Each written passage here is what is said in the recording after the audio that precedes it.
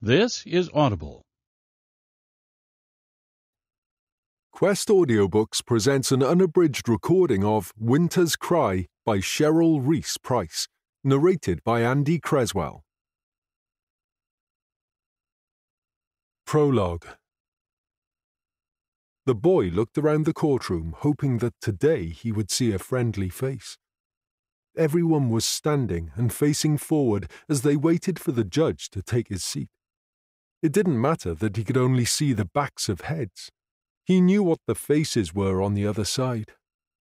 Faces of disapproval, eyes that narrowed and radiated a deep loathing as they glanced his way. Again, there was no one here for him. He was alone and in a lot of trouble. He felt fear mingled with sadness shroud his body like a heavy cloak. It weighted him down, making him feel smaller. Some days he wished he would shrink and disappear.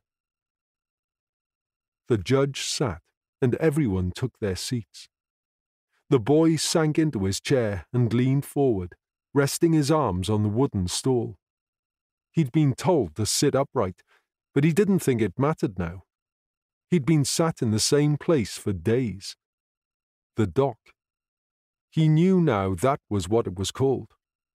The first day he didn't know anything. The men in their wigs had made him laugh. Brian had told him off for that. Brian was his barrister, another word he had learned. Brian was supposed to be his friend and help him. The boy knew Brian didn't like him. No one in this room did. Brian had said the boy's granddad had paid a lot of money for him to help, but his granddad hadn't been to see him hadn't come to court. Ashamed, that's what Brian said. If he had been younger, he wouldn't have had to come to this place, but he was 11 years old. Old enough to know right from wrong, old enough to face the consequences of his actions. That had been said a lot. The boy pulled at his collar. It was hot and stuffy in the room, and it smelt of polished wood. To him, there seemed to be too much wood. It filled the room and crept up the walls, making you feel closed in. He hated this room and the people in it. He focused his attention on the front of the room like he had been told to do, but only at the back of Brian's wigged head. He didn't want to look any further because he would have to look at the judge, who sat perched above everyone else. The judge scared the boy. A few times he had cast a steely glance his way, making him shrink further in his seat. He wasn't the only one.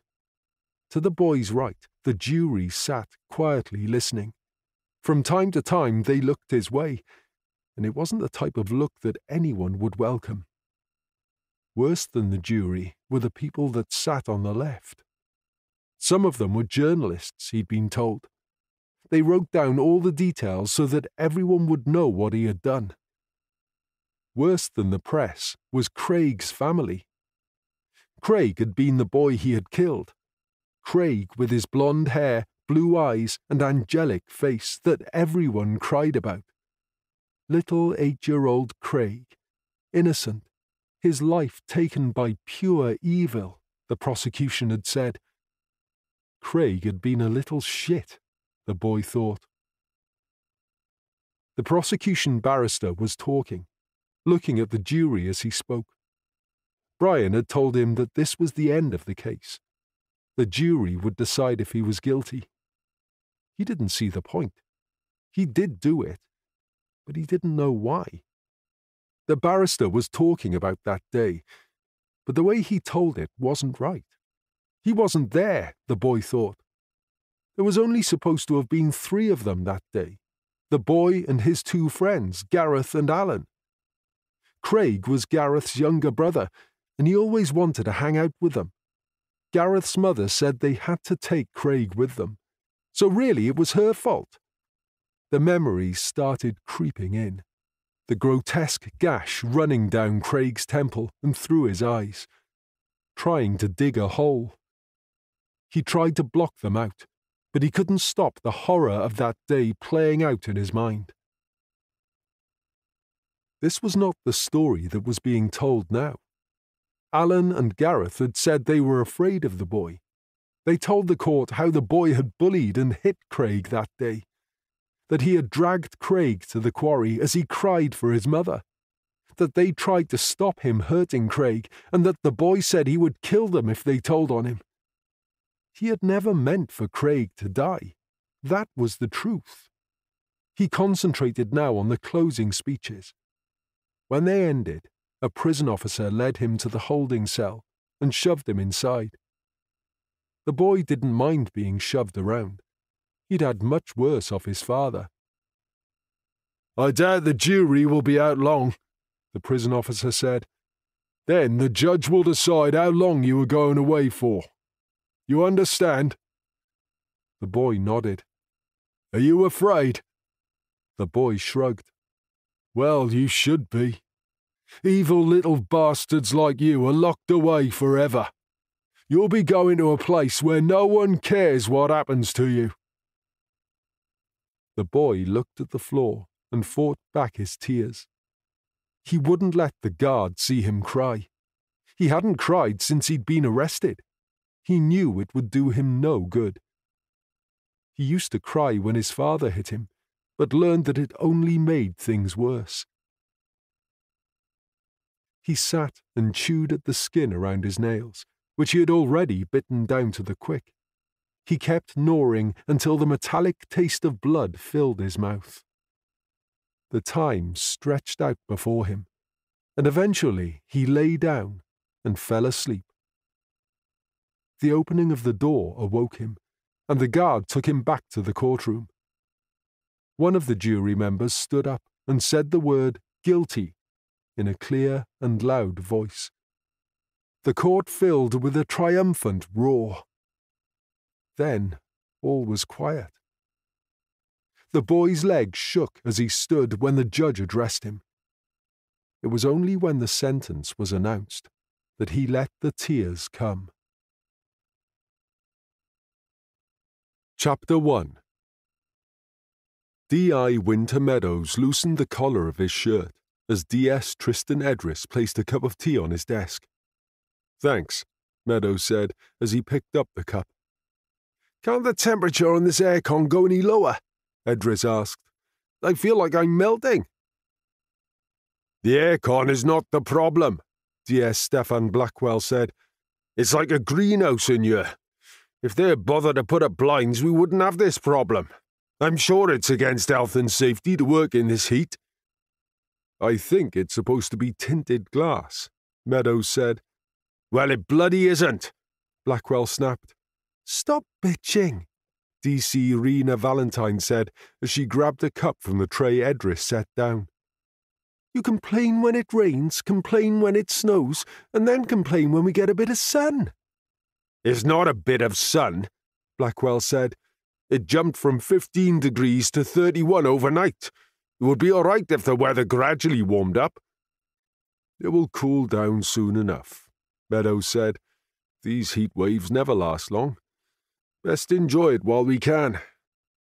Blackwell huffed and returned his attention to his computer screen.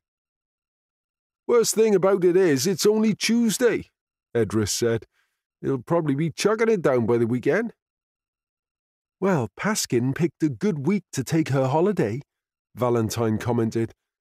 She's probably sunning herself on the beach. Meadows wouldn't have minded a swim in the sea, or even dipping his feet in a cold mountain stream.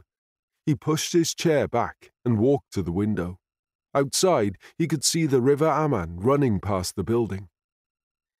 We could always take it in turns to jump in the river, Meadows said. That would cool us down. Yeah, I'm up for that, Valentine said.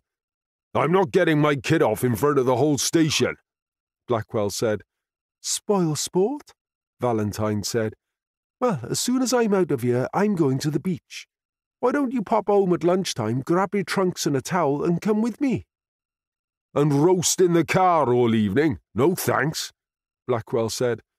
We'll be on Pendine Sands in an hour at most, Valentine said. I'll come, Edris said. Yeah, okay. You can buy the chips. Well, I'm not sitting on a beach with him, Blackwell said. Valentine turned to Meadows. You coming? Love to, Meadows said, but Daisy is picking up Mum on her way home, and we're going to chill in the garden. Just you and me, then? Edris winked at Valentine. Valentine shook her head. Great. Their conversation was interrupted by the appearance of Sergeant Dyfan Folland. How come you look so cool? Edris asked. Trees shading my window, Folland said. We've also got all the fans which push the heat up here. You can send some of those fans up here, Blackwell said. Why should you get all the perks? You don't have to be in uniform all day. Yeah, but I'm not in bloody shorts and flip flops, Blackwell snapped. Folland laughed and turned to Meadows. Got something for you.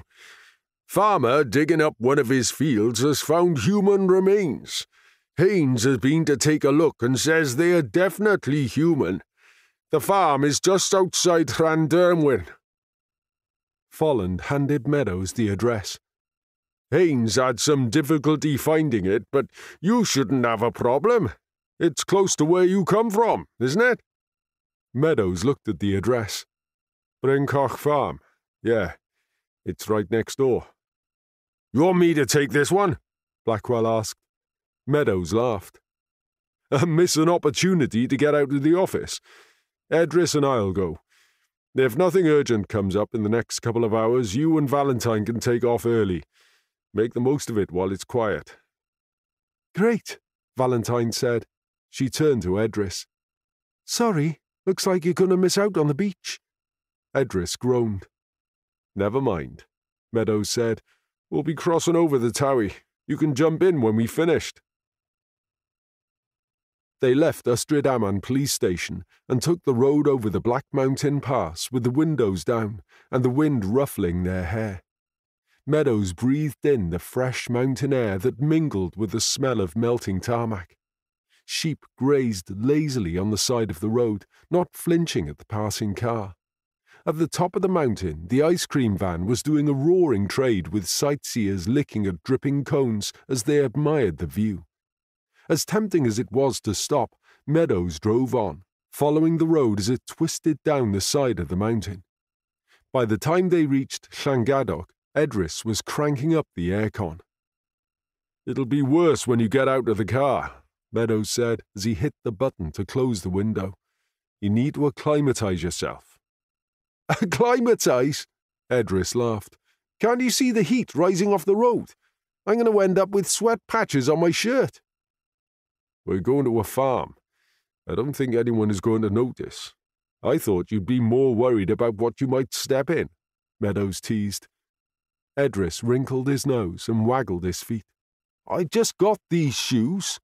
You can always wash them off in a stream, Meadows said, and laughed at the look of horror on Edris's face. They passed through Llandovery, then in and out of villages, some with just a cluster of houses and a post office which doubled as a shop. The distance between the villages widened with stretches of open farmland and forests. Hills rose above the farms, with the grass turned hues of yellow and brown in the heat. Cwm Rhaeadr. Meadows pointed to the left. If you look carefully, you can see the waterfall coming down between the hills. Highest one in Carmarthenshire. Oh, yeah, I see it, Edris said. Wouldn't mind sitting under there. It's quite a hike. I used to go up there as a kid. There's a small pool at the bottom, great for cooling off. Unnamed road. Edris pointed at the satnav. We really are in the middle of nowhere. Yeah, that's what makes this place so special. You can forget about the rest of the world when you're here. Meadows turned off the road and onto a track that led to a farmhouse. A police car was parked in the yard, and PC Matt Haynes was talking to a man dressed in green overalls. Once out of the car, Meadows could see that Haynes was struggling in the heat. His face was puce, and sweat trickled from beneath his hat. This is Jim Hughes, Haynes said. He owns the farm. Meadows introduced himself and Edris. I understand you were working in one of your fields when you made the discovery, Meadows said. Yeah, I was taking down some trees with my son, Louis, Jim said. We were uprooting a trunk. We chained it, and Louis was reversing the digger while I guided him. The trunk came up, and there it was a skull. Made me jump, I can tell you. Not the sort of thing you expect to see. No, Meadows agreed. It must have been a shock. What is the land used for? Mainly sheep, but we decided to do some work there and turn it into a caravan park. Plenty of walking around here, and people like that sort of thing. Get away from things. We were taking down the trees to extend the area. So the land hasn't been disturbed for some time? Meadows asked. Not by me, Jim said, or my father, who owned the farm before me. We only reclaimed the land about a year ago. It was taken over by that lot. He indicated an area to the right. You mean the Peace Valley Commune? Meadows asked. Yeah, that's what they call themselves. They crept into our land over the years, just kept taking it. My father was too soft with them. They took the piss. That's what those types do. They want everything for free. Don't work. Most of them are on benefits. Meadows didn't rise to the comment. Although he could say plenty to defend the commune, he needed to remain impartial. He usually found that people who held strong views and prejudices couldn't easily be swayed. Mostly it just saddened him. So, did you just take the land back, or did you go through the courts? Meadows asked. It was done properly, if that's what you mean, Jim said. Solicitors' letters were sent. They ignored them at first. That's when it escalated. They gave in, so it didn't get as far as court. They knew they were in the wrong. Okay, Meadows said. Would you mind showing us the paperwork? It would be useful to have a clear picture of the boundaries, the use of the land, and who has access. Yeah, that's no problem. Although I don't see how that will help. It may be my land, but this has nothing to do with me or my family. You're best off asking questions to that lot. They get up to all sorts of things festivals and strange rituals. Uh, we will need to establish how old the remains are, Meadows said. It's possible they are ancient and were there long before the commune was established. In the meantime, if you could find any paperwork pertaining to the land while P.C. Haynes shows us where the remains were found, that would be helpful. Just make sure you close the gates after you. I don't want any of my animals escaping, Jim said. Don't worry, we'll make sure that doesn't happen. Meadows and Edris followed Haynes through the fields, with Edris watching where he was stepping. He doesn't care much for the commune, Edris said. No, Meadows said. There's no love lost between the local farmers and those that live on the commune. They've protested several times over the years, tried to get them removed. I guess the farmers felt that there could be a better use for the land. What they don't see is that the commune is self sufficient. They eat what they grow and sell the surplus. They keep bees, hand make furniture and other crafts to sell. Generally, they have a low carbon footprint, and I don't know anyone that claims benefits. You should have put him right, Haynes said. Everyone is entitled to their opinion. They came to a large gap in a dry stone wall and stepped through. A digger was parked with its bucket hanging in the air. It's just in here, Haynes said. They walked about 30 foot in from the wall, passing upturned tree trunks until they came to an area that had been cordoned off with tape wrapped around trees. I called forensics. They should be here soon, Haynes said. Thank you, Meadows said. I think you need to get out of the heat for a while. Collect the paperwork from Jim, take his statement, then head back to the station. There's no point in you hanging around here. Great, I'm only on shift for another hour and a half, Haynes said. Valentine is going to the beach, Edris said. If you hurry, you can go with her. Might just do that, Haynes said. See you later, Meadows stepped under the cordon and looked at the upturned tree trunk. Thick roots stuck out, while the smaller ones bowed under the weight of the earth. Two of the larger roots encased the skull. It was as though the tree had respectfully grown around the remains. He crouched down as Edris came to stand next to him. He could see more bones had been disturbed. The roots had scattered them as they were yanked up from the ground. There was a sweet, powdery aroma in the air, and as Meadows looked at the surrounding ground, he saw the source of the smell was clumps of small purple flowers. He returned his attention to the skull. Well, an adult, but that's as much as I can tell, he said. Yeah, looks like the tree was planted on top of the body, Edris said. These trees are probably hundreds of years old, judging by the size. No, I don't think so, Meadows said.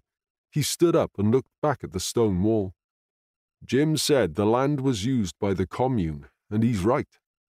An uneasy feeling crept over him. Wood is the main source of fuel for the commune, heating, cooking, and even building homes.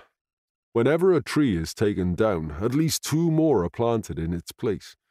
I planted a few of these myself. I remember the wall. The woods didn't always come this close to the boundary. Over the years, it's expanded. Uh, we weren't allowed near the wall and were strictly forbidden to cross over it. We planted on the edge of the woods to expand it. But the body could have already been there, Edris said. I guess, but it doesn't look like it was buried that deep, Meadows said. You know there is no law against burying someone on your own land.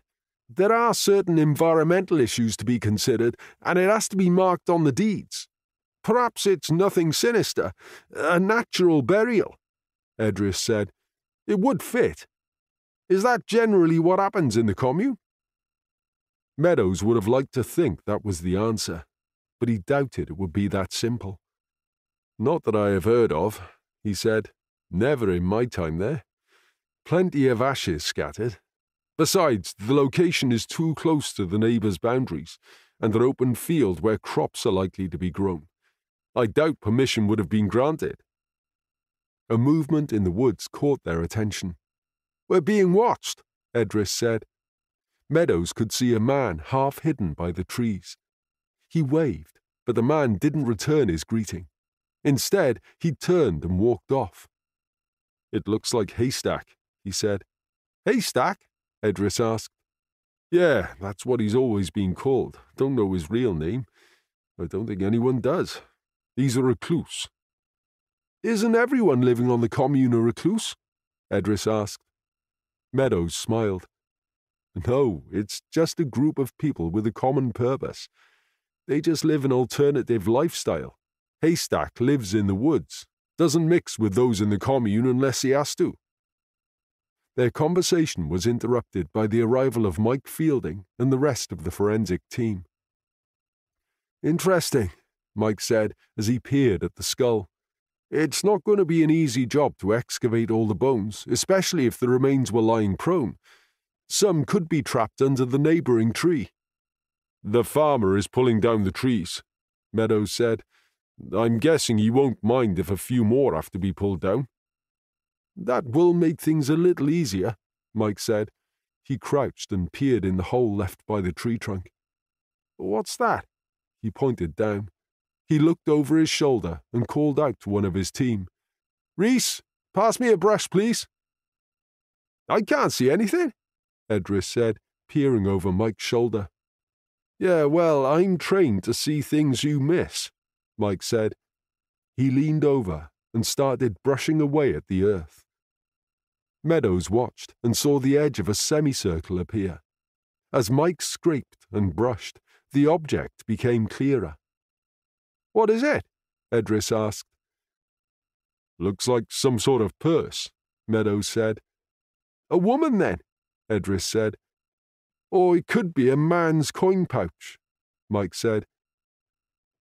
It's leather, which takes about 50 years to biodegrade, which should narrow things down for you. Mike stood up and with gloved hands gently opened the pouch. There's some coins inside, Mike said. He gave the pouch a gentle shake, and the coins slid onto his hand. They don't look ancient, Edris said. Can you see a date on any of them? Meadows asked. Mike moved out from the shade of the trees and looked at each coin in turn. 1985 on this two pence piece, he said. How long has the commune been here? Edris asked. Well, I was born here in 1982, Meadows said. Oh, Edris said. If the coin is dated 1985, then. Yeah, this poor soul could have been put in the ground when I was living here. Chapter 2 Meadows could sense Edris's excitement as they walked the track into the commune. He knew Edris had wanted a visit for a long time. Like for many others who had heard of the place, it was curiosity, a different lifestyle. Some even viewed it as a cult. To Meadows, it had been his childhood home, nothing out of the ordinary. Life was a bit more simplistic, but people worked, children learned, and it rained on them the same as it did the neighbouring farms. People fell in love, children were born, people got sick and died. Life went on the same as it did anywhere else. There was nothing secretive or magical about the place. They were just ordinary people who wanted to be left alone. Yet people viewed them as different, wanted to look inside and ask questions. He'd always kept his life here separate from his work. Now that was about to change. When were you up here last? Edris asked. Last Tuesday evening for the summer solstice. I only came up for a couple of hours. They'll be surprised to see you back so soon. Yes, but it's not a casual visit. We're going to have to tread carefully. Some that have been here a long time have suffered years of prejudice and are not big fans of the police. Yeah, I figured that much, Edris said.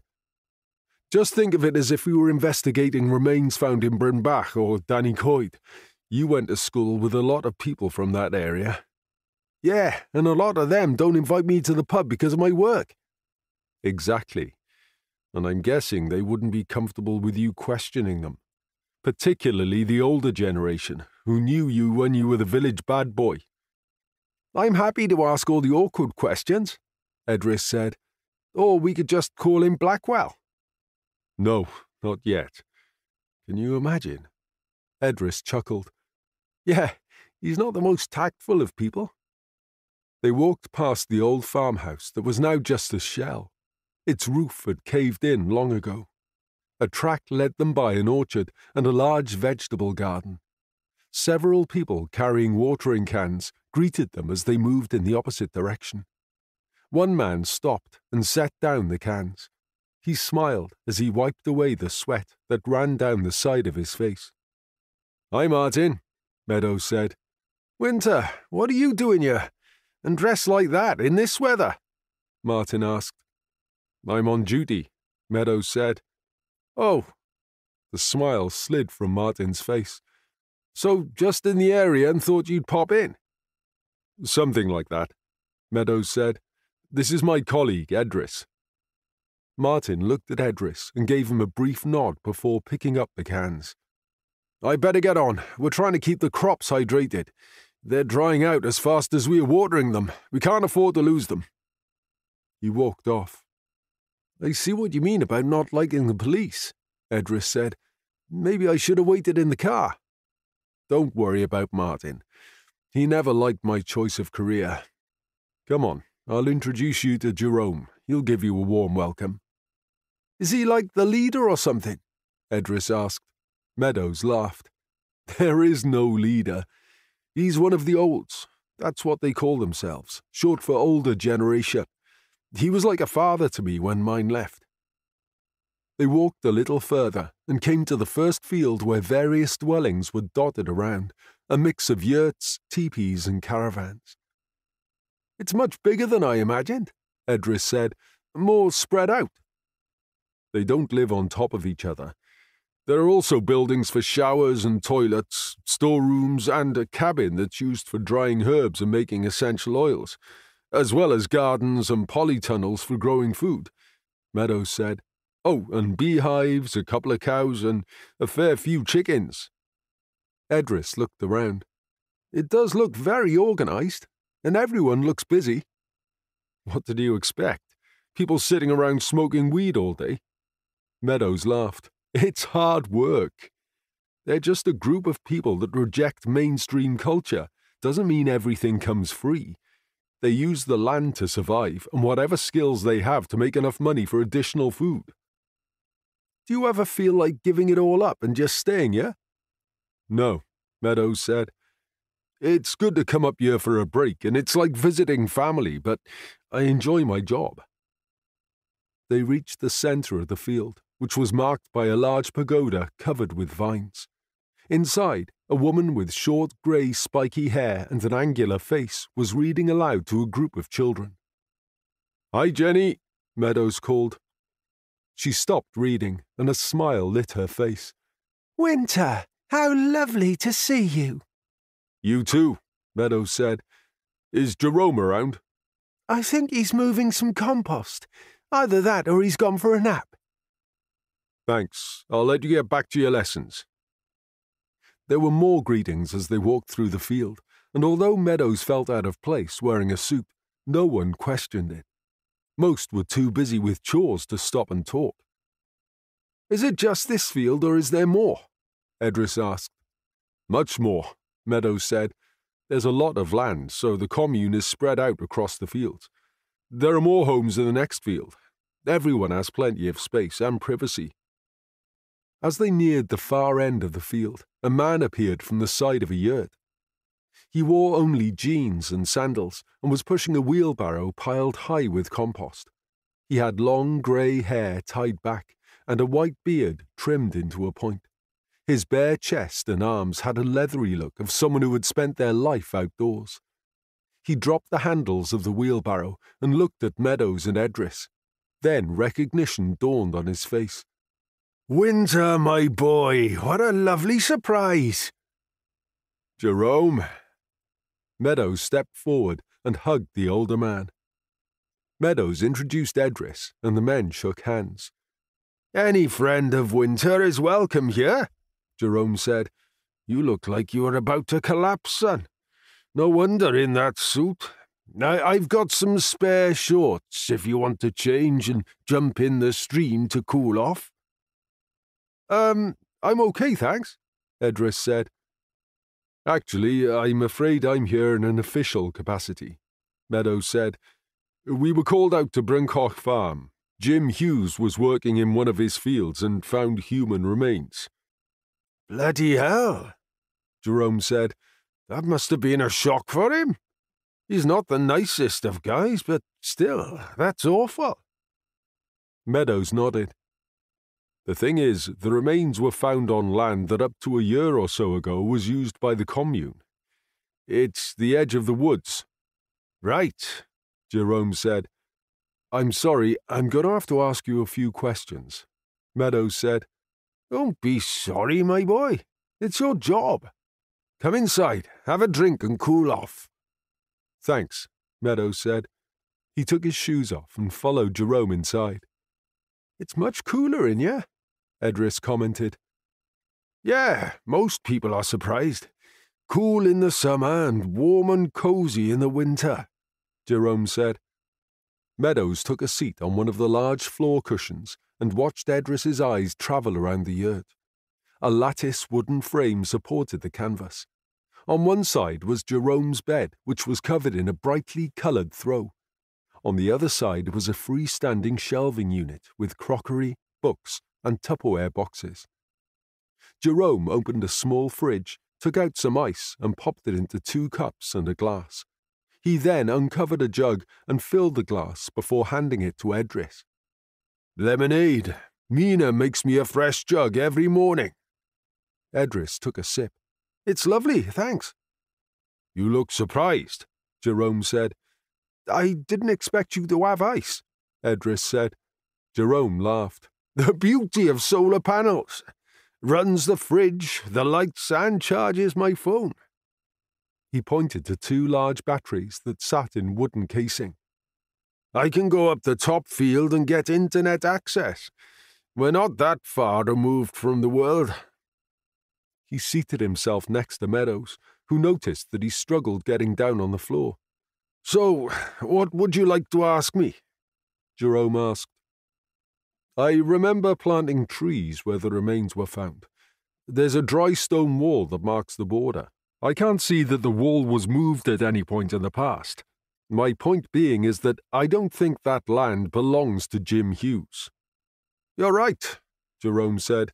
We never took his land. Then why not fight for it? For what? A lot of expense and trouble. You know people's views of us. We wouldn't have won. It was easier to let him have it. Keep the peace. Who owns this land? Meadows asked. We all do. Edris thought that you might have had a natural burial on the grounds. He looked at Edris, who nodded. Has anyone, to your knowledge, been granted permission to do something like that? No, you know how things here work. We always have a discussion. I would have known about it. You know there are a lot of cairns in the area. Could it be something like that? We don't think the remains are that old, Meadows said. He didn't want to tell Jerome about the coins at this stage. Is this going to come back on us? Jerome asked. I hope not, Meadows said. It will all depend on exactly how long the remains have been in the ground. How long have you lived here? Edris asked. Jerome thought for a moment. I came here in 1981. Don't ask me the exact date, he said with a smile. And can I take your full name? Edris asked. Jerome Gwyn. Thank you. Edris wrote in his notebook. Previous address? I can't help you with that. I last lived with my parents over fifty years ago. You've probably been here the longest, Meadows said. Yes, me, Iggy, Mina, and of course your mum and dad. Jenny came not long after, then Cosmo. Oh, and Haystack has been here a long time. Who owned the land before? Meadows asked. Jerome shrugged. No idea. That's okay. We can look into it. So, what happens now? Jerome asked. We'll call in a specialist to look at the remains. We'll know more when we have a sex, age, and the remains are dated. Meantime, there will be police activity in the woods as well as here. It will be a case of collecting names and how long the various families have lived here. Also, we'll need to track down previous residents. It will just be general questions for now, Meadows said. A lot here aren't going to like that. I know. That's why I'm counting on you to smooth the way. The quicker we get answers, the faster we can leave you in peace. Jerome nodded. I'll do my best. Is there anything else you want to know? You must have seen a lot of changes over the years, people coming and going, Edris said. Change is the natural order of things, whether good or bad. I've met some amazing people. Were there any problems? Arguments, violence, that sort of thing? Edris asked. Jerome shook his head. Any disagreements are talked through. We've had some people come that didn't fit in. An amicable solution was usually found. If not, they were asked to leave. There was a couple of occasions where people turned up thinking it was a place to drink and freely take drugs. They got into fights.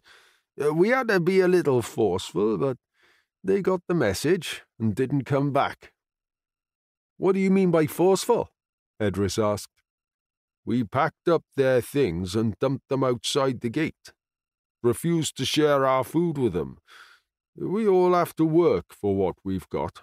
No one freeloads. Other than that, then, no, there have been no problems. He looked at Meadows. In your time here, can you ever remember being scared, unloved, or threatened by someone? No, Meadows said. It was always a happy place. Still is. Can you think of any time when someone left suddenly, maybe left all their stuff? You know more than most that people move on without a goodbye to the ones they propose to love. Meadows knew who Jerome was referring to. Edris gave him a curious look. Yes, but anything completely unexpected? No, not that I can think of. Meadows drank the last of his lemonade. I think that's about it for now. Thank you. He stood up. It's no problem, Jerome said. I hope you find your answers. We'll have a chat with Iggy, then we'll be on our way, Meadows said. You'll probably find him with his feet dangling in the stream. He never copes well in the heat. They left Jerome in his yurt and walked across the fields until they came to a wide stream. There were three people there. One was a portly, bald man with a jolly face who sat on the bank with his feet in the water. He was carving a piece of wood that was wedged between his legs. Another man was sitting in the stream, letting the water flow over him. He had long hair and a beard, both a mix of brown, ginger, and grey. The beard trailed his chest. With his small stature, serious brown eyes, and fine features, it made him resemble a garden gnome. Talking to the two men was an elderly woman dressed in a tie dyed rayon dress. She had long dark hair streaked with grey. Her hands rubbed away at clothes that she held under the water. Iggy, Meadows said. The portly man stopped carving and turned to look at Meadows. A smile lit his face. Hello, kiddo, he said. Meadows smiled. It didn't matter how old he got, he was always referred to as my boy, kiddo, or lad by the older generation. He introduced Edris, then turned to the woman. This is Mina, and that's Cosmo cooling himself. All right, Cosmo said. Why don't you c- come in and join me? It's tempting, Meadows said. Oh, why not? He sat on the bank and took off his shoes and socks. Come on, he said to Edris. I haven't got a towel, Edris said. Mina laughed. You don't need one. The sun will dry you in no time. Meadows rolled up his trousers and waded into the stream until he was positioned between Iggy and Cosmo. Edris sat on the bank with his feet dangling in the water. So, what are you two handsome boys doing here? You don't look like you've come for a break, Mina said. Meadows filled them in on what had been discovered at the farm. Iggy listened without comment. The colour drained from Mina's face, and Cosmo sat up straight. I didn't do anything, Cosmo said. He spoke in a slow, deliberate voice. Each word sounded out. Of course you didn't, Cos, Iggy said. It's okay, Cosmo, Meadows said. We are just collecting information, just names and how long everyone has been here. Are you all right, Mina? Yes. She continued scrubbing at the clothes. It's just a bit shocking. I go into the woods by myself. No one here is going to hurt you, dead or alive, Iggy said, he looked at Meadows. Do we have to answer your questions? He spoke in clipped tones, which was at odds with his attire and surroundings. Meadows often thought that Iggy wouldn't be out of place living in a stately home. Not if you don't want to, but you have nothing to worry about, Meadows said. Yeah, that's what they all say. Then you were dragged off to a st station and locked up, Cosmo said. You've had experience with the police, have you? Edris asked. There was a time when they were always raiding us, looking for drugs. They'd find one little bit of weed, and that was it. We were treated like criminals, Iggy said. That was years ago, Iggy, Meadows said. I promise you that no one is going to be looking for weed, or any other substance for that matter. We just want to find out about the poor soul that's been buried in the woods. They've probably got a family somewhere that was looking for them. Imagine not ever knowing what's happened to a loved one. Yes, I can see that would be a rotten business, Iggy said. I'll help if I can, but I honestly don't know anything about it. Great, Edris said. So, can I take your name? Iggy. And that's short for? Just Iggy. Everyone knows who I am and where to find me. How long have you lived here? Edris asked. I landed here sometime in the 80s and haven't moved since. And you? Edris turned to Mina. Much the same. I'd rather not give you my full name. I left that life a long time ago. Was there any trouble here that you can remember? Meadows asked. Threatening behavior, that sort of thing. The only trouble came from the farmers. They wanted us off the land, Mina said. People d- didn't like us much in the village, and then there was. Cosmo screwed up his eyes in concentration. You know, Iggy. I don't, Iggy said. That one, he did all that funny stuff in the tent. I can't remember his name. Cosmo knocked the side of his head with his fist. Don't worry, it'll probably come to you later, Meadows said. Write it down when it does. Edris looked at Cosmo. I don't suppose you were going to give me your real name? No, he is not, Iggy said. Cosmo smiled. I've been Cosmo for a long time. Okay, Meadows said. I could happily stay here with my feet in the water, but we better go. If any of you remember something, even if it doesn't seem important, let me know. I'll come back up when we have some more information. It was good to see you, Iggy said. Give my love to your mum. Will she be coming up soon? Yeah, in a couple of weeks. Enjoy the sun, Meadows said. Nice to meet you, Edris said. They walked back through the fields until their feet were dry enough to put on their shoes and socks. Back at the car, Meadows opened the door and got a blast of boiling air. I'm not getting in there, Edris said. I'll put the aircon on and let it cool down for a few minutes, Meadows said. Edris sat on the grassy verge and pushed back his blonde hair, which had clung to his forehead.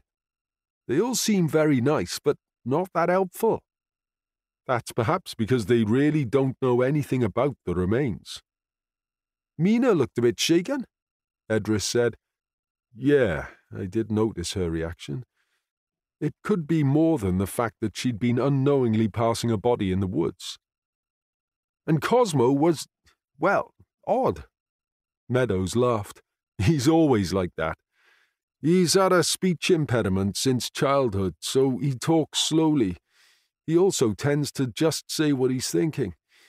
He is bad tempered, but a lot of that is to do with frustration when he stutters or can't find the right words. The I didn't do anything comment is a normal response from him. Um, Jerome mentioned you'd know about people going missing. Do you mind me asking what he meant? I thought you'd pick up on that, Meadows said. He was talking about my father. He walked out on us when I was seventeen. And you haven't seen him since? No. You don't think that. No, Meadows said. We weren't living here at the time. We were in the cottage where I live now. He walked out and never came back. That must have been hard on you and your brother. It was harder on Rain. He's three years younger, so it wasn't an easy time. Right, let's get going. Meadows was glad to move the conversation away from his father. It had been years since he had thought about him. The last time they were together wasn't something he wanted to think about. He just hoped their paths wouldn't cross during the investigation. Chapter 3 Jerome sat at the back of the pagoda and listened to the discussion going on around him. News had spread fast about the remains in the woods, and he could understand the concern it caused. He knew he needed to remain calm and reassuring, even though he didn't feel that way himself. His insides churned, and he felt sick. How long are the police going to be here? asked Martin, a father of four who had grown up in the commune. They didn't say, Iggy said. Obviously, they're going to be buzzing around the woods. If we stay away from that area, they shouldn't bother us. But they're going to be asking questions, Callie, a middle aged woman, said. What if they want to search our homes? They are not going to search our homes, Jenny said. Your weed is safe. The group laughed, and the tension dispersed. We don't have to, to worry. Winter is one of us, Cosmo said. Yes, Jenny said, but he is still a detective. His priority will be his job. And so it should be. Iggy said. He's worked hard to get where he is. Well, we've got nothing to hide, Martin said. My main concern is reporters. Once they hear about this, they will come. They'll be the ones asking stupid questions, taking pictures. Then we'll make a sign for the gate keep out or no trespassing, something like that, Jerome said. Maybe we should put a lock on the gate, Mina suggested just until this blows over. Good idea, Iggy said. All those in favour? There was a show of hands. Good, Jerome said. So that's settled. The group dispersed, leaving Jerome, Iggy, Cosmo, Mina, and Jenny. They waited until they were alone and were sure no one could hear them until they spoke. I think we have a lot more than the press to worry about, Jenny said. What do you mean? Mina asked. Some of us would rather not have our whereabouts known or the past raked up. Well, it looks like it's just been dug up. I told you back then something was wrong, Mina said. I don't know what you were talking about, Jerome said. Yes, you do. You said I was overreacting. Don't bring all that up again, Iggy said. You're not going to leave us, are you? Jenny asked. Like last time? No, Mina said. It's just you wouldn't listen before. But it turned out okay in the end, Iggy said. Mina nodded. As long as we don't give our names, then we will be okay, Iggy said. Too late. They've already got mine, Jerome said. Why would you tell them? Cosmo asked. It's okay, Jerome said. They have to dig pretty deep to find my past.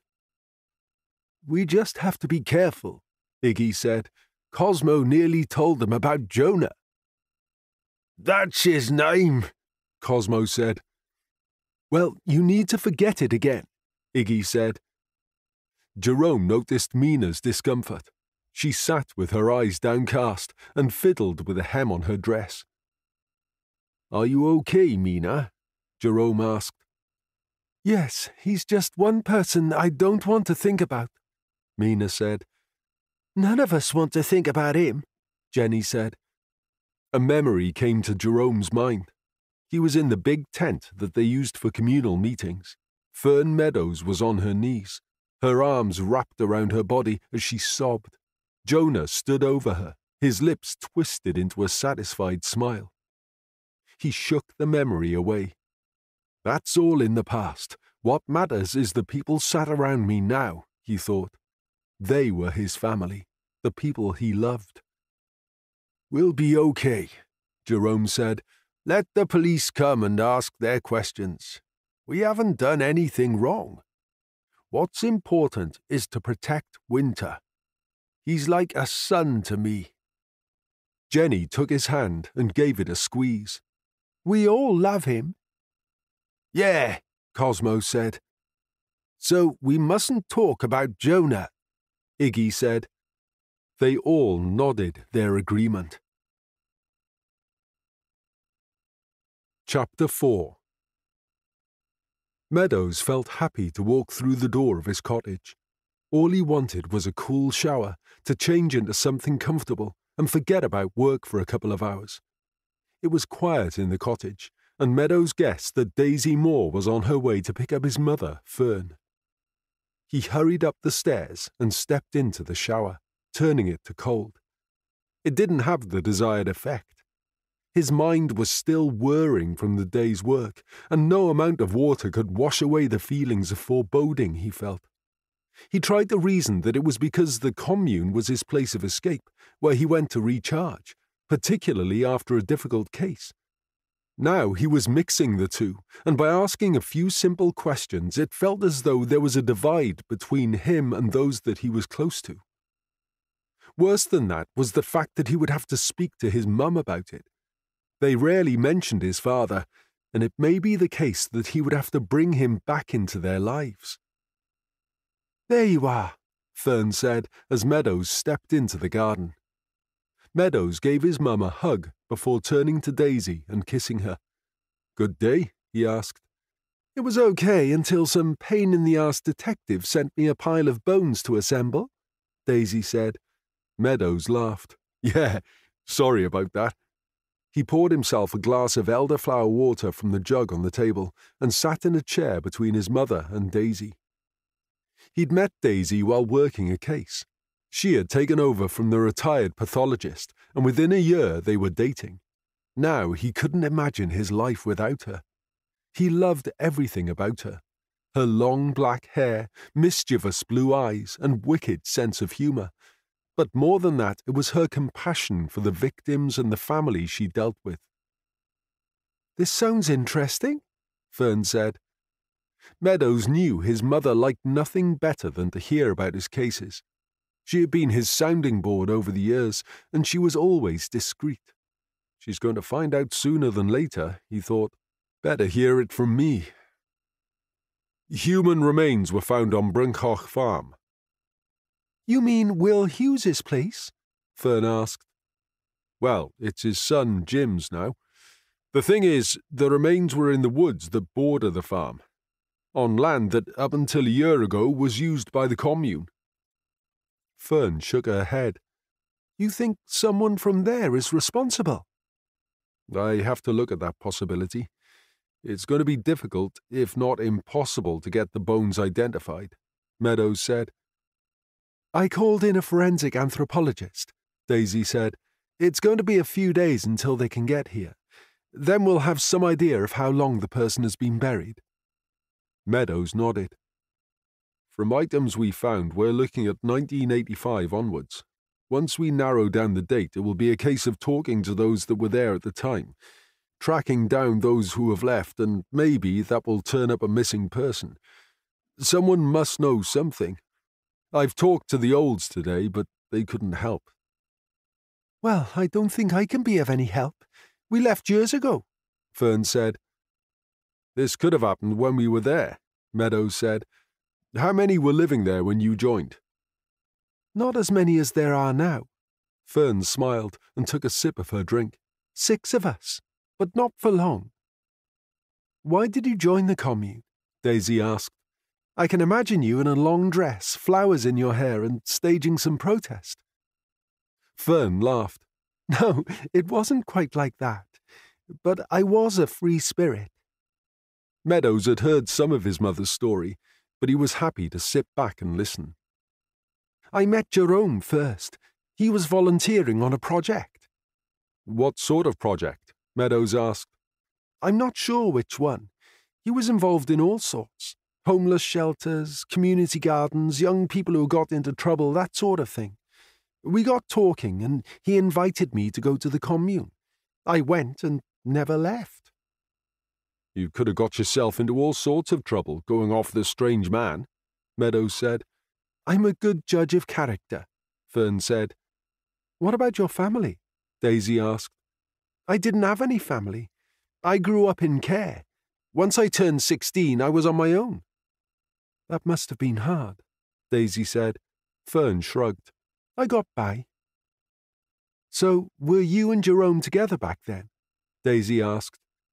Not exactly together, Fern said. We had some good times. I don't think I want to know, Meadows said. He looked at his mother. Even in the autumn of her life, she was beautiful. Her long blonde hair threaded with white came down to her waist. She had vibrant blue eyes and had kept her petite figure. The only thing that gave her age away was the arthritis that gnarled her fingers. I didn't bring you up to be a prude, Fern said, and laughed. Anyway, Jerome and I became good friends, and we still are. Just because we're a little older doesn't mean we don't have needs. Good for you, Daisy said. Everyone needs a little love from time to time. Meadows shook his head. OK, enough about your love life. If you want to know what went on in the commune, then expect to hear a lot more about people's needs, Fern said. We all fell in and out of love, changed partners. Some had more than one, even shared the responsibility of children. That must have caused some jealousy, Meadows said. Yeah, I suppose it did. But it rarely lasted, and mostly we all got along. Was Dad there at that time? Yeah, he was there before me. He was close friends with Jerome, Fern said. She looked at Daisy. Kern was the best looking man I'd ever laid eyes on. Tall, with dark, curly hair and green eyes. That's where Winnie gets his looks. Meadows could feel himself blush. Everyone thinks the same of their child. Don't be so bashful, Fern said. Everyone used to comment what a beautiful child you were. I can see that. You still are, Daisy said. All right, enough of the flattery, Meadows said. Anyway, you can't have all got along all the time. No, we had our ups and downs, Fern said. More people came, and sometimes it took a while for them to settle down. Some stayed for months, years, or never left. Can you remember any incidences where there was violence? No, nothing like that. What about Dad? He had a temper. Not back then. He was happy in the commune. He changed when we left. Are you going to have to speak to him? It looks like I might have to. Do you have any idea where he is? No. He could be dead for all I know. No one would tell us. I think it's likely he set up home in another commune somewhere. I did miss him when he left, and I hoped he'd come back.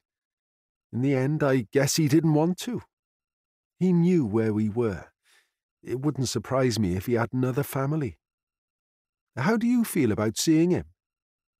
I don't know. Meadows sighed. It will be strange after all these years. I'm not sure I would know what to say to him. Things between us weren't good when he left. We're all different people now, Fern said. I forgave him years ago. I needed to move on. If you do see him, keep an open mind. He must have had his reasons for leaving. If he wants to get to know you, give him a chance. I will, but it's not easy to forget how hard things were for you when he left. You were alone with two children and a mortgage to pay. I remember how hard you used to work. I was never alone, Fern said. Don't you remember how often Jerome or Iggy would visit? They used to bring food and anything they thought we needed.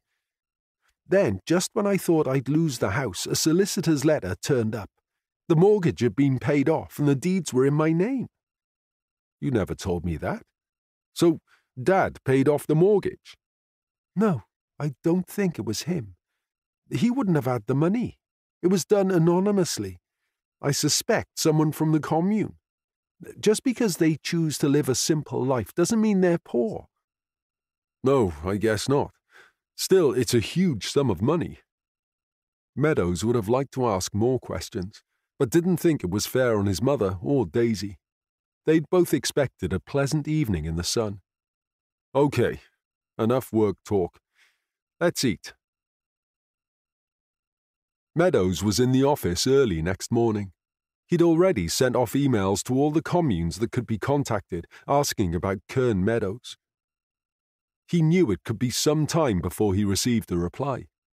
Most had websites set up, but he suspected they would only check emails sporadically. It was forecast to be another hot day, but he had managed to persuade Sergeant Dyfan Folland to give him some fans, which now whirred in the background. Valentine was first to come through the doors. She wore a green sleeveless dress and strappy sandals. Her onyx hair was pushed back with a pair of sunglasses. How was the beach? Meadows asked. Heavenly, Valentine said. I stayed until the sun went down. Shame Edris missed out. I'm going back again after work. Blackwell was next in, already looking hot and bothered. Then came Edris. I wouldn't mind wearing sandals, Edris said. Nothing stopping you, Valentine said. Yeah, I'd look a right prat wearing them with a suit. Wouldn't make a difference, Blackwell said. You are a prat. Yeah, well, I bet you're one of those who wear socks and sandals to the beach, Edris said. OK, shall we start? Meadows said. He'd found that distraction was the best way to stop Edris and Blackwell bickering. He walked over to the incident board, and the team gathered around. As you can see, we don't have a lot of information yet. I've pinpointed the location of the discovery on the map. He pointed. At the moment, we are looking at any date after 1985. Priority is identification. People come and go in communes, but no one can completely vanish without leaving a trace. Someone knew this person. Someone buried them. Our unidentified could well have a family that has been missing them all these years. They deserve answers. They may have been reported missing. I think that's a good place to start a general search of missing persons in the area. What? That's over 30 years, Blackwell complained. Start with the local area, Meadows said. Carmarthenshire is a big enough area, although I can't see there being that many missing persons. Once we know more, like age and sex, we can widen the search. This is where we miss Paskin, Valentine said. Shame she is on holiday. Meadows nodded his agreement. I've talked to Folland this morning. If we need more help, Uniform can assist. Next, we need to establish ownership of the land. It could be collective. I want to know who owned the land before it was taken over.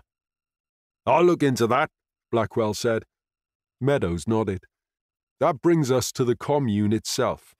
From information we gathered yesterday, it was set up in 1980 or 81.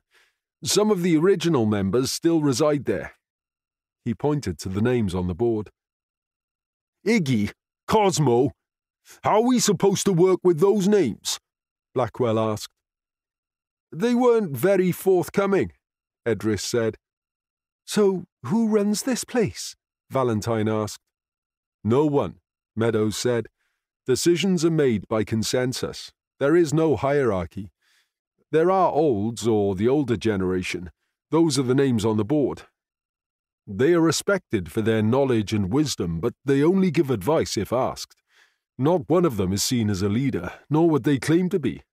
There are around 30 families that have a permanent residence on the commune. Then there are those who just pass through. Over the years, there have been raids by the police and problems with the neighbouring farmers and the wider community. They have a distrust of outsiders, particularly the police, so we are going to have to tread carefully. Everyone was friendly yesterday, Edris said. Mutual respect is the only way we are going to get information, Meadows said. Edris and Valentine, I'd like you to look into any raids and arrests. I'll concentrate on old photos and footage that's been posted online. I know a documentary was made some years ago. Not everyone took part, but it could help identify those that were there. Don't you think that this is all a bit too close to home? Blackwell said. I'd be happy to take the lead on this one. I think I can manage to remain unbiased, Meadows said. Over the years, we've all had to interview people that we know. It goes with living and working in these tight knit communities. Yes, my family lived there for a number of years, but I think that will work in our favour. I know the people, and they can trust me. The commune is a bit like a village. It can accommodate up to 300 people. In the past, there has been that many. It's not like I or my family are directly involved. Of course, if that changes, or if any of you have concerns about me working this case, I'll step aside. I haven't, Edris said. Me neither, Valentine added. Blackwell shrugged. OK, fine. I just thought I'd mention it. Meadows smiled. No problem. They worked quietly through the morning. Meadows found a documentary from 1989 posted on YouTube. Residents of the commune, together with local farmers, shopkeepers, and people from the community, had given interviews. There was a clear divide between them. Each one was eager to give their views. Some of them weren't nice to listen to, and it saddened Meadows to hear such prejudice. More so that these opinions of the commune were still held by some. Edris poked his head around the side of his computer. You found anything interesting? Lots of accusations of stealing made by the farmers. One claims his house was broken into by one of the commune members. Another talks about missing chickens. The shopkeepers say they come in and frighten away customers. Wild, dirty, and uncivilized seems to be the general consensus. There's talk of wild parties, rituals, and sacrifices. Meadows laughed. I can't say I recall any of that sort of thing when I was growing up. I think you're likely to find a lot of filed complaints. I've seen some footage of the raids, reports of cannabis plants being dumped all over the place so blame wouldn't be pinned on one person. Didn't stop several arrests, though. I haven't come across any of the olds on camera, Meadows said. Looks like they just wanted to be left in peace. It may be worth talking to the farmers, see what reaction we get. It could be that one of them decided to take matters into their own hands. Wouldn't someone from the commune have reported it? Valentine asked. There wasn't a good relationship between the commune members and the police back then, Meadows said. They're still wary of the police. They could have said something yesterday, Edris said. If there had been threats or violence from the farmers, you'd think now would be a good opportunity. Meadows shook his head. They wouldn't point the finger, especially without evidence. They like to live a peaceful existence, which means letting go of the past and not being vindictive. Well, I found the owner of the land, Blackwell said, Jerome Gwyn. We spoke to him yesterday, Edris said. He didn't say he owned the land. Why would he lie? I'm not sure he did lie, Meadows said. He said the land belonged to all of them, that's how he would view it. Maybe he gave the land to the commune, or he purchased it on their behalf, Valentine said. It wasn't purchased, Blackwell said. It's a deed of transfer. From whom? Meadows asked. Caradog Llewellyn. I checked. He died in 1979. Nothing suspicious. See if you can find out what the relationship was between Jerome and Caradog. It may be nothing, but maybe someone else thought they were entitled to the land. Meadows hated that everyone he grew up with was now a potential suspect, but he said he was going to be unbiased, and he needed to prove that not only to the rest of the team, but to himself. He checked the time. Right, come on, Edris. We need to get over to the morgue. With a bit of luck, there'll be something to help us identify this poor soul. Chapter 5 It was eerily quiet in the basement of the hospital.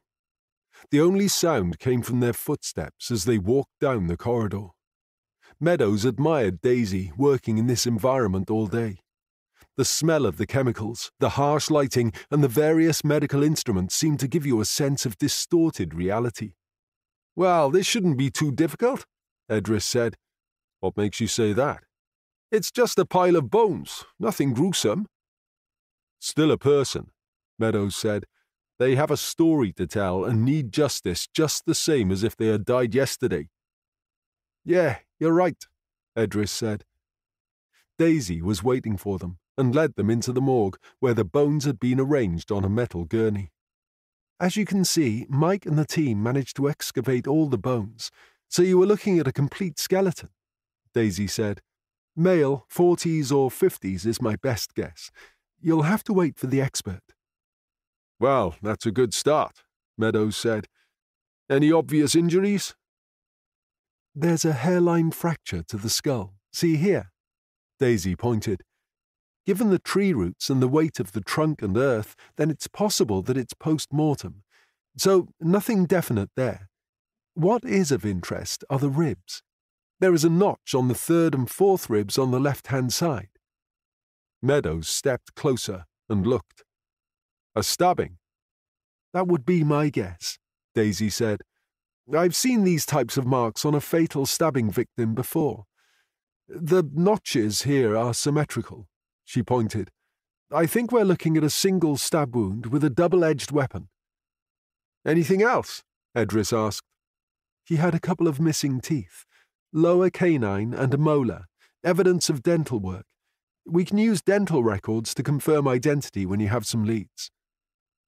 Well, so far we have nothing, Edris said. Mike may be of more help, Daisy said. He said they had recovered some interesting bits in the earth. Great, Meadows said. He turned to Edris.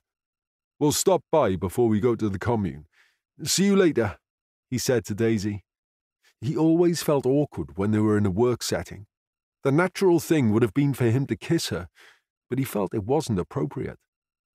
They drove to the forensics office and found Mike in the lab. I hear you've got something for us, Meadows said. I was about to photograph the finds and send them over to you, Mike said.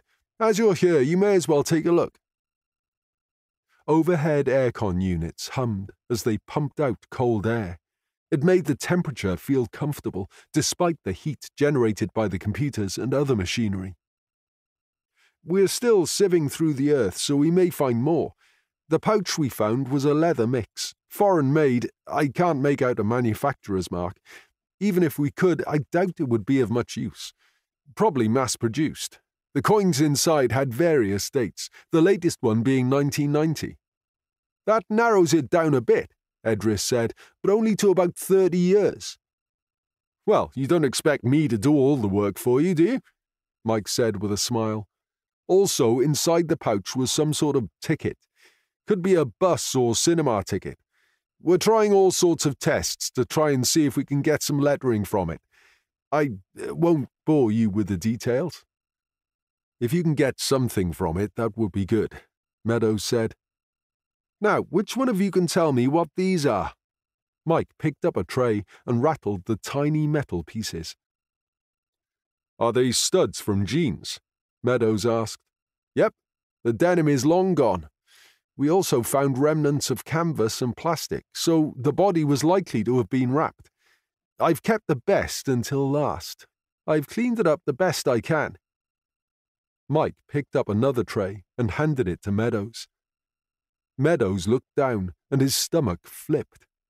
For a moment, it felt like the floor shifted beneath his feet. A coldness crept over his body. He stared at the object.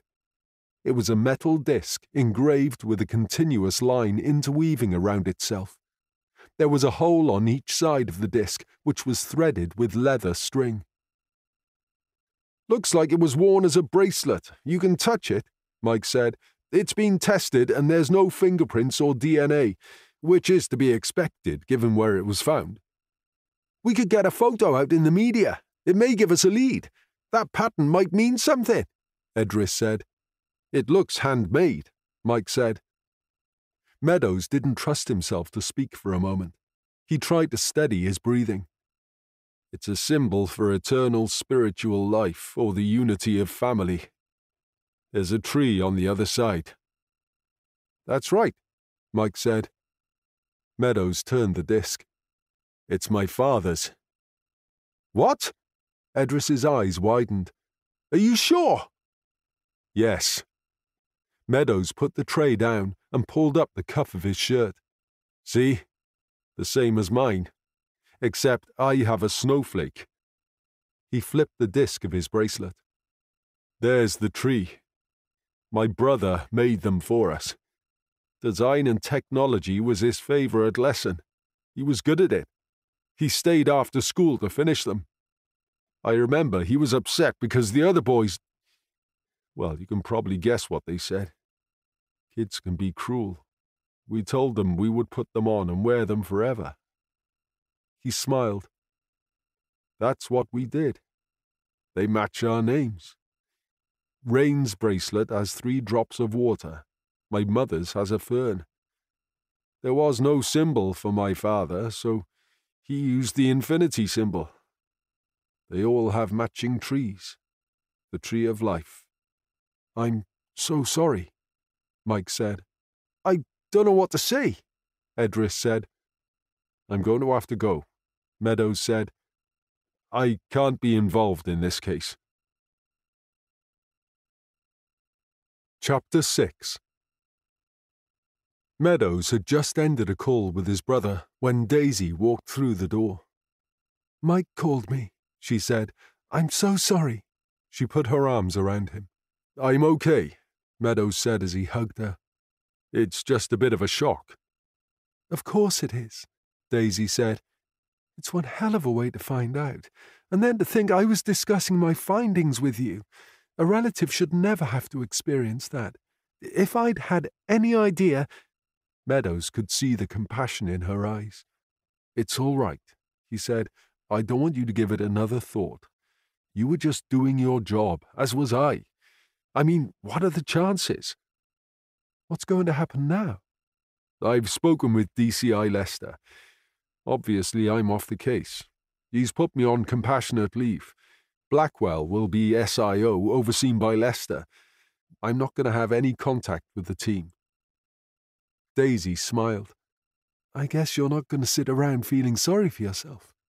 No, I can still ask questions. I'm probably in the best position to get answers from those in the commune. It will be accessing information that's a problem.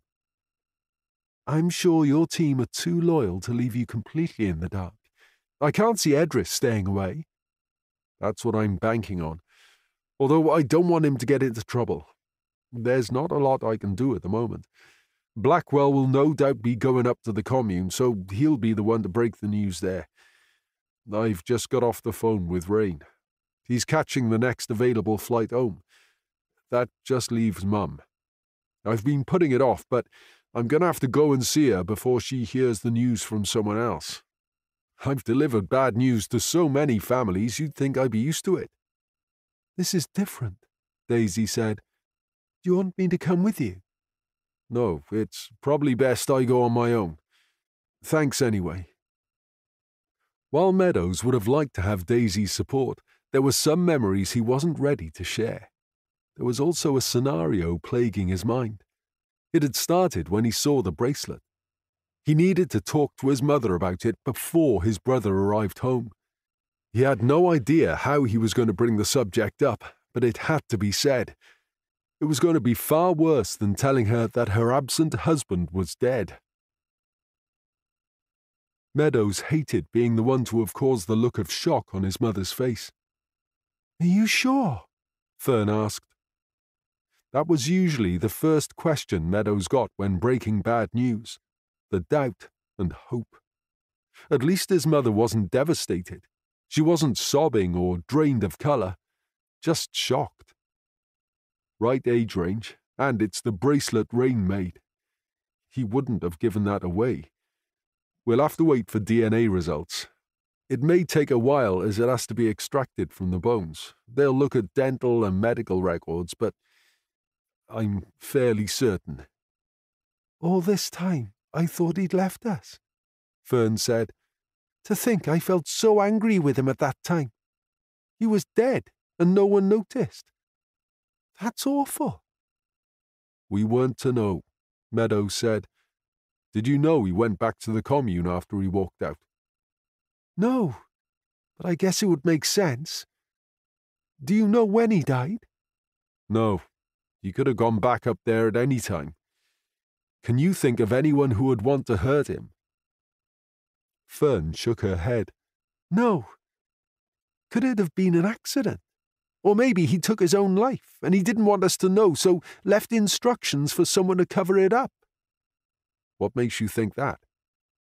I'm sure he tried to kill himself before he met me. There were scars on his wrists. I asked him about it, but he wouldn't open up to me. I never noticed that, Meadows said. He always wore long sleeves, Fern said. I don't think it was anything like that. We found evidence of a stab wound. Meadows carefully watched his mother's reaction. It didn't take long for it to come. That moment the thought strikes you. That sick feeling. He'd experienced it himself only hours ago. Fern remained quiet for a moment.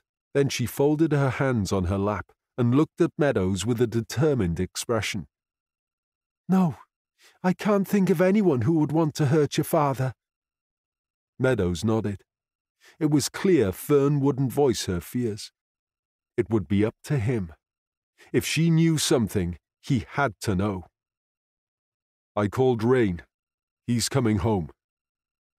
No, he mustn't, Fern said. What if? What if? Nothing. I know what you're thinking. I thought the same. Then you know he can't come home. He's your brother. You have to protect him no matter what. He was just a child. Fern picked up her phone. I'll call him. Tell him not to come. Meadows stood and gently took the phone out of his mother's hand. It's too late. He's probably on a plane or at least in the airport.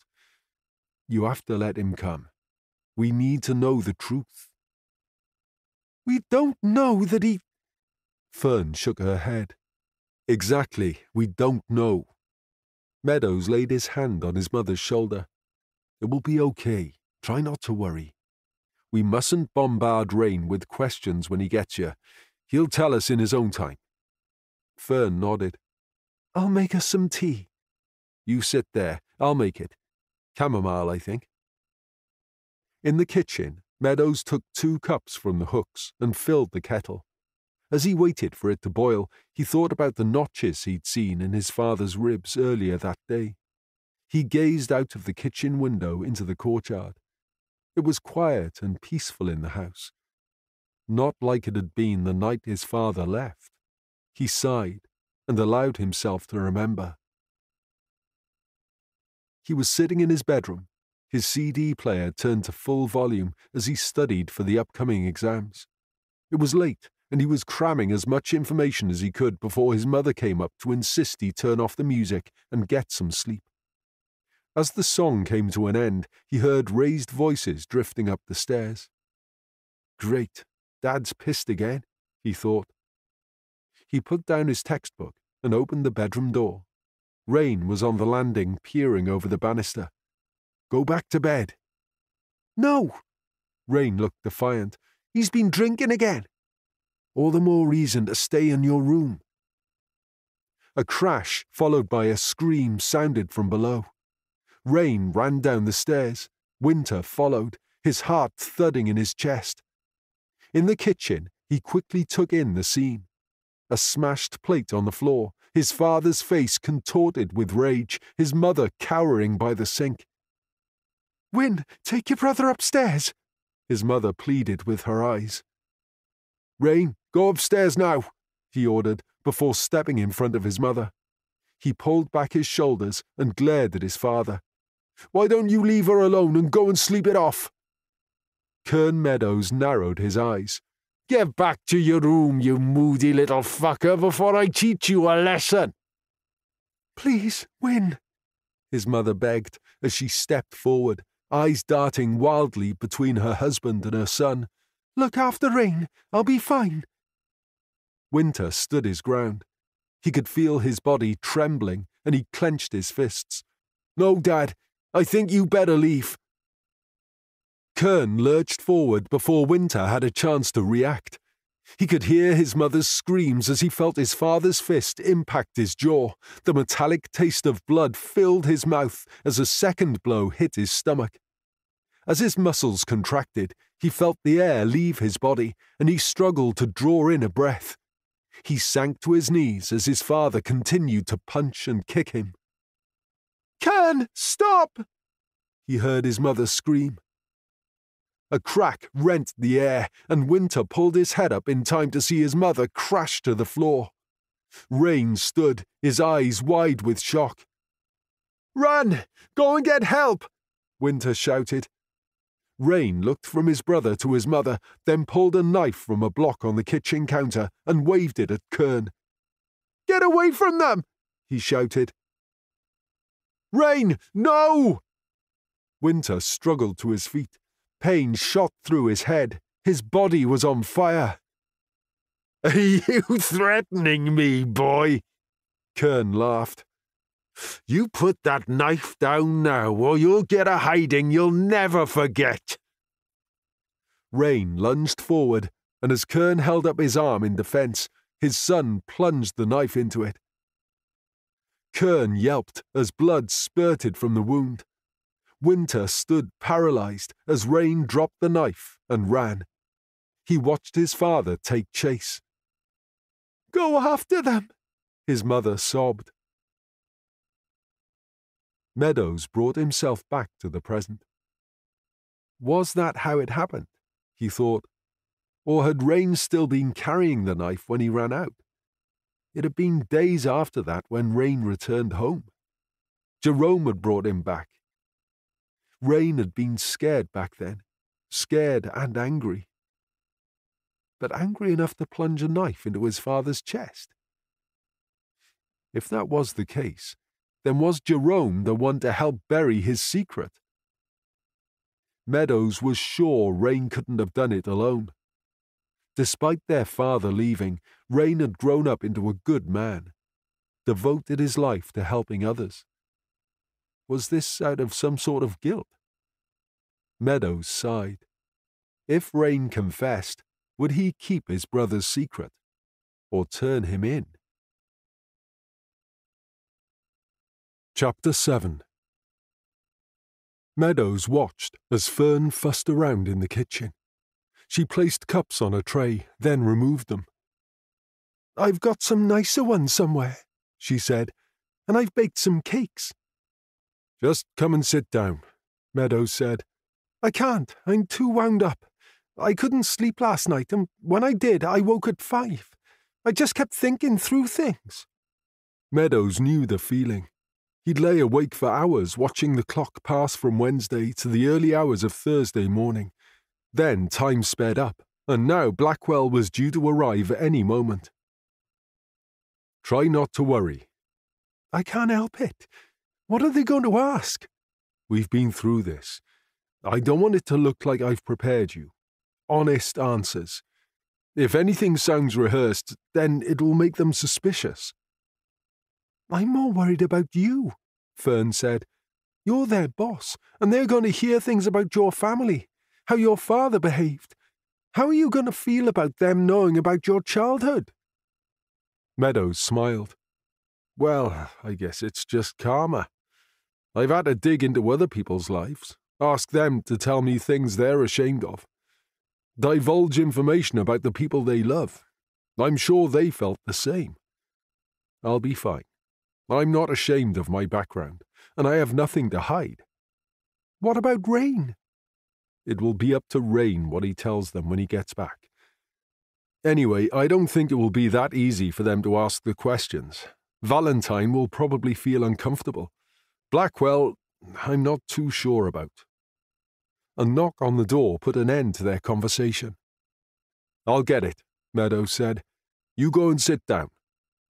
He walked slowly to the door, opened it, and welcomed in Blackwell and Valentine. Blackwell appeared to be his usual self, while Valentine gave him an awkward smile. Kettle's on, and Mum's made some cakes, Meadows said as he led them into the sitting room where Fern was standing. Stefan, Rena, Fern said, how lovely to see you both. Meadows expected Blackwell to correct his mother, maybe ask her to address him formally, but he just smiled. I'm so sorry for your loss, Valentine said. She looked at Meadows. For both of you. Yes, Blackwell said. I can't imagine how you must be feeling, especially given that it was your case. Meadows believed that Blackwell's comment was genuine. Thank you. I'll make us all some tea, then we can start. Meadows could hear them exchanging pleasantries from the kitchen. Work, family, love life, the usual things. It felt strange being on the other side of the investigation. He put the tea on a tray with the cakes and carried it to the sitting room. He handed out the cups, then took a seat in the armchair. Blackwell took a sip of his tea and set the cup down. You know how this goes. I'm going to have to ask some awkward questions. DCI Lester is happy for me to take over the investigation, but if you are at all uncomfortable, then I've no problem passing it over to another team. Despite Blackwell's gruffness and their ups and downs over the years, Meadows knew that Blackwell was a good detective, and the team would work hard to solve the case. I'm more than happy for you to continue, Meadows said. He looked at his mother. Fern smiled. Of course, Stefan. I'm glad it's you two. Maybe not a good idea to use first names, Meadows said. This is an official visit. Nonsense, Fern said. I don't expect them to call me Mrs. Meadows. Blackwell smiled, which was something Meadows didn't see often. He nodded at Valentine, who took out a notebook. I have a couple of items for you to look at, Blackwell said. I know Meadows, um, Winter saw the bracelet yesterday, but a ring was also found. He handed two small evidence bags to Fern. Fern looked at the items through the plastic. Yes, the bracelet is Kern's. He never took it off. It matches mine. She held out her wrist. The ring is also his. We both had Celtic bands.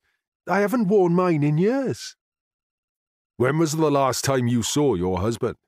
Blackwell asked. Um, years ago, Fern said. 1999, Meadows said. End of April, beginning of May, sometime around then. I can't give you the exact date. Are you sure of the year? Blackwell asked. Yes, Meadows said. I was still in school. He turned to his mother. It was just before Bethan Hopkins was murdered. Oh, yes, Fern said. Yeah, he wasn't around when that happened. She went to school with Win. It's not something you forget. So you weren't living on the commune at the time? Blackwell asked. No, we'd left two years before that. We were living in the cottage that I live in now, Meadows said. I couldn't find a missing persons report, Blackwell said. Had you separated? No, Fern said. My father walked out on us, Meadows added. Had there been problems? Arguments? Blackwell asked. Yes, Fern said. Violence? Fern nodded. On a few occasions. Blackwell looked at Meadows. Was your father violent towards you? On one occasion, yes, Meadows said. He could see Valentine scribbling away in her notebook and wondered what she must be thinking. What about your brother, Rain, isn't it? Not that I'm aware of. You'll have to ask him yourself. Where is he? In India, but he's getting a flight home. As soon as he arrives, I'll let you know. Okay, Blackwell said. So the last time you saw Kern, it was after one of these violent incidents? Valentine asked. Yes, we argued, and he left, Fern said. What was the argument about? Blackwell asked. Fern sighed. I don't know. The usual lack of money and living the life he hated. Blackwell addressed Meadows. Were you a witness to this fight? I was home, yes. Meadows hoped Blackwell was going to move on. Weren't you worried when he didn't come back? Blackwell asked. No, I thought he had gone back to the commune. Fern said. Didn't you check? Blackwell asked. No, I thought he needed some space, time to figure things out. Then I assumed he didn't want to come home, went off to join another commune. The months turned into years. You have a lot of friends at the commune, Blackwell said. Fern nodded. Meadows knew exactly where Blackwell was going with this. He would be thinking along the same lines. Anyone you're particularly close to? No, I have a lot of good friends there. And you regularly go up to stay? We both do, Meadows said. Did your friends know that Kern had a temper? That he was violent towards you? No, Fern said. He was never violent when we lived in the commune. When did you start going back to the commune? Fern shrugged. I suppose a year or so after Kern left. Jerome used to check on me, and he asked us to come and stay. He thought it would be good for the boys. So your friends knew Kern had left you? Even though we lived away, they would still come and visit, so they found out not long after he left. I told them we'd had an argument, nothing more. Meadows thought his mother had answered the question well. She had avoided mentioning Rain's involvement without lying. What about Kern's family? Did they have any contact with you after he left? Valentine asked. Kern didn't have any family. Well, none he spoke about. There was no contact during the whole time we were together. What about other people outside the commune, friends he grew up with? Valentine asked. There was no one. Our lives were inside the commune. What about when you moved? Not really. He'd talk to whoever was in the pub, but there was no one he was close to. Did anyone turn up looking for him around that time? Someone you hadn't met before? Blackwell asked. Meadows wondered where Blackwell was going with this. No, no one, Fern said. Blackwell looked at Meadows. No, he said. I don't remember seeing him with someone I didn't know, or anyone asking about him. Were you aware that your father had a prison record? Blackwell asked. No. Meadows looked at his mother. No, he never said anything to me, Fern said. I guess it's not surprising, Meadows said. He did like a smoke and probably took some other drugs when he was younger. It was the 70s. This wasn't for possession, Blackwell said. Your father was convicted for manslaughter in 1969. He drove head on into another vehicle and killed four people. He served 11 years. Chapter 8 Meadows was still reeling from Blackwell's revelation. As soon as Blackwell and Valentine left, his mother retrieved her tobacco tin, rolled a joint, and lit it. He didn't blame her and was tempted to join in. Are you okay? Meadows asked. Yeah, it's just. Well, I'm wondering if I actually knew the man. All the years we were together, and he never mentioned it. It's one hell of a secret to keep. Perhaps he was ashamed. We've all done things we are ashamed of. He knew everything about me. I didn't keep anything from him. It wouldn't have mattered. I still would have loved him. If he kept that a secret, what else was he hiding? Meadows nodded. I think we have to prepare ourselves for the fact that he had a whole different side. From Blackwell's questions, I gather he thinks the past caught up with him. Serving 11 years, he would have met some dubious characters who he may have stayed in touch with. I suppose he could have. We weren't together 24 hours a day, Fern said. He could have met up with someone without me knowing. Do you think the others knew about his past? I don't know. He was very close to Jerome and Cosmo. He may have told one of them. I need to speak to them. Blackwell's next move will be to go to the commune for information. I'll wait until he's been and go up in the morning. What if someone remembers Rain being up there that time? Fern asked. I doubt it. It was a long time ago. The only person who knows is Jerome and maybe the other olds. They wouldn't say anything to Blackwell about it. Meadows sighed and rubbed his eyes. I've been thinking about that night. You and me both, Fern said. I'm sure Rain dropped the knife before he ran out. No, I don't think he did. I was terrified at the time, thinking what would happen if your father caught up with him. Why didn't you call the police? I was going to, but then Rain could outrun your father, and he was smart. He would have hidden from him. I didn't want the police coming here, seeing the state we were in.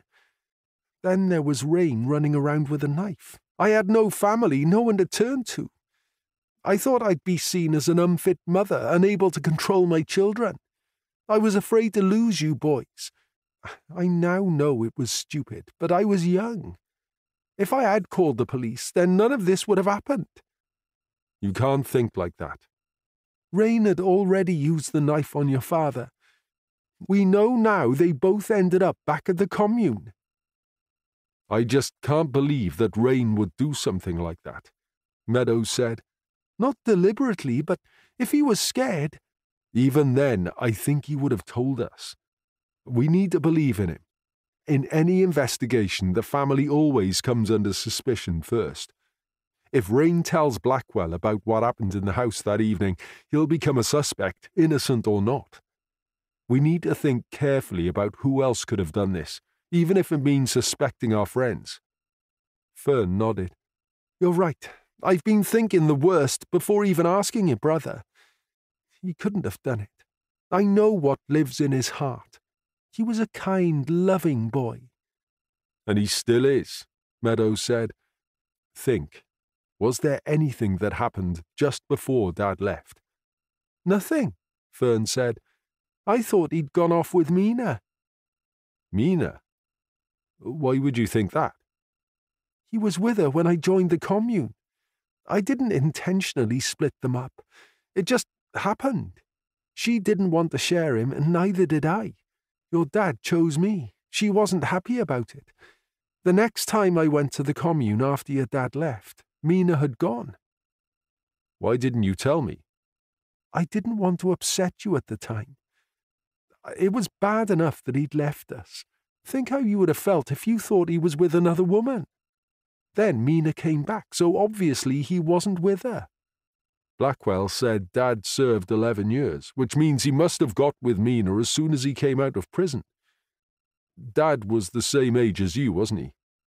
Yes, born the same year and rhyming names. We used to say that it was a sign we were born for each other. Stupid, really. Meadows did a quick calculation in his head. His father would have been too young to be driving in 1969. He didn't want to say anything to his mother. She's heard enough deception today, he thought. Mina might have known about his past, may have even been connected as someone he knew inside. Then there's Jerome. You said they were close, so how did they meet?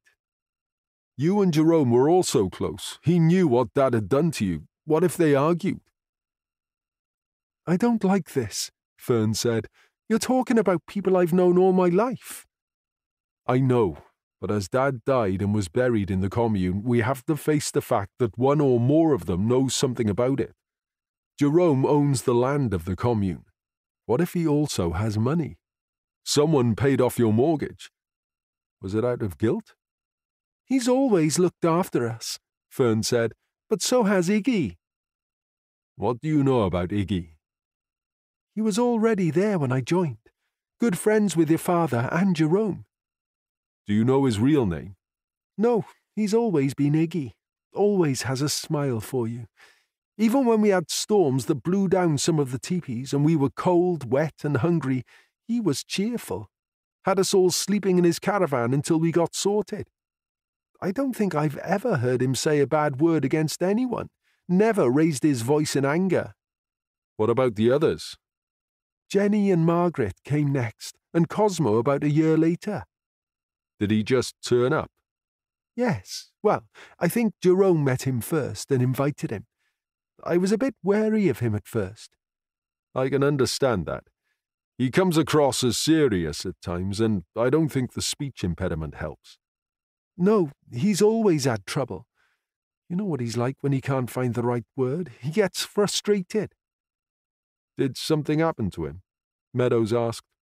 I don't know. It's not the type of thing you ask. Anyway, it's just Cosmo. He's a real sweetie when you get to know him. What about Haystack? He came after me, I think. He always kept to himself. I can't see any of them harming Kern. No, Meadows agreed. There were plenty that came and went over the years. It's just a case of finding out who was there in 1999 that isn't there now. Can you think of anyone? Maybe they turned up and Dad behaved differently, out of character, or a feeling you had that something wasn't quite right. He used to take off for a couple of days every year, around about the same date. He never explained. I followed him once. It wasn't easy. He caught three buses. I'd put my hair up under my hat and put on sunglasses. I think he could have easily have spotted me if he wasn't so distracted. I thought maybe he was going to see his family, but he went to a cemetery just outside Cardiff. I couldn't get too close, or I would have risked him seeing me. He was in there for hours. After he left, I went inside. I thought I'd easily pick out the grave he'd been visiting, but I didn't recognize any of the names close to where he was standing. No Meadows. Did you ask him about it? No, then he would have known I had followed him. My guess is that it was one of the people that died in the collision. Without the file, I can't get the names in check. That's the sort of thing we're looking for. Is there anything else? I remember life at the commune as being the best time of my life. Things were so happy. Things only changed when we moved. Have I got it wrong? Did things go wrong before we left? I suppose he did change then. He didn't want to leave the commune. But you had to because Rain became ill. No, well, yes, Rain was suffering with asthma, so that was sort of the reason but it was mainly because of Jonah. Something stirred in Meadows' memory. Walking past the big tent, people chanting, someone crying. I remember Jonah. He used to run meditation classes. That's why we had the big tent and built the pagoda. All those people came to join him. He'd strut around and the women would swoon over him. He was okay, though. Jonah was not okay. Fern said. He had some strange ideas. He'd travelled a lot, or so he said. Europe, India, and America. There were rumours that he was part of a cult, broke away and wanted to run his own. He'd invite people to come to our celebrations. One time, a couple of hundred turned up for the summer solstice. I remember that, Meadows said. Some of them got loud, but I don't recall any fighting, and certainly nothing cult like. Jonah was clever. He was a good looking man and charming. He had a way of making you feel at ease. He turned a lot of women's heads, slept with a fair few.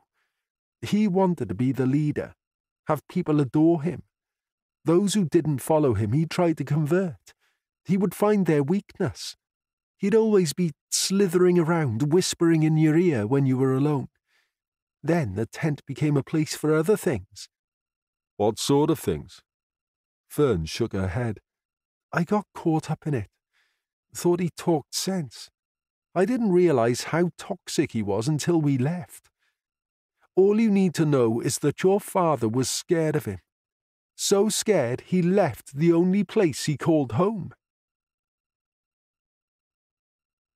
Chapter 9 Meadows and Daisy knelt in the attic of the cottage searching through boxes. Dust motes moved around in air that was thick with heat. Meadows could feel his hair sticking to his forehead. He didn't think he could stand to be up there much longer. Look, photos of you as a boy. You were so cute, Daisy said as she handed him one. They may be useful, Meadows said. Most of them were taken in the commune. There could be pictures of people that were around before we left. It could help jog some memories. Maybe I can find one of Jonah. Your mum wouldn't say what he got up to. No, it must be bad because you know how open she is about things. No subject is taboo. He took a lid off another box and pulled out a pile of papers. What have you got there? Daisy asked. Looks like old deeds. Meadows scanned the words as he flipped the pages. Yeah, it's the deeds to the commune land. They're in Jerome's name. Why would they be here? Maybe he gave them to your father for safekeeping. Yeah, not much room in his yurt. I'll ask him about them, see if he wants them back. He opened the last box and shuffled through the contents. Nothing. What exactly were you hoping to find? I don't know something, anything that would give me an idea of who my father was. Something from his past he held on to, the very least his birth certificate. He walked out that night and never came back, so he didn't take anything with him. Maybe things got lost when you moved from the commune, Daisy said. He didn't have a passport, so a birth certificate would have been his only form of identification.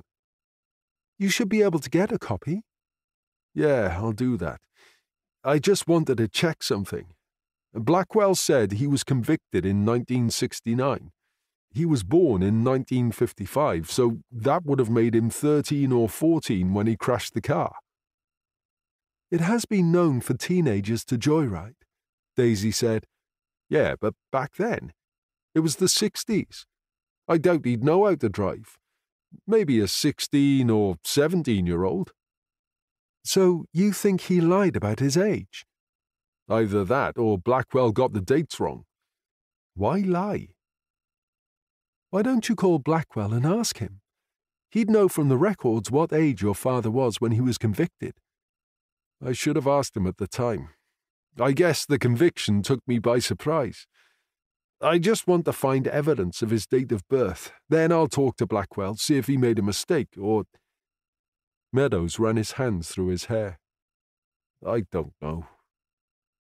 I think you're looking for answers when there are no questions, Daisy said. Your brain is getting fried up here. Yeah, come on, let's go down. We'll take the photos and sort through them. As Meadows was climbing down the ladder, there was a knock on the door. You can get that, Daisy said. I'm going to have a shower and get the cobwebs out of my hair. When Meadows opened the door, he was surprised to see Edris. What are you doing here? I came to see how you're doing, Edris said, and I've brought you some information. He stepped inside. This is a copy of your father's file. Blackwell will have my balls if he finds out, but I thought you should see it. Meadows took the file. I could kiss you. Edris laughed. Please don't. I really appreciate this, Meadows said. You know you could get into a lot of trouble, and I wouldn't want that. Don't worry, I was careful, and it was my decision. If it was my father, I would want to know. Anyway, all I'm doing is visiting a friend. I'm officially off duty for the evening. Come and have a seat, Meadows said. Daisy will be down in a minute. We've been up in the attic to see if we can find anything of my father's. Any luck? Edris plonked down in an armchair. No, just some old photos. Meadows sat down and opened the file. The first thing he did was check the dates. According to this, Kern Meadows was convicted in 1969 when he was 17. That's right, Edris said. My father's date of birth was 27th of July 1955. We did notice the date of birth on the court records differed from the one you gave us, Edris said. We checked through the registry of births and deaths. There was no other Kern Meadows born in the 50s. Another thing he lied about, Meadows said. Maybe he thought it would throw off the police if they looked him up. Yeah, I guess that makes sense. Databases weren't that good back in the day. So, how did your mother take the news? She's okay. A bit shocked, but I left her baking. She wanted to be alone for a while. Meadows opened the file and started to read. Daisy came downstairs and made Edris a drink, and then they both sat quietly while he absorbed the information. He got to the end of the file and closed it. It's worse than I imagined, yeah, it's not good, Edris said. What happened? Daisy asked. He stole a car along with his brother Patrick and two friends, Nicholas and Lee. They'd all been drinking and taking drugs. My father drove the car at speed down a single lane road. He hit a car coming the other way head on. The driver of the other car, Anne Parry, was driving home with her three children after visiting her parents. Anne and her daughter Donna were killed. The other two children were seriously injured. Patrick and Nicholas also died in the collision. There are transcripts from the court case. I can try and get you a copy, Edris said. I think I've read enough, Meadows said. I take it Blackwell is checking out the families of the victims. Yes. Anne Parry's husband, Ray, has been dead for 12 years. The other daughter, Christine, was nine at the time of the accident and is paralyzed. Her brother, Stephen, who was seven at the time, had head injuries. We haven't been able to contact him. That leaves Lee Morris and the family of Nicholas Llewellyn to track down. Lee Morris was the youngest of the boys in the stolen car. He was also badly injured. Kern Meadows admitted to stealing the car and in a statement says Lee Morris played no part in the theft, so he was never charged. Both of your father's parents have since died. They only had two sons. It's a lot of guilt to live with, Meadows said. He didn't intentionally kill those people, Daisy said.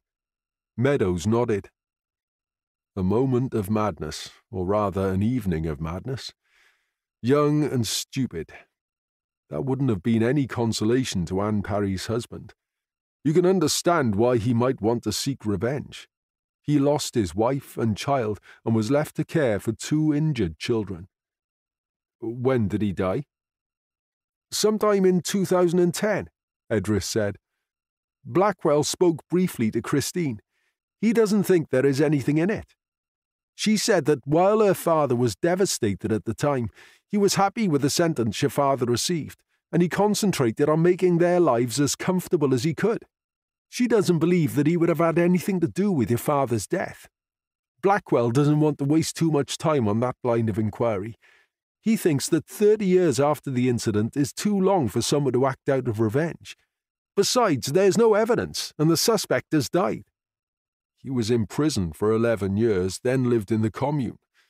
He wouldn't have been easy to track down, Meadows said. Or maybe it has nothing to do with the accident, Edris said. Meadows thought of his brother, who was now on a plane. He had hoped that his father's murder was some sort of revenge for the accident. If that was the case, Rain would be in the clear. What are you going to do now? Edris asked.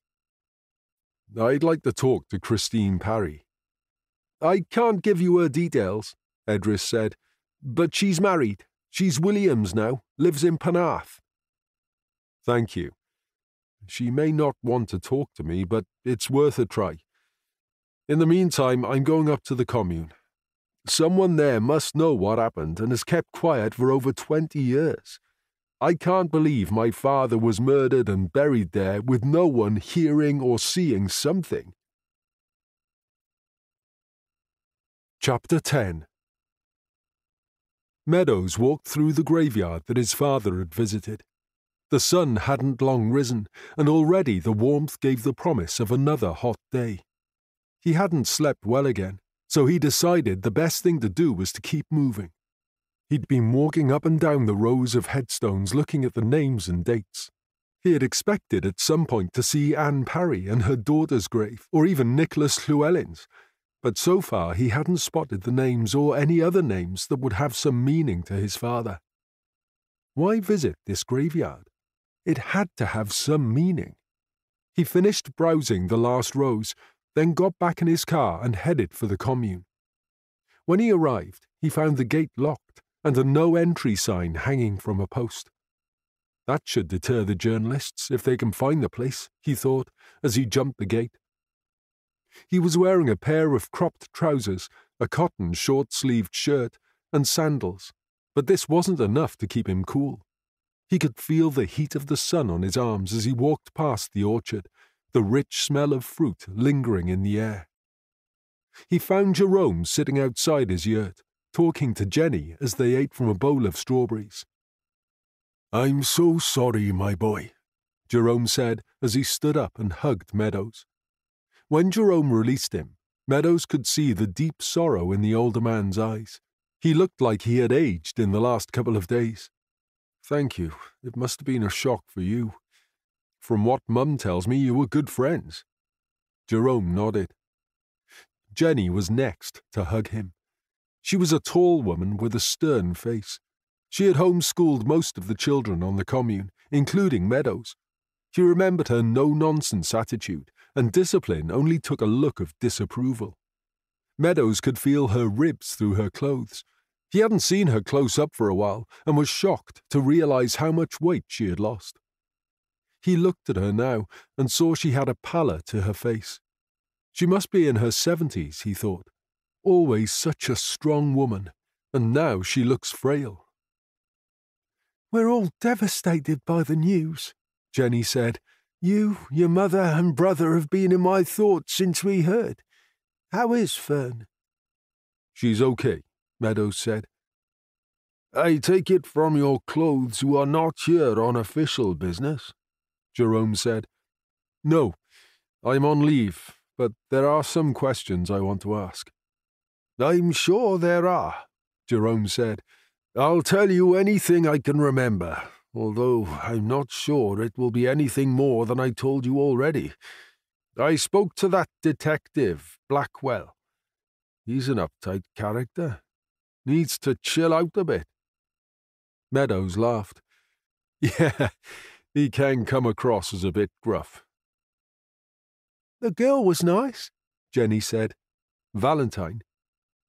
Yeah, I got a good vibe from her, Jerome said. Would you like me to leave you two to talk?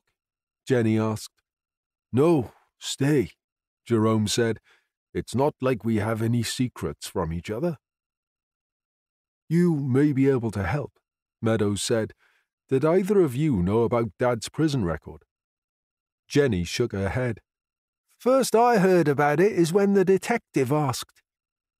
I did, Jerome said. He didn't talk much about it. I know there was an accident, and he lost his brother and a friend. A mother and child died. He felt guilty about it. He could never forgive himself. If he didn't tell you, then it was because he didn't want to taint you with his past. He was so proud when you were born. He once told me he didn't deserve to be happy. He worried that karma would take you from him. How did you meet him? I used to do voluntary work with the homeless. I got to know him and invited him here. Jerome used to collect all lost souls, Jenny said. Is that what you had in mind for this place? Meadows asked. Somewhere for the homeless to live? What do you mean? Jerome said. I was looking up in the attic for any paperwork Dad may have left behind. I came across the deeds for this land. They were in your name. Yes, it was left to me by my grandfather. I gave the deeds to your father for safekeeping. Back in the 70s, I was into all that anti capitalist crap. When I say crap, I mean that you can't change the world by a few demonstrations and ranting. I used to get so riled up. It didn't do me or anyone any good. I wanted to get away from it all, so I started up the commune. It was meant to be a place for like minded people. I didn't really know what I was doing. Along the way, I met people I clicked with. Some had no place to live, some wanted an alternative lifestyle, and some worried about the effect that the world was having on the environment and what would be left behind. I never think of this place as mine. It belongs to us all. Everyone here works hard to make it what it is. I would appreciate it if you kept this information to yourself. I wouldn't want anyone to think I'm in charge. Jerome smiled. I like things the way they are. Keep hold of the deeds. They will be passed on to someone who feels the same as me when I leave this life. Meadows wondered who that may be. Jerome had no children of his own as far as he knew. I won't tell a soul, Meadows said. I wanted to ask you about the time you brought Rain home when he ran away. Shouldn't you be asking him? Jerome asked. I will be, but that was the last time we saw Dad. I know Mum told you what happened between the two of them. All I can say is it will be helpful to hear your version of events before I speak to Rain. I didn't get involved, Jenny said. Rain didn't speak to me about it, and I didn't ask him. All I can tell you is that Rain was very upset when he arrived here. Jerome said. He was tired and hungry, well, exhausted. He'd walked a long way alone. I gave him something to eat and let him sleep. I called your mother from the phone box in the village to let her know he was safe. I thought it was best to wait until he was ready to tell me what happened. He didn't say a lot. If you're thinking that something happened between Rain and your father here, then you're wrong. Kern turned up a couple of weeks after Rain went home. He didn't want me to tell Fern he was here. He took off again after a month or two. I didn't see him again after that. There was something in the way that Jerome spoke and Jenny shifted that made Meadows think that something was being left unsaid. Would Jerome cover for Rain? Most likely, he thought. Or maybe Jerome took matters into his own hands. He tried to shake these thoughts away. These people were like his family. Mum told me they left the commune because Dad was afraid of Jonah. Do you know why he was afraid? Was Jonah still around then? Jenny asked. The years kind of blend. Jenny smiled, and Meadows thought that it looked forced. It was clear by her mannerisms that she was uncomfortable with the mention of Jonah's name. Kern didn't say anything to me, Jerome said. They weren't friends, but I wouldn't say he was frightened of him. Tell me about Jonah, Meadows said. He came here with some others, or more like they followed him. He had a group that he would hang out with. They all sort of dressed the same. He ran classes, meditation, that sort of thing. Jenny added. So nothing out of the ordinary? Nothing that made you feel uncomfortable? Meadows asked. No, Jerome said. Some people here looked up to him. He liked that, thought himself a bit of a guru, a leader, or whatever you want to call it. I think Kern was concerned that he would try and turn us into some sort of cult. Anyway, he left in the end. When? Jerome shrugged. Where did he go? I've no idea, Jerome said. I suspect he tried to set up his own commune somewhere. His followers went with him. I found some pictures taken here from the 80s and 90s. I know most of the people, but there are some faces I don't recognize. He handed the photographs to Jerome. Both Jerome and Jenny looked through them. Their faces lit up as they started pointing out people. Oh, look, there's me and Mags, Jenny said.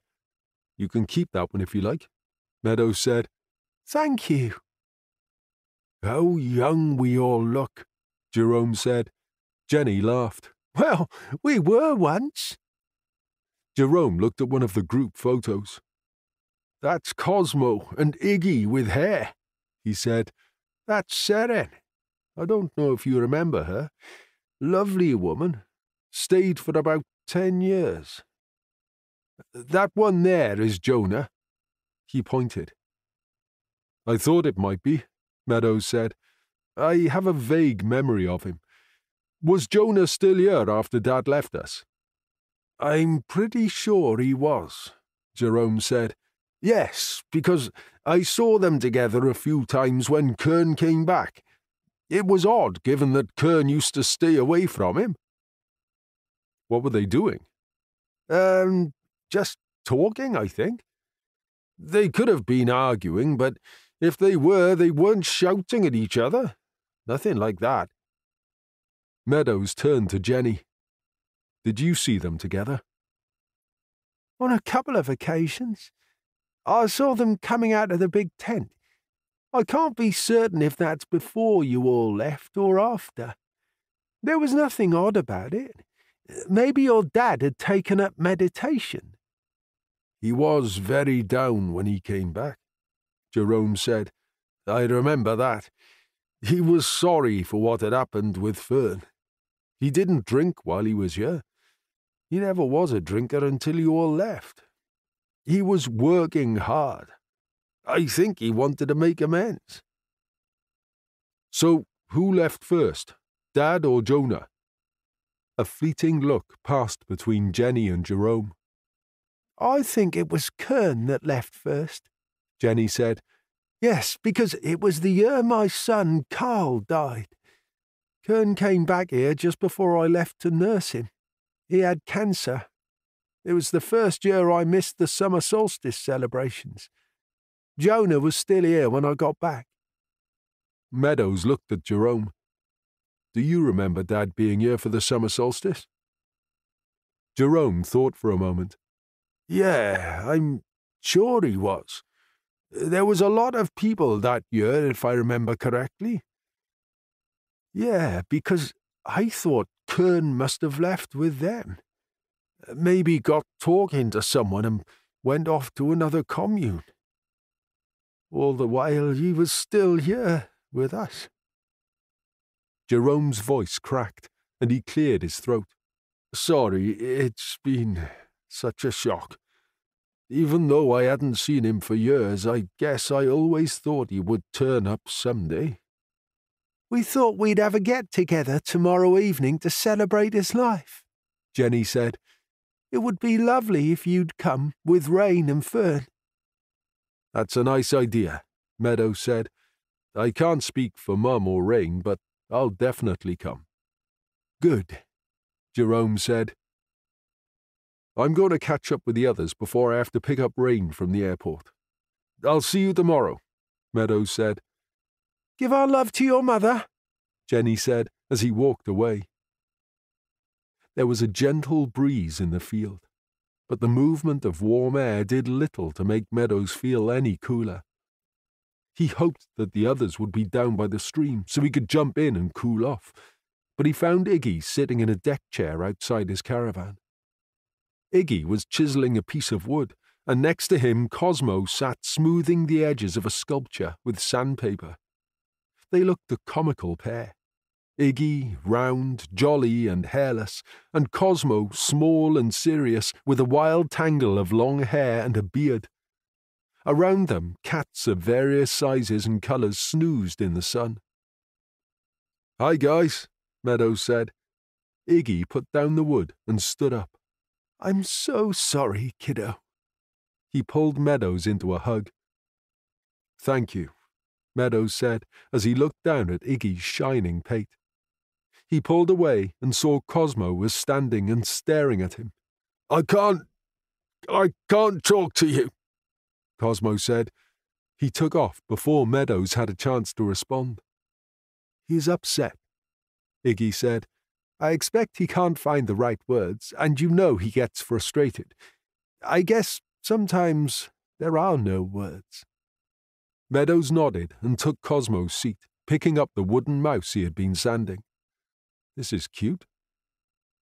They sell well at Christmas fairs, Iggy said. It's only the beginning of July, Meadows said. Got to start early? A ginger cat jumped on Iggy's lap and curled up. Is that a new one? Meadows asked. Yes. How many is that? Iggy smiled. Number twelve. Puss just turned up a couple of months ago. Meadows laughed. All Iggy's cats were called Puss. I guess he heard it was a good place to come. It must cost you a fortune to feed them all. That's why I make all these wooden animals to sell. I wouldn't be without my cats. Meadows leaned down and stroked one of the cats. Were Cosmo and my dad close? We all were back then, Iggy said. I think you'll find that Cosmo is more upset for you. He feels deeply for others. Everyone here is upset by the news. Even the ones that didn't know your father know you.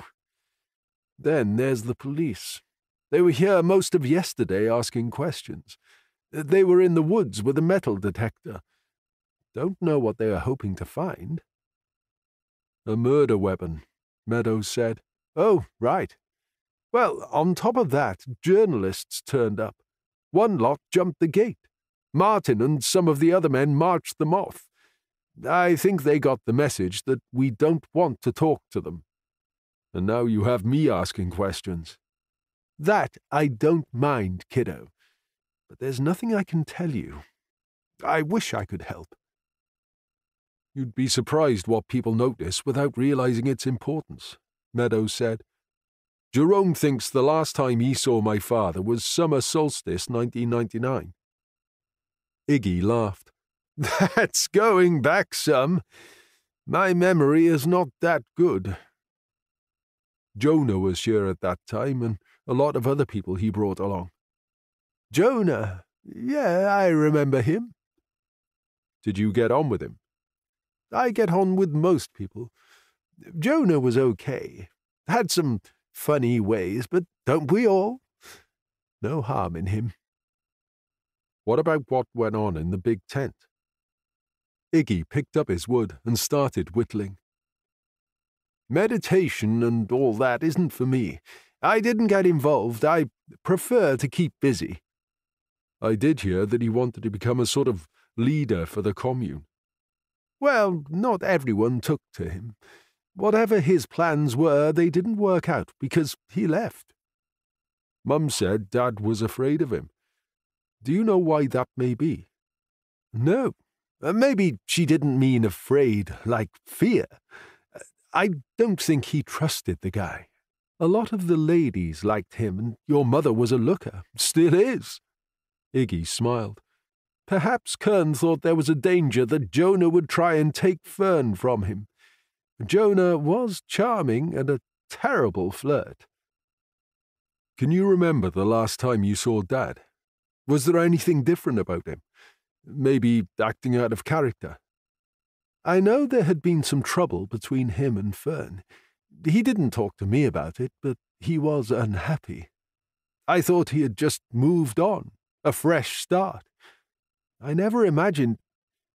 Well, Iggy shook his head. It's what everyone thought, Meadows said. But someone knew that he didn't leave, he thought. I'll leave you to get on with your work. If you do remember anything, you'll be the first to know, Iggy said. Meadows walked through the second field.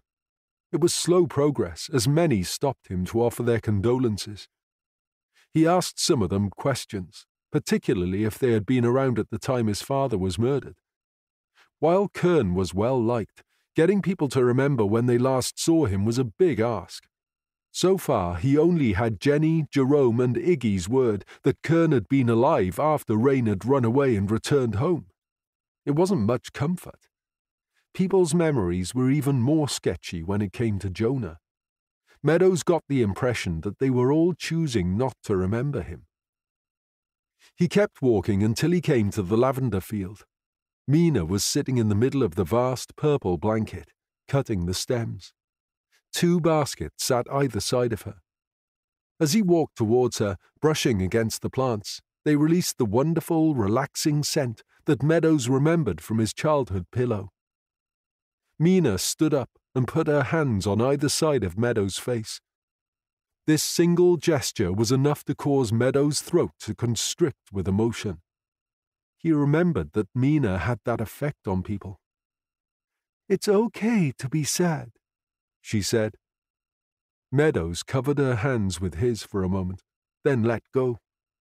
She's right, he thought. He was sad. He'd been too busy trying to pretend it was just another case. All this time he thought his father had abandoned the family. He never got the chance to come back and say he was sorry. Things could have worked out. They could have been happy.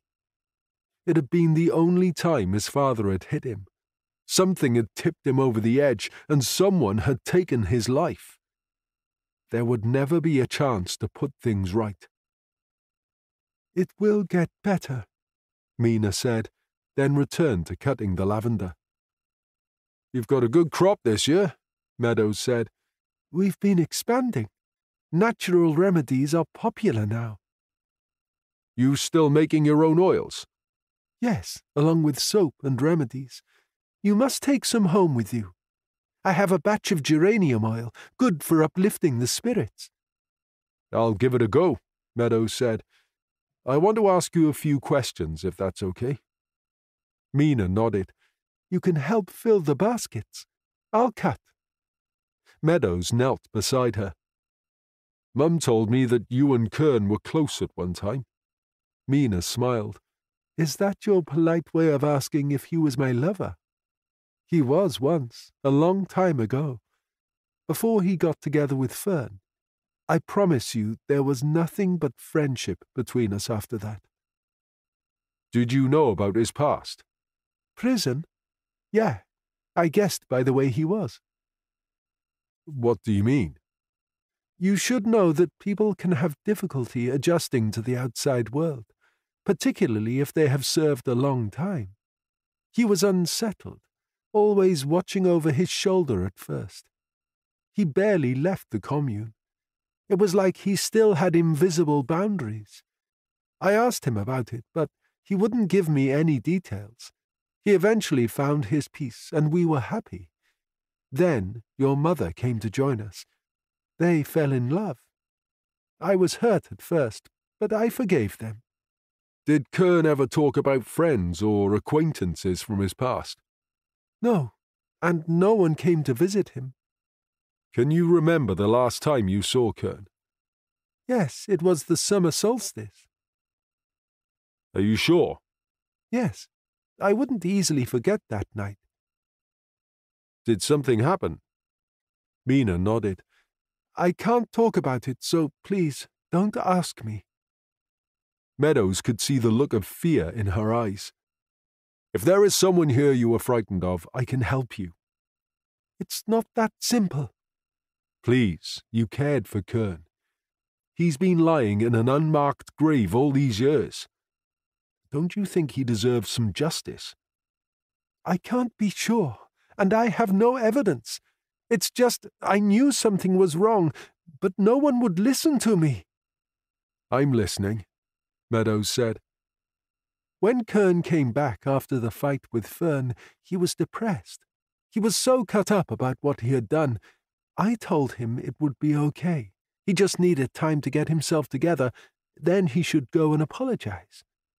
He said he couldn't, that he was a monster, and that would never change. I asked him what he meant by that, but he wouldn't tell me. He said he was going to ask Jonah for help, as he couldn't see any other way.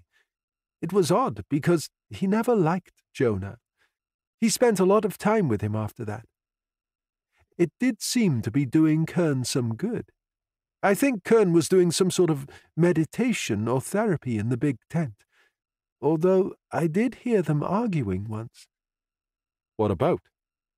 I don't know, but it was clear that Kern didn't want to do something. He seemed okay, though. He was happy building the bonfire for the celebration. A lot of people came that year.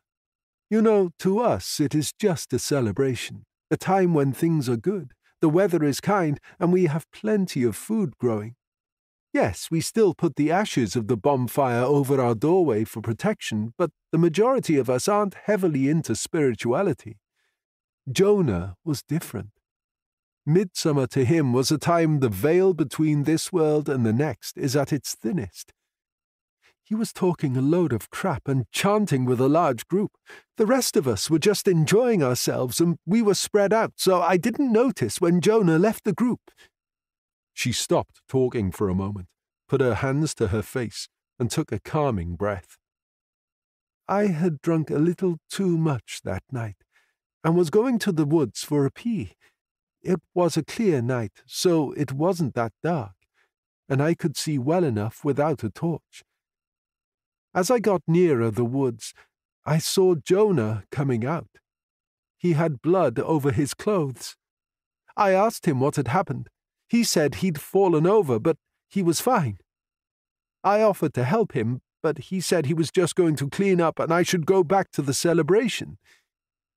There was something off about him. I didn't think much more of it at the time. The next morning I woke up late. There was no sign of Kern. He usually brought the ashes around with Jerome. Most of the visitors had left by the afternoon. I asked Jerome, and he said that he hadn't seen Kern since the celebrations. When there was no sign of him by the evening, I was worried. I told the others what I had seen, they laughed it off. I suppose the idea that Jonah had done something to Kern seemed a bit far fetched. Iggy said Kern had spent a lot of time talking to the visitors and likely had taken off with them for a few days. What about Jonah? I didn't speak to him. He gave me a strange look when I passed by, but he didn't say anything. Then he left the commune. I think that night. He came back just before the winter solstice. I just had a bad feeling all the time, and I couldn't shake it. I was afraid of Jonah, so I left. It was the only time I didn't spend that celebration with the people I love. But you came back? Yes, I came back the following spring. Jonah wasn't here. I missed my life here and my friends. I was right, though. Jonah must have killed Kern that night.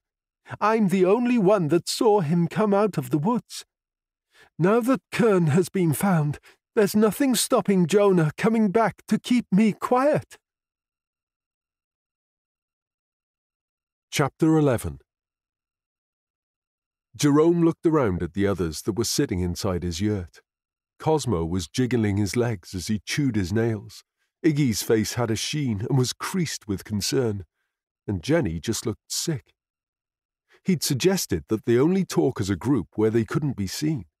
If they were always huddled together, others would find it odd and mention it to the police. What now? Iggy asked. Winter knows about Jonah. We didn't bank on Fern telling him everything.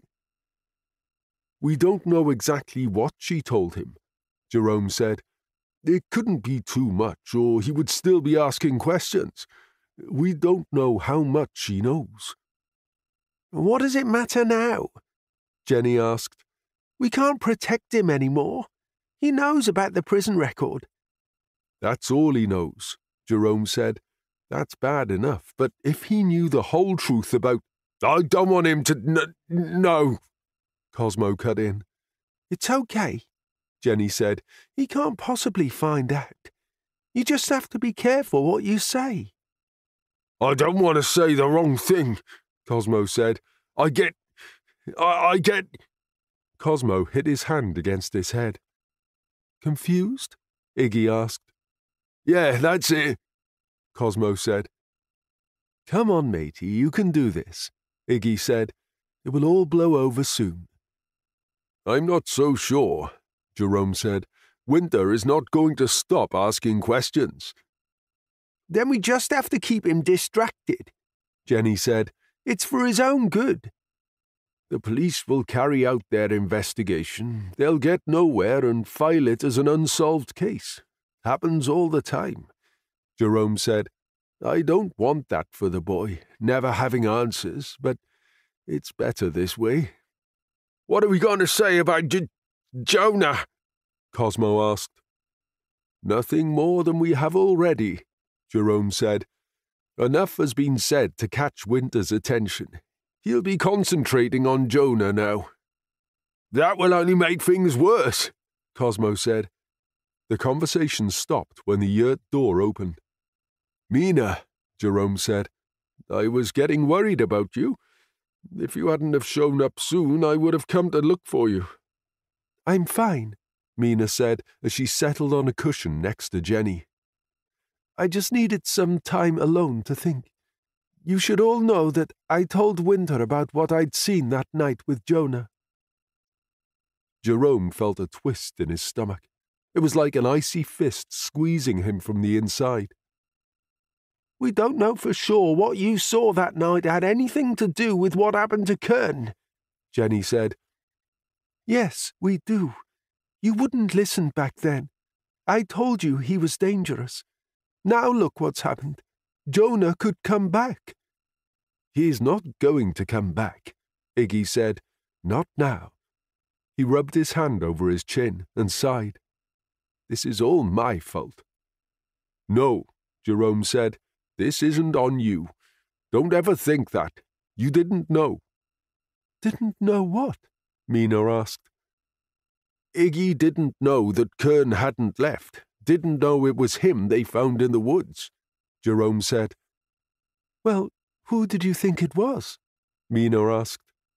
Jerome gave Mina a look. He didn't have to say anything. Oh no, she said.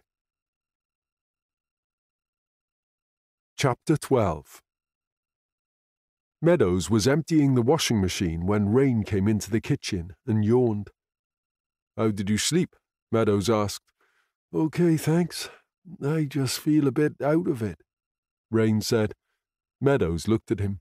His long black curly hair resembled a crow's nest, and his usually sparkling green eyes were bloodshot. He was naked apart from a pair of boxer shorts. I'm not surprised you don't feel with it, Meadows said. Two flights with hours of waiting in between, all after a day's work. You must be exhausted. I'll take myself off and meditate in the garden. Clear my head. That should help. I don't think there's time for you to meditate. I gotta align my chakras. Then a quick shower, tea, and a smoke, and I'll be good. Meadows laughed. Maybe not the smoke. I'm not sure Blackwell will be happy if you're stoned. Me being here isn't going to go down too well either, and on top of that, he's working the weekend.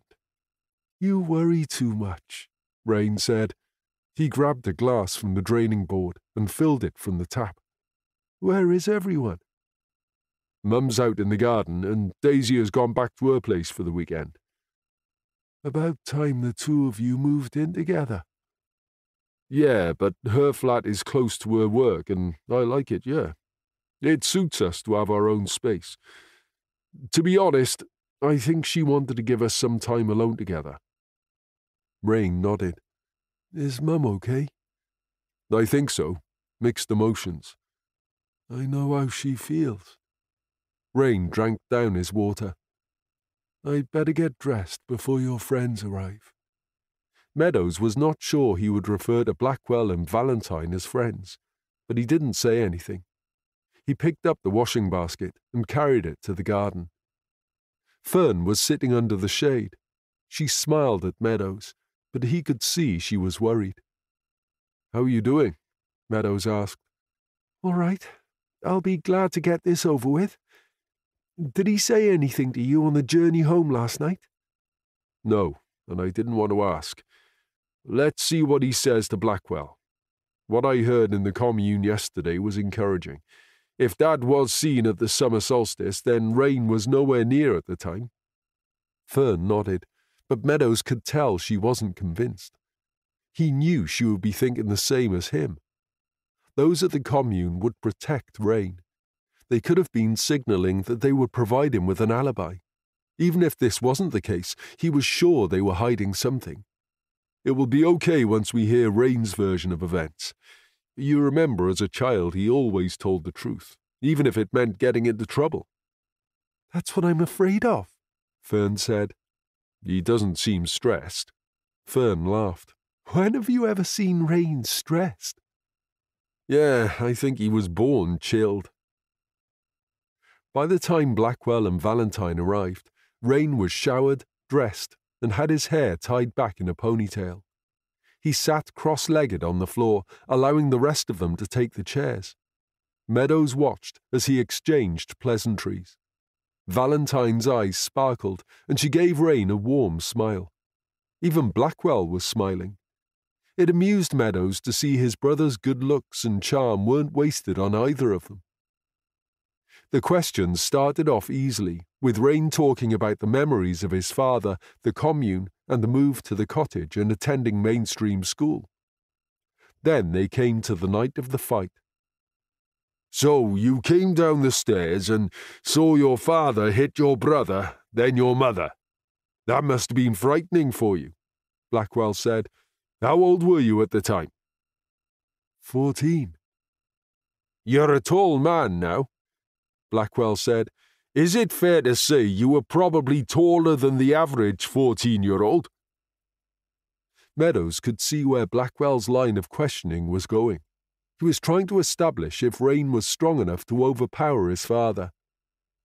I was tall, yes, but not muscular. I couldn't do anything to help back then. Dad was in such a rage. I'd never seen him like that. We had a wooden knife block on the counter. I took one out and threatened him. You threatened to stab him? Valentine asked. No, I just wanted him to stop. I didn't mean to hurt him. He came at me and I somehow managed to slash his forearm. He was as shocked as me. I dropped the knife and ran.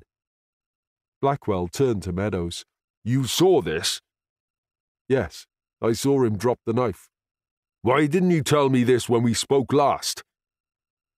Good question, Meadows thought. I thought it was best you hear it from Rain, so you get the whole picture. All I can add is that I did see him drop the knife and run out. Dad ran after him, and Mum asked me to go after them. I did, but I didn't catch up with them. Blackwell turned back to Rain. So what happened after that? I ran. I kept running until I got to the woods at Ross Farm. Then I climbed a tree. Dad knew all my hiding places and came after me. I could hear him calling, but it was dark and he couldn't see me. He went away for a while but came back. I could see him below. He was shouting out that he was sorry, and he sat on the floor and cried. I still didn't go to him. Eventually he went and didn't come back. I waited for a while, then climbed down and walked to the commune.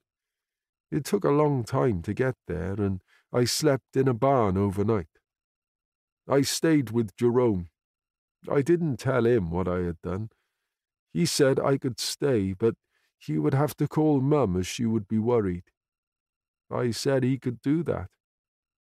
He did call me, Fern said. I'd been up all night, worried. Once I knew Rain was safe, I went to bed and slept. Did your father find you at the commune? Blackwell asked. No, he never came while I was there. I stayed for a few days, but Jonah kept on at me to talk about what had happened. He said I needed to reconcile with my father. In the end, I told him what I had done. He said the only way to fix things was to talk with Dad face to face. I thought he would be at home, so I asked Jerome to take me. That's it. I never saw my father again. I think Jonah is someone you need to talk to, Meadows said. I saw Mina at the commune yesterday, and you went to the commune, Blackwell cut in. Yes. You can't go there asking questions. You know you can't be part of this investigation, Blackwell said. The commune was my home. Some of the people there are like my family, Meadows said. They are holding a memorial service for my father, and I'll be going. It's not usual procedure to ask the family of a victim not to have contact with one another or to attend a memorial service. Blackwell's eyes narrowed. Please don't make things difficult. I'm not, Meadows said. I'm probably in the best position to get information, which I will pass on to you. Blackwell huffed. Like you said, the people there are considered family. You have a conflict of interest. I would if I was working on the case. My only interest is finding out what happened to my father. Fine, Blackwell said. I can't stop you going there, and if I'm honest, most of that lot of the commune refused to speak to me. Meadows tried his best not to smile. As I explained before, a lot of them, particularly the older generation, are wary of the police. When I spoke to Mina yesterday, I got the impression she was being honest. She said the last time she saw my father was the summer solstice 1999. It seems that's the last time anyone saw him. That night she saw Jonah coming out of the woods with blood on his clothes. So where do I find this Jonah? I don't know, Meadows said. I've made some copies of a photo I have of him. Perhaps Chris Farley from Tech can use a program to age his features, which you could show around some communes. It seems likely he would be part of one or set up his own. Other than that, I have no suggestions. Without a surname, you can't check the electoral register.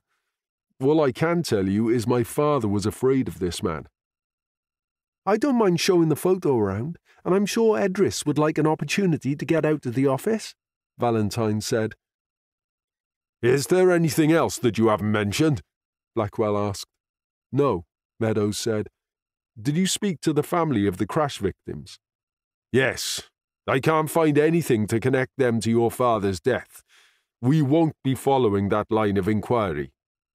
But it's a dead end, Blackwell said.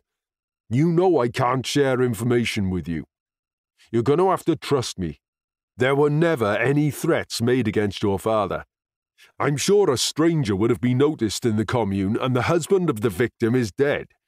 Checking alibis from 1999 would be a nightmare. Added to that, we don't even have the exact date the crime took place. He turned to Rain. I'm going to have to ask you to come to the station and give a formal statement and a DNA sample. No problem, Rain said. We'll grab a bite to eat and then I'll bring him in, Meadows said. He handed over the copies of the photo. Blackwell stood, and Valentine shut her notebook. Can I ask what lines of inquiry you are following? Meadows asked. Blackwell didn't answer immediately, and Meadows wondered if he was trying to decide how much information was permissible. Given the amount of time that has passed, you can appreciate this is a difficult case. We have no crime scene or witnesses to work with, no trace of a murder weapon. People's memories are sketchy at the best of times. We will do all we can to find out what happened, but you have to consider the possibility that you may never know. I assure you that we are looking into the backgrounds of all those who were living in the commune at the time. It appears that it wasn't only your father that had a criminal record. He glanced at Fern. Meanwhile, we are looking at individuals that were in prison at the same time as your father. It may be that he had an altercation with someone, and they eventually tracked him down. All this is going to take some time. I will look into this Jonah character and see what we can find out. Meadows nodded. Thank you. If I get any more information, I'll pass it on to you. It was nice to meet you, Rain, Valentine said. Meadows saw them out and felt the tension leave his body. You didn't think that I had anything to do with what happened to Dad, did you? Rain asked. Meadows smiled. I never doubted you for a minute. Yeah, I know how your mind works, Rain said. We were a bit worried, Fern said. It was a long time ago. And I was an angry teenager, Rain said. Don't worry. I can see how it must have looked, given that I had already used a knife on him. The problem we have now is that you're going to be Blackwell's prime suspect, Meadows said. You've already admitted to wounding with a knife. He's going to be looking into every aspect of your life. Well, he won't find anything. I know, but while he's looking at you, he's not looking elsewhere for an explanation. Then I guess it's up to us to find some answers, Rain said. We'll go to the commune as soon as you've given the statement, Meadows said. Are you coming with us, Mum? Fern shook her head. I'll go up soon, but not just yet. Everyone will be sympathetic, and I'll feel like a fraud. You're entitled to mourn, Rain said. He was your husband. I know, you boys go. I'll be fine. A little time on my own to reflect will do me good. Meadows had noticed an instant change in his mother when Blackwell had talked about others having criminal records. He wondered how much she knew and wasn't telling. I spoke to the olds about Jonah, he said. They seemed reluctant to talk about him. What are they not telling me? I'm not surprised they don't want to talk about him, Fern said. Doing so would give away that part of them they want to keep hidden. I told you Jonah ran meditation classes, but it was more than that. There were therapy sessions. Some of it involved sexual release. You mean sexual assault or abuse? Meadows asked. No, well, I didn't witness some of the things that went on in the big tent, but I heard things all consensual and harmless, each to their own, and some liked the freedom of expression. Sex wasn't seen as something to be hidden, but a natural act. It wasn't that, but the therapy sessions that were dangerous. Like I told you before, he was charming and persuasive. He could coax out your darkest secret. His theory was you had to confront your past, ask forgiveness from those you had hurt before you could move on. You think that's what he asked Dad to do? Rain asked. It makes sense now why Kern was afraid of him. I don't think he wanted to face up to what he had done. If he couldn't bring himself to tell me about his past, how could he ask the family of those he'd killed for forgiveness? Fern said. Maybe that's what he did in the end. He could have contacted the family. Imagine coming face to face with the man that had killed your wife and child, Meadows said. But didn't Edris say he was dead? Fern said. Yes, he died in 2010. I still think it's worth following up. I'll contact the daughter and see if she is willing to meet with me. You can get a better sense if someone is lying face to face. Do you really want to put yourself through that? Rain asked. I imagine the daughter is going to be hostile. You'll be surrounded by negativity. Meadows laughed. I work in negativity most days. I'm immune. I need to do this. It's not like her father could be arrested. Her guard will be low. If he was involved in Dad's death, then at least we will have some answers. There'll be telltale signs a prepared alibi, things like that. Rain nodded. I'll go with you if you like. No. If she does agree to see me, then it's best I go alone. She may feel intimidated by the two of us. I just hope Blackwell is going to look for Jonah. He seems more concerned with looking at anyone on the commune with a criminal record. Rain said.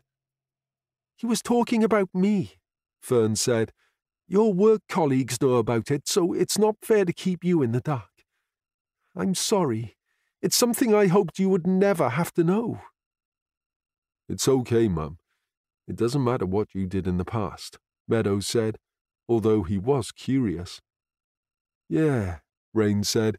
We all screw up at some point, don't worry.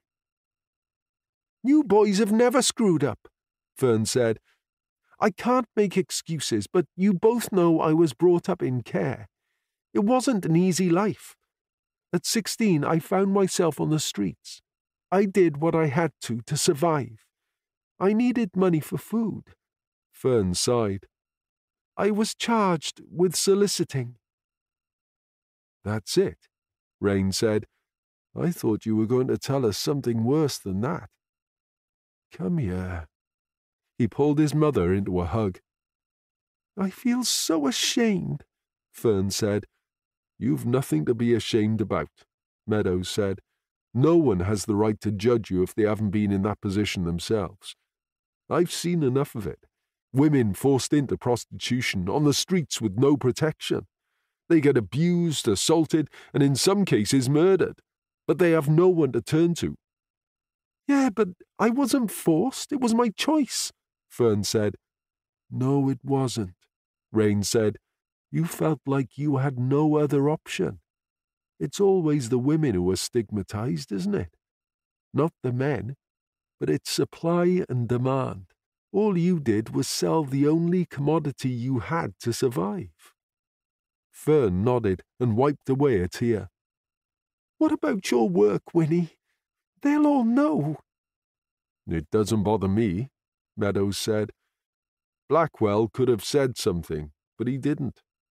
They're all fond of you, and that's not going to change because of something you did over fifty years ago. I hope so, Fern said. Anyway, Jonah started these therapy sessions. He persuaded me to join in and tell him about my life before I came to the commune. I was on my knees sobbing by the end of the session, and still he pushed for more details. He said saying the intimate details out loud would cleanse me. I think now he probably got off on it. Jerome came into the tent, told Jonah to stop. I don't know how much he heard, but he had the decency not to mention it. The strange thing was, I did feel better after getting it all out. Jonah still continued with his therapy, and then something happened, but it's not my story to tell. You can ask Jenny. After that, we left. I knew something was eating away at your father, she continued. Being away from the commune just made him worse. It was my idea that he go back and speak to Jonah, but he wouldn't. In the end, I decided to tell him about my past, about how Jonah had helped me. When you boys were asleep, I sat down with him and told him everything. He got up without saying a word and went to bed. The next day he went to work and came home drunk. He was in such a rage. That was the night he left us. Chapter 13 It didn't take Meadows and Rain long to set up the teepee that they used when staying in the commune. Iggy, Jerome, and Cosmo had helped. By late afternoon, thick mats had been rolled out for beds, supplies stored, and a steady stream of visitors bringing fresh fruit and vegetables and various dried herbs for tea made them feel at home. What now? Rain asked as he sat on a cushion eating a bowl of raspberries. We'll go and talk to people, see what more we can find out about Jonah. It'd be good if we can catch Jenny when she's alone. She may be more willing to talk to us if no one is around. We'll just keep it casual. Rain laughed. Yeah, you don't want to go around acting like the police. He finished the last of his fruit and got up. First, I'd like to go and see where Dad was found. Meadows nodded. Come on then, I'll show you. As they walked towards the woods, they saw Jenny sitting outside her teepee. She wore a wide brimmed straw hat and a long burnt orange dress. In front of her was an easel and Meadows could see she was painting a winter landscape with a stag as the focal point. Wow, that's impressive, Rain commented. It makes me feel a little cooler painting frost on the ground. Come winter, I'll be painting arid landscapes. She set down her brush and stood. It's lovely to see you, she said as she put her arms around Rain. You haven't changed since the last time I saw you. Have you been drinking the blood of the immortals? Rain teased. Jenny laughed. And you're still a charmer. As they talked, Meadows noticed a large clay pot with purple flowers placed at the side of the teepee. They were the same flowers he'd seen in the woods near the grave. They're pretty flowers, Meadows said. Jenny smiled. Sweet violets. That's where I keep Mag's ashes. They're supposed to bring peace in the afterlife. Where did you get them? From Cosmo. He grows all sorts of flowers and plants. He set up polytunnels next to the orchard and sells them to the shops in the village. It's been great for growing herbs all year round. You should take a look. I'm sure he can give you a few for your garden. You and Mags were together a long time, Rain said. You must miss her every day, Jenny said. I have a lot of happy memories and pictures I keep here and here. She touched her head and heart. They can never be taken away. So she's not really gone. Make sure you only keep the good pictures of your father. Sound advice, Rain said. I think when we find out what happened to Dad, we can throw away all the bad memories, Meadows said but for now, without help, we have no closure. Mina told me she suspected Jonah had something to do with Dad's murder, and I get the feeling you've not told me everything. I know Jonah dug into people's pasts, and if something happened with Jonah, it may be painful to talk about. He took her hand. You know I would never judge you. Right now, I'm just Winter, not a detective. You watched me and Rain grow up. Please, if you know anything. Jenny nodded. I can only tell you what happened when I let Jonah into my life and the pain he caused me. I was married once. I guess you know that, as you and my children play together. Clover and Carl, Rain said. Didn't you have a crush on Clover? Meadows smiled. Yeah, I did. I wouldn't have minded you two getting together, Jenny said, She's happy enough, though. Marriage suits her. I never wanted to get married. Well, not to a man. But things were different back then. It was what was expected of me. I had studied hard, gained qualifications, but it wasn't good enough for my parents. I was their only daughter, and they found it odd that I didn't go out on dates. Everyone else my age was married and starting a family. Anyway, I gave in to pressure It wasn't a happy marriage, but I wouldn't change things because I wouldn't have had my children. Barry, my husband, was a nasty piece of work. No one used to interfere in what went on between husband and wife. Black eyes and broken bones were ignored. I had nowhere to go. Then I met Mags. She changed my life. She was a free spirit and didn't give a fuck. I remember her well, Meadows said. We fell in love, and I left Barry and moved in with Mags and her mum. We could never be ourselves in public, and there was always the fear that Barry would find me. I rarely left the house. Then we met up with Kern at one of the festivals. He invited us to stay here. We could live our life as we wanted. No judgment. What a wonderful life we had together. Then Jonah came. His ideas made sense at the time. A way to put your past behind you and be peaceful. I carried a lot of guilt. I'd walked away from my parents, never spoke to them. I'd deprived my children of a father. I felt selfish only thinking of my own happiness. I did some therapy sessions with Jonah. We talked a lot about my past. I did feel better. It was like a cleansing. Then Jonah went away for a few days. When he came back, he called me into the big tent. Barry, my husband, was there. Jonah had tracked him down. He hadn't changed. Jonah just left me in there with him saying I know what I had to do. Rain shook his head. What a bastard. I tried to say sorry for walking out on him and taking the children, but I never got the chance to finish. He was in such a rage. It was as if years of hatred had built up in him, and once he started hitting me, he didn't stop. Cosmo heard me screaming and came into the tent. Poor Cosmo. He did his best to try and defend me, but he was no match for Barry. I managed to crawl out of the tent and shout for help. Jerome, Iggy, and Kern came running in. They dragged Barry out. Kern laid into Barry. I've never seen him so angry, nor did I see him lose his temper again after that day.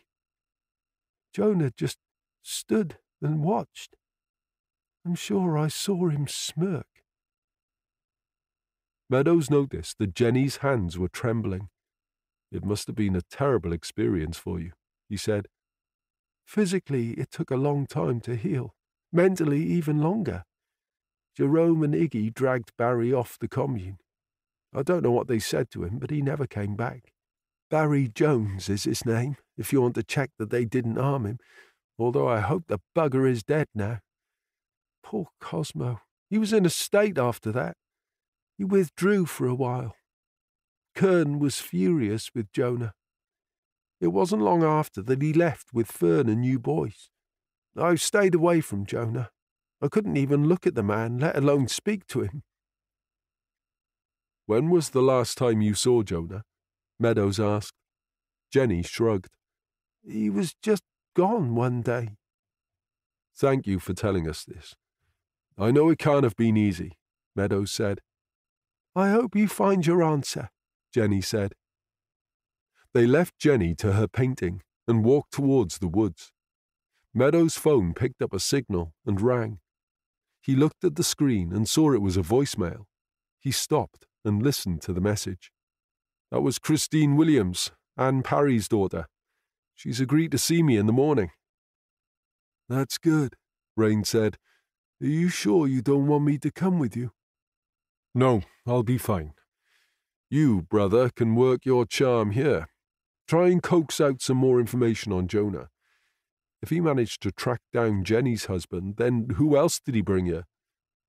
You're thinking he got Anne Parry's husband here to confront Dad? Yeah, can you imagine what it would be like to come face to face with a man responsible for your wife and child's death? Ray Parry could have lashed out. He may have told his daughter what he did. He's dead now, so if he did something, Christine has nothing to lose by telling me. Yeah, and karma will get Jonah. Unless it already has, Rain said. It's beginning to sound like he got some sort of enjoyment out of people's pain. liked witnessing confrontation. In the woods, they came to a small wooden hut, and Meadows stopped. I think we should have a quick word with Haystack. Are you mad? Rain whispered. He's terrifying. I used to hide when he came out of the woods, and I never came this way as a kid. He's okay, Meadows said.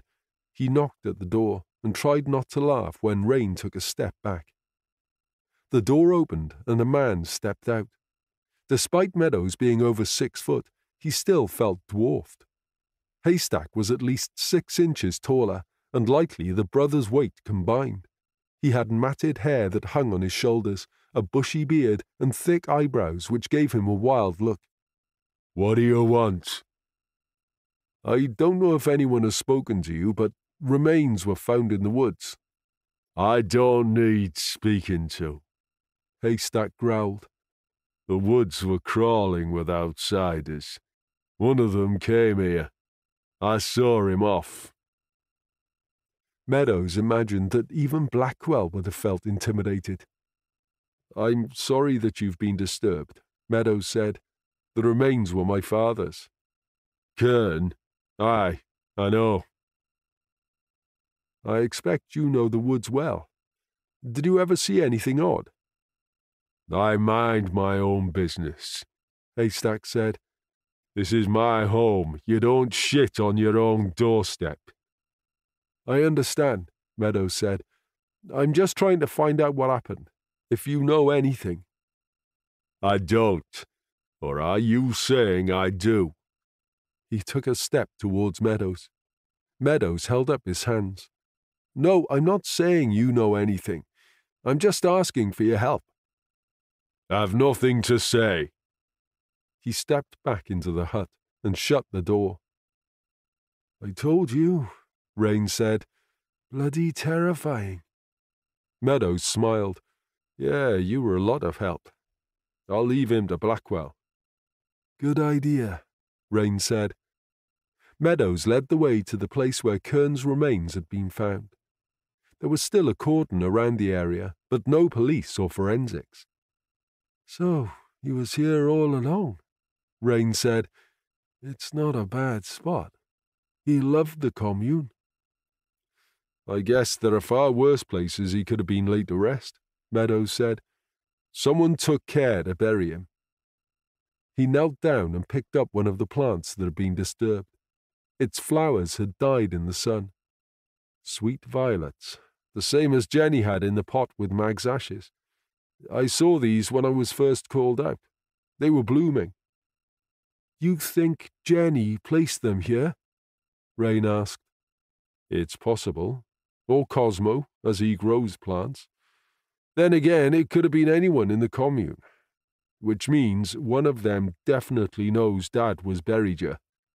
Maybe Jonah, Rain said. I think it would have been someone who cared for Dad. Doesn't sound like Jonah cared about anyone. We need to find him. Whatever he did, he's got away with it for long enough, Meadows said. The whole commune turned out to celebrate the life of Kern Meadows. A bonfire had been lit, despite the warmth of the evening, and as Meadows watched the dancing flames, he heard stories of his father in his younger days. A different picture emerged to that of the man Meadows last saw. Kern had been a natural at growing fruit and vegetables. Each year he would take it to the elderly in the village, often having the door shut in his face. Then later he would take trips with Jerome where they would seek out the homeless, give them food and an offer of a place to stay on the commune. Teepees would be built, or wooden shacks made, to give shelter to those who took up their offer. Meadows laughed at a story of his father buying an old bus and driving it into one of the fields. It became home to a family for many years until it was eaten away by rust. Jenny and Mina spoke about how proud he was when his boys were born. There were tears and laughter.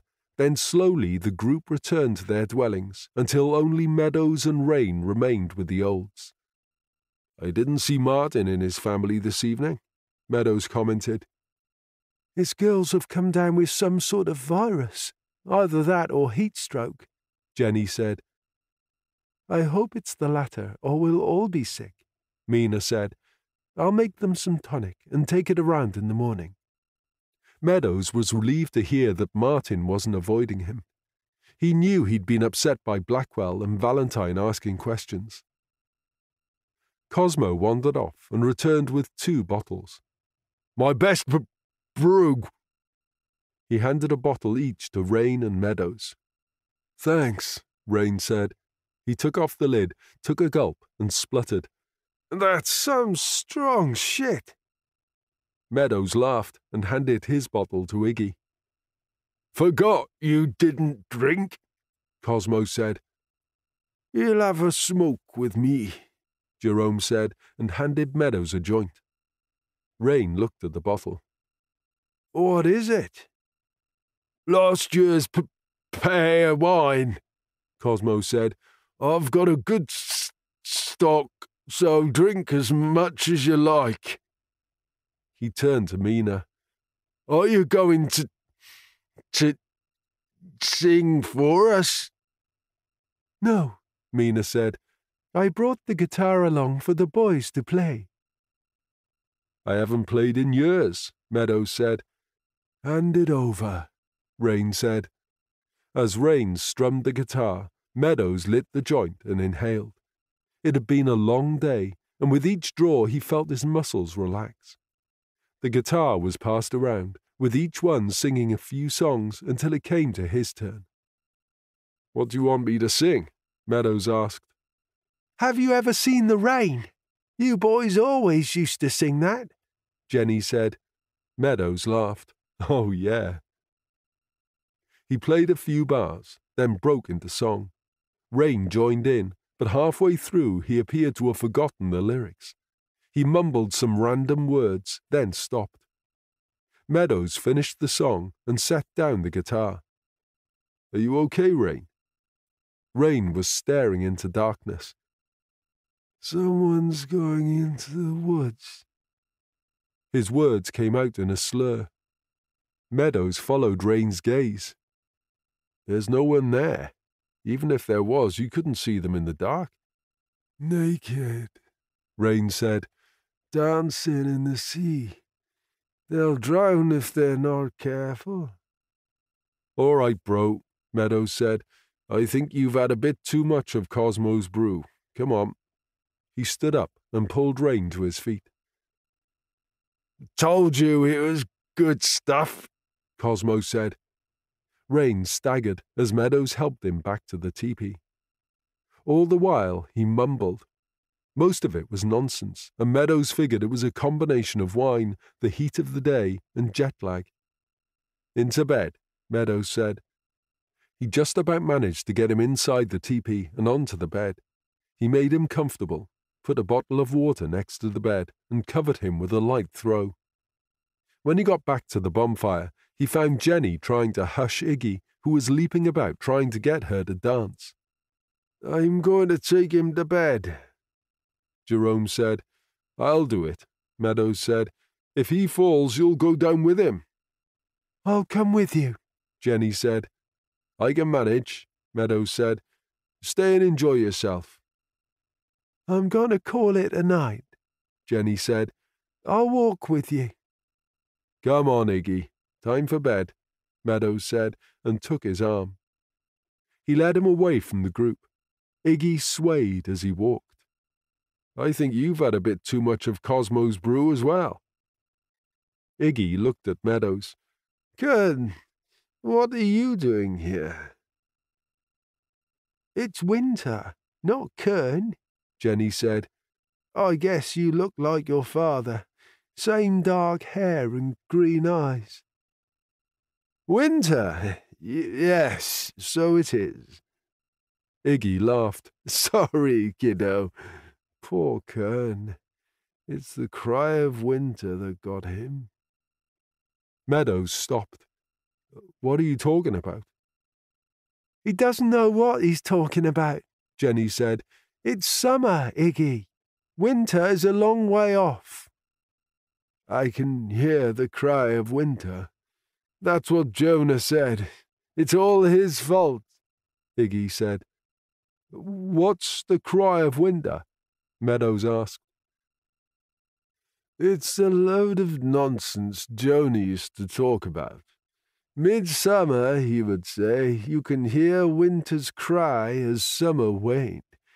Then midwinter you'd hear the cry again when winter was at its strongest. Jonah said the veil between this life and the next was at its thinnest on those nights. Mina thinks Jonah is responsible for Dad's death, that it happened on midsummer. Did you see something, Iggy? He's always in her tent, Iggy said. Who? Jonah? Meadows asked. Yeah, with Mina. They were together. He told her things. What things? Prison. He. Iggy tripped over his own feet and nearly took Meadows down with him. Meadows, with the help of Jenny, pulled Iggy upright. They put him in between the two of them, each with a grasp under his arm. They moved forward slowly. What were you saying about Jonah in prison? Meadows asked. Iggy stopped and put a finger to his lips. Shh. We don't talk about Jonah. Yeah, I figured that one out, Meadows said. He upset all of us, didn't he, Ig? Jenny said. Come on, we're nearly there. Is it true that Mina and Jonah had a thing? Meadows asked. Yes, for a while, Jenny said. Then she'll probably know more about him than anyone. She doesn't know any more than the rest of us, Jenny said. All you're going to do is dig up the past. People bury their crap for a reason. It stinks. We'll look after you, kiddo, Iggy said. Meadows smiled. Right now, I think we need to look after you. It took a long time to get Iggy into bed. Several times he called Meadows Kern, and Jenny had to correct him. They pulled off his shoes and covered him with a blanket, but it wasn't until three of his cats settled on the bed that he became quiet. My head hurts, Iggy said as he stroked the cat. Well, what do you expect? Jenny said. It's going to hurt a lot worse in the morning. He doesn't look well, Meadows said. He'll be fine. You go and check on Rain. I'll sit here until he goes to sleep. Meadows got the impression that Jenny didn't want him left alone with Iggy. Is she worried about what he might say to me? he thought. He figured whatever Iggy said now wasn't going to be of much use anyway, so he returned to the teepee. He passed Mina on the way. Is he okay? Mina asked. Yeah, just drunk, Meadows said. Jenny is with him. Oh, I'll go and see if she wants me to sit with him. She said she was tired. Meadows nodded. I'll see you in the morning. Inside the teepee, he stripped off and lay on the bed, but he couldn't sleep. Iggy had been trying to tell him something. He needed to find out what happened on the summer solstice. It was clear that all of the olds knew more than they were willing to tell. But why? What were they afraid of? Chapter 14 Meadows awoke to the sound of rain grumbling. Are you okay? Meadows asked. No, I feel like shit, Rain said. My head is thumping. My skin is on fire and my tongue feels like sandpaper. Meadows laughed. I think you'd better stay away from Cosmo's brew and maybe stay out of the sun. Rain twisted off the top of a bottle of water and glugged it down without pausing. He got up, rummaged in his bag, and pulled out a pair of sunglasses and put them on. Hell, I didn't drink that much last night, and I spent the last ten years in heat worse than this. If it's any consolation, Iggy is probably feeling as bad as you this morning. I had to put him to bed last night. Why don't you go down to the stream to cool off? Take the day to relax. You haven't stopped since you arrived. Yeah, I might just do that. I'll come with you. A cold wash will do me good, Meadows said. Despite the heat of the morning, the water was icy cold. Meadows washed his hair, then dunked his head in the stream before fully submerging himself. He sat for a few moments watching the foam drift away before getting out and rubbing himself dry. I'll see you later, he said to Rain. On the walk back, he stuck his head into Iggy's caravan to see how he was doing. Shut the door, you're letting the light in, Iggy moaned. Sorry, I'll let you get back to sleep. He stepped out and closed the door quietly. Morning. Meadows turned and saw Mina holding a jug of liquid. Thought Iggy could do with this, she said. I think he needs some paracetamol, Meadows said. Doesn't want that rubbish. She held up the jug. Mint, ginger, and a bit of turmeric. You'll be right after a few glasses of this. Meadows nodded. I'm glad I ran into you. I wanted to ask you something. Iggy mentioned last night that you and Jonah were together for a while. Yes, we were. Not something that I'm proud of. You must have got to know him pretty well. Not really. He had a knack of getting information out of you without giving much away. He wanted me to talk about my life before the commune. Let me guess, he interfered and brought someone here from your past. No, not exactly. When I was 16, I was supposed to go back to Pakistan to get married. It had all been arranged. I was terrified of the thought of meeting my husband for the first time on my wedding day. I ran away and ended up sleeping rough before I came here. Jonah wanted details of my family, but I wouldn't give them to him. I hadn't seen my parents or brothers in years. He kept on at me, and that's why we broke up. I couldn't be doing with the stress. He did tell me one thing, though. I think he thought I would give him my parents' address in return. He told me he had been in prison. What for? He didn't say. Okay. Thanks, Mina. On the way to meet Christine, Meadows called Blackwell and gave him this information. He wasn't met with much enthusiasm, even when he suggested that Jonah may have been in prison at the same time as his father, and it may be a way to trace him. He guessed he would just have to trust Blackwell was doing his job. The traffic was light on the M4, but it still took him nearly two hours to reach Cardiff. He headed for Roath Park, where Christine had agreed to meet him. The park was busy with families enjoying a hot Sunday morning. Babies were pushed in prams, toddlers ran around, and retired couples strolled along the paths.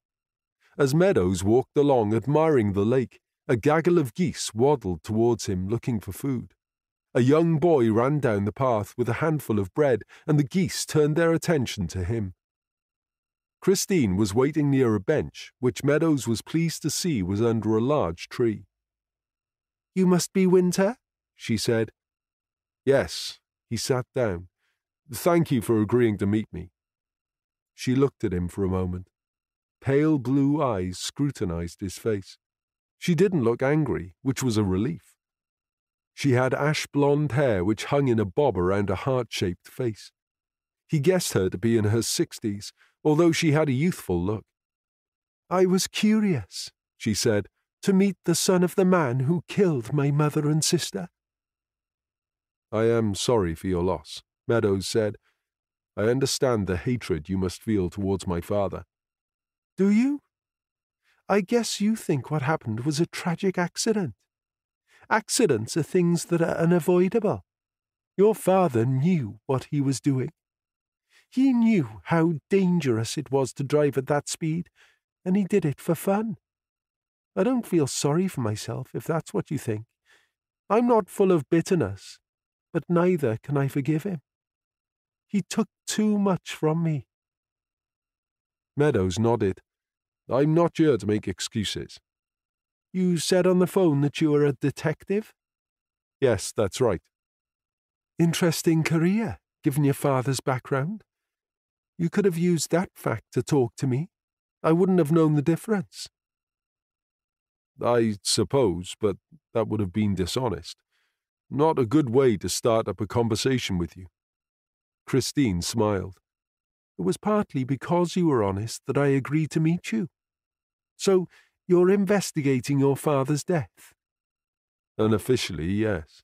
Meadows said, My father wasn't around for almost half my life. It's only a few days ago that I found out why. It was also when I found out he had a prison record. That must have come as a shock. Meadows smiled. Yes, it was. You seem decent enough, Christine said. Not what I was expecting. Then again, I don't know what I expected, or what you want from me. I already talked to the police. Yes, I know. I wanted to ask if your father ever met up with Kern Meadows. I know before my father was murdered, he was trying to make amends for the past. Christine shook her head. I never met him, and I'm sure Dad would have said something to me or Stephen if he did. The three of us were very close. Stephen is your brother? Yes, he was in the car. I don't know how much you know about the crash. I've only read the initial reports into the incident. Then you don't know much, certainly not the impact it had on my family. We'd been to visit my grandparents. Grandad had been ill. It was a long journey, so we were travelling back late. Mum was driving. Donna was sitting behind her, Stephen in the middle, and I was behind the passenger seat. We were all tired. Mum said we didn't have far left to drive, and she would take the back roads to save time. It was dark on the road, lots of high hedges and overhanging trees. Stephen was making up ghost stories. Then there were headlights, and I don't remember anything else until I woke up in hospital. I found out later that the driver's side had taken the worst of the impact. She continued, Mum was killed instantly, along with Donna. Stephen had head injuries but was conscious. He was trapped in the car with a dead mother and sister. He didn't know that I was still alive. He was only seven at the time. No mobile phones in those days, so he was stuck in the car for hours. He was still screaming when the ambulance came. That's horrendous, Meadows said. I imagine it's difficult to recover from an experience like that. It was, and poor Dad lost his wife and child. Stephen and I were in a bad way. Dad didn't have time to grieve, he had to take care of us. Then we had to move. She tapped the arms of her wheelchair. The house wasn't suitable for me. There were a lot of expenses and no insurance payout. We stuck together no matter what. Now it's just me. If you're thinking that my father had any involvement in Kern Meadows' death, then you're wrong. He'd never risk putting Stephen and me through losing him as well. Can I ask what happened to Stephen? I honestly don't know. He suffered with his mental health. Sometimes he would take off for months go on a drinking binge. He started to use drugs and would sleep rough. Dad would go looking for him, bring him home and clean him up. He'd be okay for a while, then something would trigger him and off he'd go. The last time I saw him, he seemed to be doing well. He'd cleaned up and had a job. He said he'd been having some therapy and it had helped. He did seem better, even excited, like he had something to look forward to. I never saw him again. I did look for him and even went to the police. They weren't interested. He wasn't considered at risk. He was an adult who had disappeared for long periods of time in the past. They said he would probably just turn up when he was ready. Can you remember the date you last saw him? Meadows asked. Christine thought for a moment. It was my daughter's birthday. She was ten. Yeah, I'm sure because he wasn't around for the Millennium celebrations, so May 1999? Are you sure it was 1999? Meadows asked.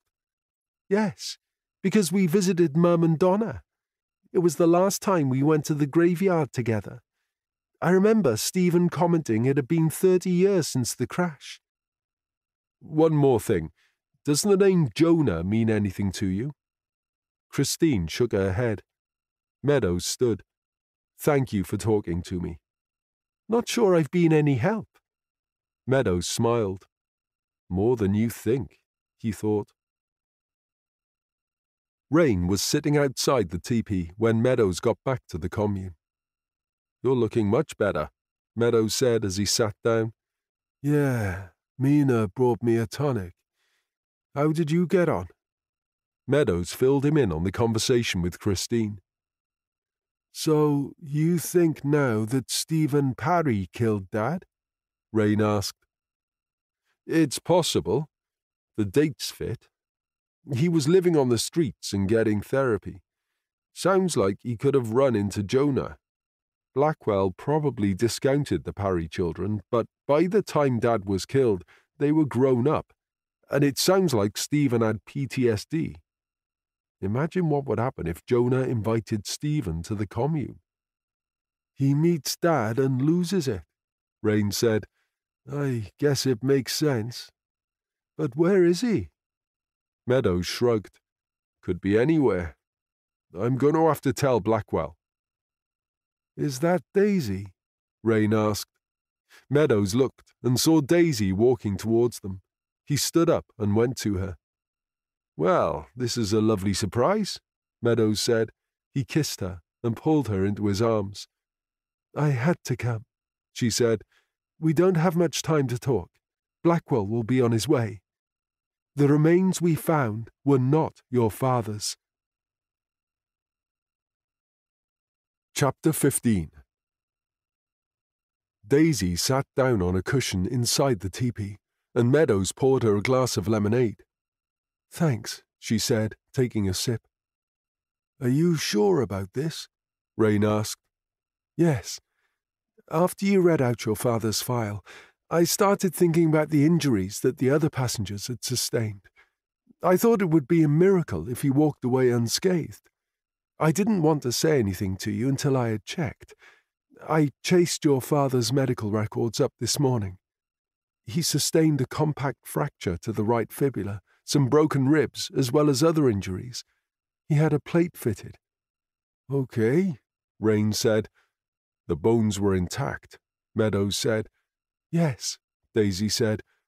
The remains that were found definitely do not match Kern Meadows' medical records. If it's not Dad, then who is it? Rain asked. Daisy shrugged. This is a real headspin, Rain said. First we thought he had left us, then he's murdered, and now he's alive again. We don't know he is alive, Meadows said. I sent out emails to all the communes that had a website. That was before we thought the remains were his. So far, no one has seen him. I don't think we can check them all. Are there that many? Daisy asked. You'd be surprised by the number of intentional communities, Rain said. There's shared housing, eco villages, and spiritual communes, to name a few. Some are well known, you must have heard of the Bruderhof. Daisy shook her head. It's one of the largest communities in the UK. Then there are some so remote they don't have internet access or advertise their existence. There's always the possibility he is living in a cosy house somewhere, Meadows said. Yeah, I can't see that, Rain said. He struggled when he left here. If he wanted to make a fresh start, he's more likely to have gone somewhere where he wouldn't easily be found. Somewhere he felt comfortable. I'd better call Mum and tell her the news. I'll take a walk. Let you two have some time together. I should go before Blackwell gets here, Daisy said. I had to send him my findings. If he catches me here, he will know I've told you. I think he'll guess you'd give me the information whether you're here or not, Meadows said. Stay a while. Okay, but not for the night. I like my creature comforts. Meadows laughed. Yeah, and you wouldn't want to be sharing with the two of us. Rain snores. Daisy leaned up against him. Are you okay? All this must be playing havoc with your emotions. If it was my father, well, I'd have been in pieces. I'm good. I just need to gather my thoughts. He didn't want to tell her about the guilt he felt for thinking the worst of his father, the grief for the man he had loved growing up. the shame he felt for the suspicion he had of those who had only showed him love. Now this had all been turned on its head, and he felt a kind of hollowness in his stomach. What about the DNA? Is Blackwell looking for a match? We haven't got a sample yet. There's a backlog with people being on holiday. I'm afraid this wasn't seen as a priority. I have chased it up. It is a priority now if we're going to make an identification. Will you be back on the case now? Daisy asked. I doubt it. I'm too involved. Other thoughts were going through Meadows' mind, but he didn't want to voice them. Not yet. Once Blackwell came, things would change. Rain and his mother would not have realized the significance of the discovery yet. Right now, he just wanted time so he could digest the facts and be there for them. Come on, he said. Let's take a walk. They strolled through the commune and paddled in the stream while splashing each other with the cold water. They returned with their clothes drying in the late afternoon sun and the scent of sweet peas from the pagoda lingering in the air. For a short time, Meadows had shut out the turmoil. Then he saw Blackwell and Valentine waiting outside the teepee. I take it you've already heard the news? Blackwell shot Daisy a look, then held up his hand. Don't bother with denials or explanations. Let's not waste each other's time. Meadows noticed that Blackwell was red in the face and his hair wet with sweat. Next to him, Valentine pulled a face to indicate that Blackwell was in a bad mood. Fair enough, Meadows said. Let's go inside. It's cooler. Blackwell followed Meadows and Daisy inside, where Rain was sitting on the bed. Have a seat, Meadows said. Blackwell looked around, seemingly unsure what to do. Meadows sat on one of the cushions. Daisy took a seat next to him, and Valentine plonked down next to Rain. Blackwell grunted and lowered himself to the floor, looking uncomfortable. This is nice, Valentine said. Cozy. Can I get anyone a drink? Rain asked. Yes, please, Valentine said. The walk up here is a killer. Rain poured out the lemonade and handed it around. Blackwell took a sip and set down the cup. As the remains are not that of Kern Meadows, we now have no idea who the victim is.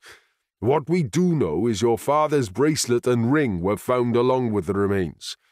A bracelet your mother said he never took off. I think that it's safe to say that he had some involvement in the burial of the victim. You don't know that, Rain said. It's nothing that I haven't already thought of, Meadows said. As for the victim, I think it may be Stephen Parry. Why would you think that? Blackwell asked. Stephen Parry hasn't been seen since 1999. He was seven at the time of the accident. It would make him ten years younger than the estimate of the victim's age, but. You've talked to the family? Blackwell asked. Yes, Meadows said. You've no bloody right to do that. Where did you even get the information and the names of the victims? Meadows could see a pulse throbbing in Blackwell's temple. If I find out someone has been leaking confidential information, I'll. Chill, man, Rain cut in. You're going to give yourself a heart attack. It had only been a couple of years ago that Blackwell had a stent fitted because of a blockage to the heart. Meadows wondered if it was this that caused Blackwell to pause for a moment. You told me the year of the car crash yourself. Information isn't hard to come by if you know where to look. Yes, I spoke to Christine Williams, but not in an official capacity. She told me Stephen had therapy sessions. It's possible they were with Jonah. He could have invited Stephen to the commune. So you think your father killed Stephen Parry? Valentine asked. It's a possibility, Meadows said. All it would take is a DNA sample from Christine to see if she is a match. If it is a match, then I'll be issuing a warrant for Kern Meadows' arrest. If you know where he is, I suggest you tell me now, Blackwell said. I honestly don't know. Up until a few hours ago, I thought he was dead. Meadows didn't know what was worse a murdered father or a father that was a murderer.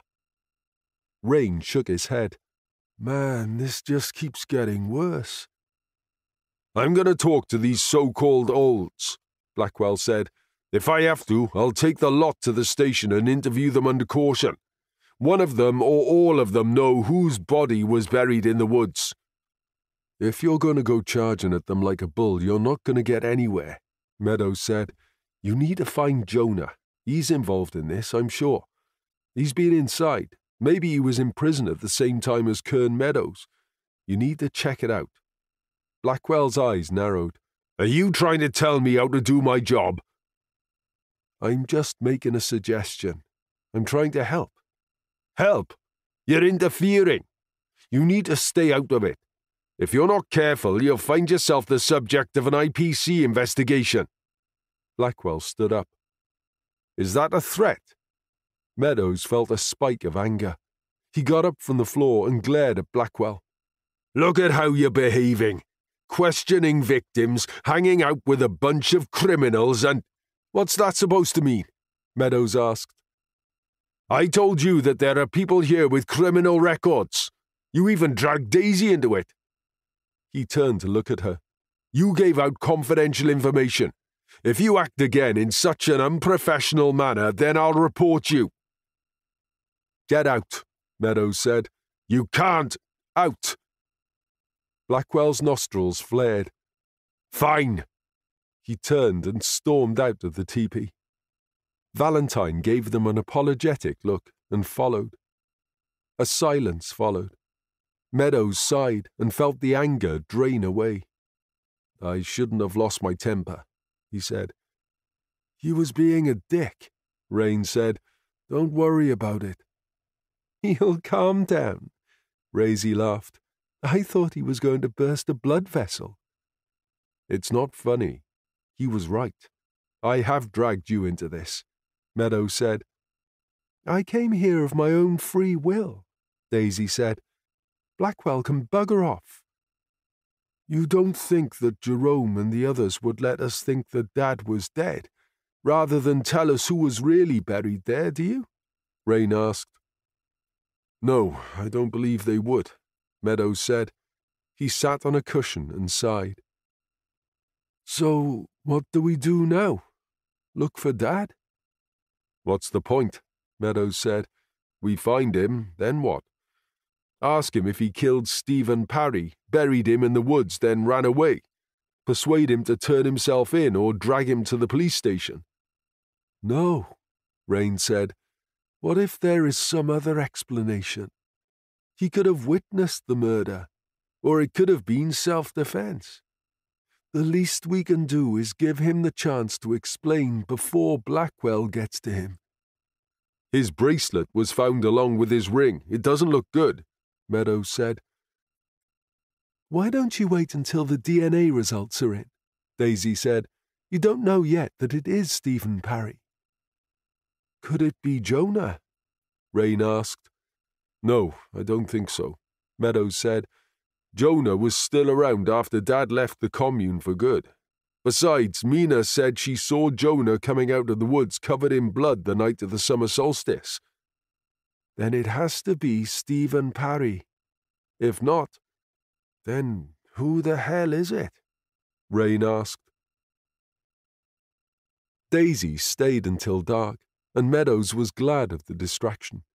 He walked her to her car and hugged her tight. I kind of wish I was coming with you, he said. This will pass, Daisy said. At the moment, you are trying to solve a case without any resources. You care about all the people that are involved. You thought your father was dead, now he isn't, and now you're worried he might have killed someone. I'm amazed you haven't had a meltdown. I threw out Blackwell. Daisy laughed. That's your idea of a meltdown. I should tell you to step back and leave the investigation to Blackwell, but I know you wouldn't be able to do that. Just promise me that you will be careful. Meadows could see that Daisy was worried. Nothing is going to happen to me. I'm safe here. He kissed her. Drive safely. I'll see you soon. As he walked back up the track, he saw a figure coming towards him carrying a flashlight. It wasn't until they were close that Meadows recognized Cosmo. Everything all right? Meadows asked. Yeah, I came to check on you. Didn't want you to. to. you know, be on the floor. Trip? Fall? Yeah, that's it. I'm fine. I've got a torch on my phone if I need it. Besides, I know my way, even in the dark. Come on, let's walk back. I'm glad Kern's not. Well, it wasn't him. It's been like a bad dream all this time. Almost a week, Meadows thought, but to Cosmo it probably feels like months. And there we were celebrating his life and giving him a good send off with your brew, Meadows said. Now we have to sell. celebrate someone else. The question is who? Cosmo didn't say anything. Do you have any idea who it might be? Cosmo shook his head. Kern didn't do it. Why do you say that? Because, um, Kern wouldn't hurt, hurt anyone, Cosmo said.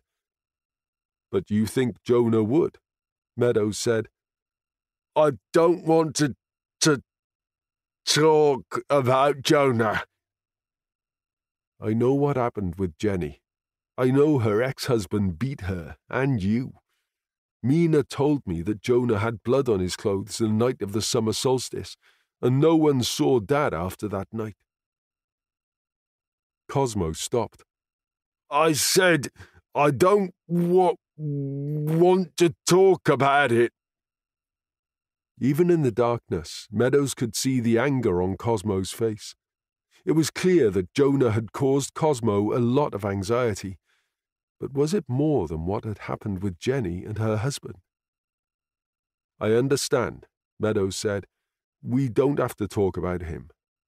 I just thought if I could find him, he might know where Kern is. Don't go looking for him, Cosmo said. I don't want him coming b- back ever. He's been gone for a long time. I don't think he's coming back. Meadows said. Don't be too sure, Cosmo said. Meadows decided it was best to drop the subject. He didn't want to agitate Cosmo. Instead, he talked about Cosmo's plants and what he'd been growing, and by the time they reached the pagoda, Cosmo was calm. Jenny, Iggy, and Jerome were sitting with Rain. All looked serious. Are you going to join us? Jerome asked. Yeah, Meadows said. I'm just going to grab a cup of tea first. Anyone want one? I've got more wine, Cosmo said. Wine, Iggy said. That stuff was radioactive. I don't remember getting to bed last night. I still don't feel right. Me neither. I'll stick to tea, Rain said. Or better still, Mina left a few bottles of dandelion water. I'll drink that. Bunch of p- pussies, Cosmo said. I drank it, and I was fine. Iggy laughed. You're probably immune to the stuff. Meadows went to the teepee and chose the chamomile tea. He walked back to the pagoda and handed a bottle to Rain. Tough day for you, my boy, Jerome said. It was a surprise turn of events, Meadows said. How did your mum take the news? Jenny asked. She was okay, Rain said. A bit emotional. The whole thing doesn't make much sense, Meadows said. I can understand Dad's bracelet coming off if he was involved, but his wedding ring? It's not something that would fall off easily. That's because he didn't d- do anything, Cosmo said. I think Cosmo's right, Jenny said. I can't see Kern doing something like that. The police will be looking for Dad now, Rain said. The only thing we can do is find him before they do. Give him a chance to explain. Do any of you know where he might have gone? They all shook their heads. You thought that he might have gone off with some people from another commune, the ones that were here that midsummer, Meadows said. I can't remember that far back, Jerome said. They came from all over the place. Jonah invited a lot of them. He moved around a lot before he came to stay here. Kern could have gone anywhere. You know, someone could have stolen his bracelet and wedding ring, Iggy said. No one here would steal, Jerome said. He never took them off, Rain said. They wouldn't have been left lying around. Meadows nodded. I'm sure Mum would have noticed if he wasn't wearing his wedding ring before he left us. Whatever happened in the woods must have taken place when he came back here after the fight with Mum. He took off suddenly after the solstice celebrations. Mina saw Jonah with blood on his clothes. It has to be that night. So who else went missing at that time? He looked at each of his companions in turn. No one I can think of, Jerome said. Cosmo and Jenny shook their heads. Where's Mina? Meadows asked. She was tired, said she was going to have an early night, Iggy said. I hope she's not going down with this virus. There's a few got it now, Jenny said. She's just upset by everything that's been going on, Iggy said. That's understandable, Meadows said. I did talk to her about Jonah this morning. She said he had been in prison. Did he tell any of you about that? Another shake of heads. What about the night Mina saw Jonah come out of the woods with blood on his clothes? Did any of you see him? She did mention something at the time, Jerome said. I didn't think anything of it. I had no reason to believe Jonah had hurt someone. But now I guess she could have done. It was a long time ago. We're talking over twenty years. Jonah was here for a while. I can't say with certainty that it was midsummer when she saw this. It could have been any number of celebrations we had over the years. But she remembers Dad being here, coming back after he had left us, so it had to be that midsummer. Meadows said. Jerome shrugged. Her memory is better than mine. What about the other communes Jonah lived in? You must have mentioned them. You said the visitors that came that midsummer were his friends. If Dad went with them, it's likely to a place known to Jonah. Rain said. Jonah talked about one somewhere in Kent, Jerome said. Well, that's a start, Meadows said. He also travelled abroad, Jenny said. Great, Rain said. We're going to have to take a hell of a road trip if we're going to find Dad. Even if you did find him, would you want him to come back? Jenny asked. At the moment, it's not looking good for him, Meadows said. Someone is murdered, and his bracelet and ring are found with the remains. Then he takes off. Doesn't look like the actions of an innocent man. He needs to explain what happened and, yeah, I guess, face the consequences.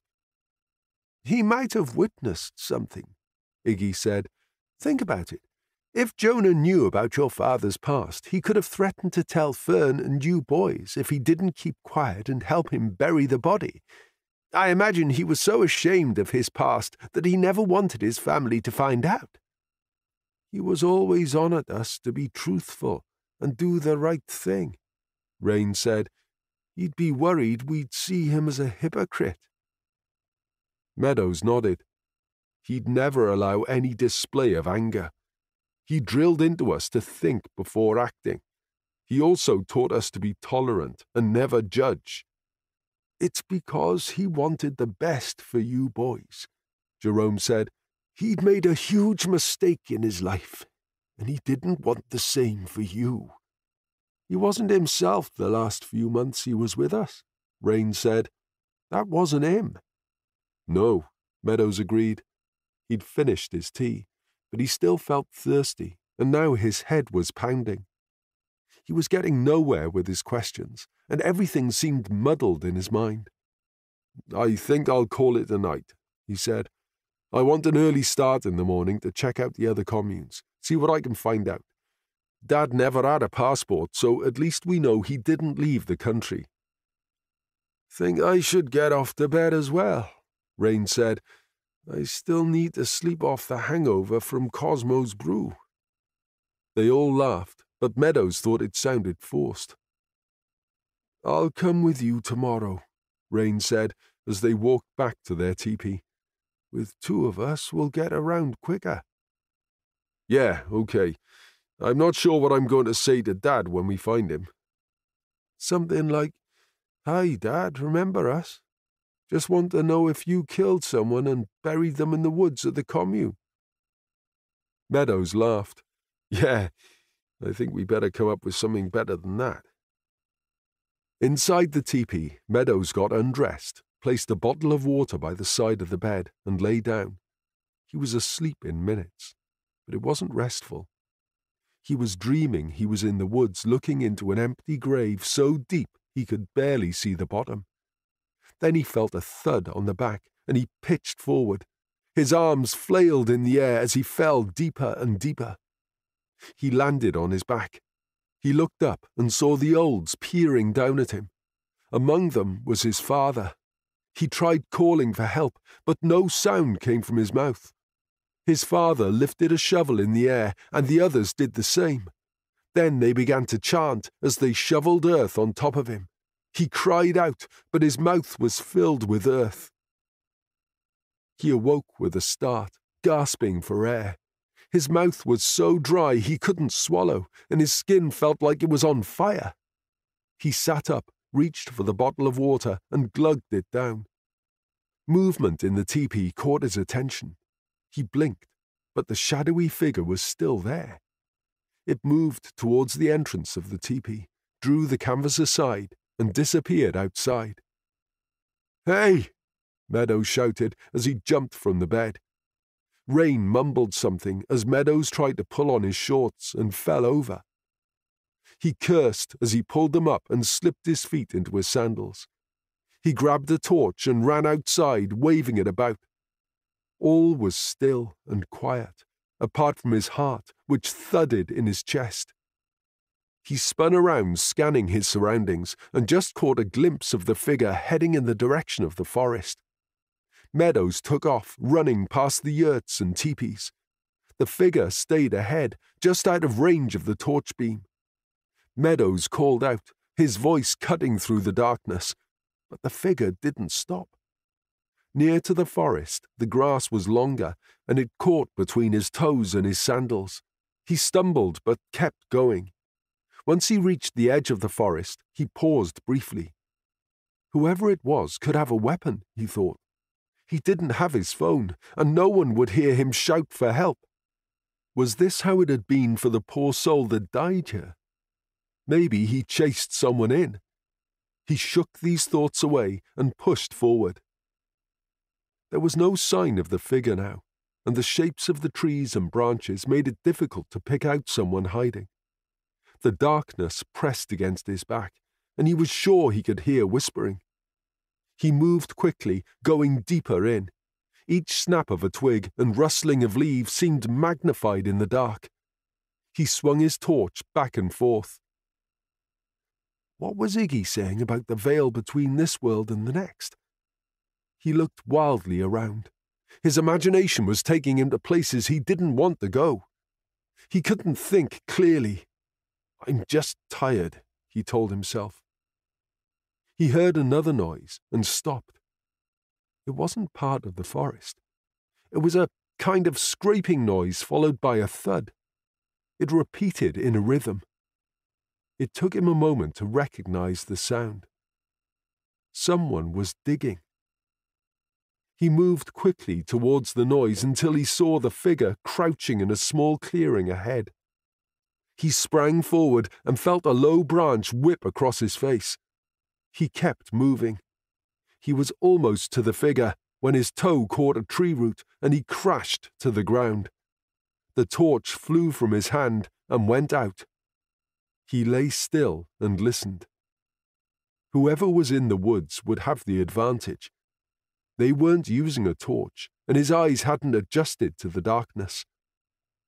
The powdery smell of violets tickled his nose. Slowly he pulled himself to his feet. He turned around and saw a light. And behind it, two figures. Chapter 16 Cosmo had got up to relieve himself and was returning to his yurt when he saw Meadows burst out of his teepee and take off across the field. Must be desperate for a pee, he thought. He turned to go back to his bed, but an uneasy feeling crept over him. He looked again. The light from the torch was flitting back and forth as Meadows got further away. He wouldn't be able to go back to sleep now. What if something was wrong? He wouldn't be running that far when he could easily use Jerome's toilet, he thought. He walked to Meadows' teepee and peeked inside. Rain was lying on his back, emitting a steady stream of snores. Cosmo let the canvas drop back and hurried to Jerome's yurt. Inside, he found him sleeping naked on top of the bed covers. Oi! Oi! Jerome stirred. Wake up! Cosmo said. Jerome groaned and sat up. Cosmo, what the hell are you doing? I just saw Winter running across the field with a torch. And? He was heading towards the woods. It's the. the. halfway. Cosmo clenched his fist in frustration. It's not morning. What's he doing? What if he's into trouble? What if. if the same thing happens again? Okay, calm down. Nothing is going to happen to the boy. There's no reason. You're getting yourself worked up over nothing. What if Jonah. if he. Jonah is an old man like the rest of us. Let me get some clothes on and we'll take a look. Cosmo hopped from foot to foot. He felt all the fear from the past come rushing at him. Right, let's go, Jerome said as he grabbed a torch. Should we go and wake the others? Cosmo asked. There's no point. What if he just got caught short? How's he going to feel if we all turn up and he's taking a crap in the woods? I thought of that, Cosmo said. He could have used your loo, or the communal ones by the pagoda. Yeah, I suppose. What about rain? Sleeping, Cosmo said. Okay, Jerome was walking fast, and Cosmo struggled to keep pace. He could tell that Jerome was worried, and this made him even more anxious. Jerome was the sensible one, the one that kept calm in any situation, the one that always had a solution. They reached the edge of the woods, and Cosmo stopped. I don't want to go in there. Memories of Jonah came back, the shouting, the blood, Get a grip of yourself, mate, Jerome said. There's nothing in you to be afraid of. He stepped forward. Cosmo didn't want to be left alone in the dark, and he didn't want Jerome to go in on his own. So he followed. Kern! Don't! Jerome cut in. Sorry, it's just. You have to be careful, Jerome whispered. Think before you speak. You know what you're like when you get flustered. Winter could be close by and hear you. I'm sorry. Cosmo hated how he blurted things out. It was like a thought came to his mind and was out of his mouth before he could stop it. Then, when he wanted to say something, some words seemed to get jammed. Lethologica is what Jerome called it. Iggy said it was not enough gigabytes to store his data. Cosmo preferred Iggy's explanation. He didn't know what he would do without Jerome and Iggy. While everyone thought this was about protecting Winter and Rain, for him it was about protecting himself, Jerome, and Jenny. Out of all of them, Jerome meant the most. He had given Cosmo his life, saved him. This was the only thing that drove him further into the woods. He would not leave Jerome alone in this place. A cry echoed around the woods, making them both jump. Cosmo grabbed Jerome's arm. It's happening again! No, Jerome hissed. You have to forget about what happened before. Do you understand? Yeah, Cosmo said. I'm trying, but it's all I can think about since they found his bones. Come on, the sound came from that direction. Jerome pointed the beam of the torch. They moved forward. Cosmo's heart was racing. He looked around wildly as he kept pace with Jerome. They were deep into the woods when he caught sight of a figure on the ground. What's that? Cosmo whispered. Jerome stopped, and they both watched as the figure got up and turned towards them. Cosmo heard Jerome let go of his breath. It's just winter. Cosmo felt relief wash over his body. What are you doing out here? Jerome asked when they got closer. There was someone out here, Meadows said. They came in my teepee, then ran off. I followed them. They were digging. There is no one here but us, Jerome said. You must have had a b- bad dream, Cosmo said. Let's go back. This place gives me the. the. Creeps? Jerome asked, then laughed. I wasn't dreaming. I saw someone, Meadows said. Well, it's no good looking now, Jerome said. They'll be well gone. We can come and check it out first thing in the morning. Cosmo watched Meadows look around. He was afraid he was going to insist they stay, but in the end he nodded. As they walked back, they met with Haystack. Jerome, Haystack gave a nod in greeting. Have you seen anyone digging out here? Meadows asked. Haystack looked at Cosmo, who felt his heart quicken. He stepped a little closer to Jerome. You should get out of here. It's dangerous walking around the woods in the dark. Haystack started to walk away. Wait, Meadows said. There was someone digging. Was it you? What are you doing walking around in the middle of the night? Cosmo wished he would shut up. Haystack wasn't the type of man you wanted to make angry. He was relieved when he ignored the questions and kept walking. Let's go, Jerome said. You can talk to Haystack in the morning if you want. Okay, Meadows said. The three of them walked back into the commune, and Jerome took Meadows into his teepee. Cosmo waited outside. He heard them talking for a few moments. Then Jerome came out. Do you think he's all right? Cosmo asked. Yeah, he'll go back to sleep, and in the morning he'll realize that he was imagining things. What if he wasn't? Cosmo asked. I think he suspects something. He's going to find out about Philip then we'll. Don't even mention that name, Jerome said. Even in the dark, Cosmo could see Jerome was angry. I'm sorry. It just popped into my head, Cosmo said. Then you have to erase it.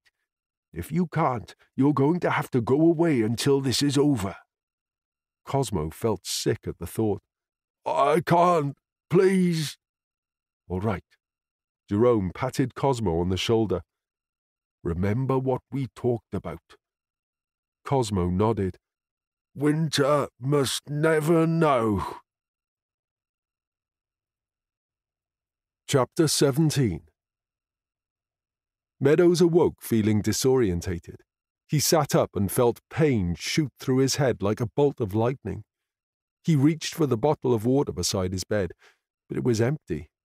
He got up to look for another, then felt his stomach heave. He just managed to get to a bowl before he was sick. Are you okay? Rain asked. No, I feel like hell, Meadows said. Don't feel much better myself, Rain said. I told you it wasn't Cosmo's brew. We've probably picked up the virus that's going around.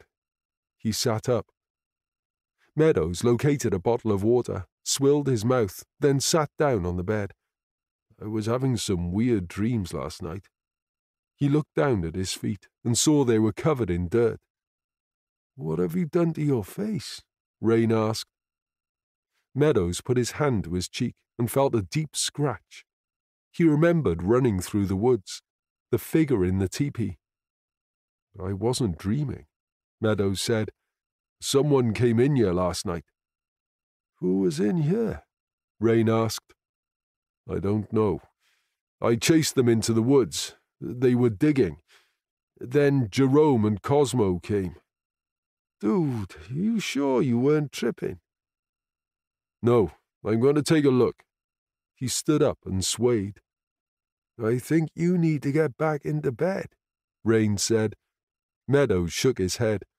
We need to go and find Dad and Jonah. You're not driving anywhere today, Rain said. It can wait until you feel better. Yeah, I guess you're right. Meadows lay back on the bed. He was just drifting into sleep when Jerome came in, followed by Jenny. We've come to see how you are feeling, Jerome said. You had me worried, my boy. I'm okay, Meadows said. You don't look it, Jenny said. Mina sent you something to make you feel better. She held up a jug. Meadows looked at the black, murky liquid and felt his stomach churn. I don't think so. Nonsense, Jenny said. She filled two glasses and handed one to Meadows and one to Rain. Drink it down. It will help. Tom, Kai, and Willow are also sick. It's a nasty bug. You two better stay in bed.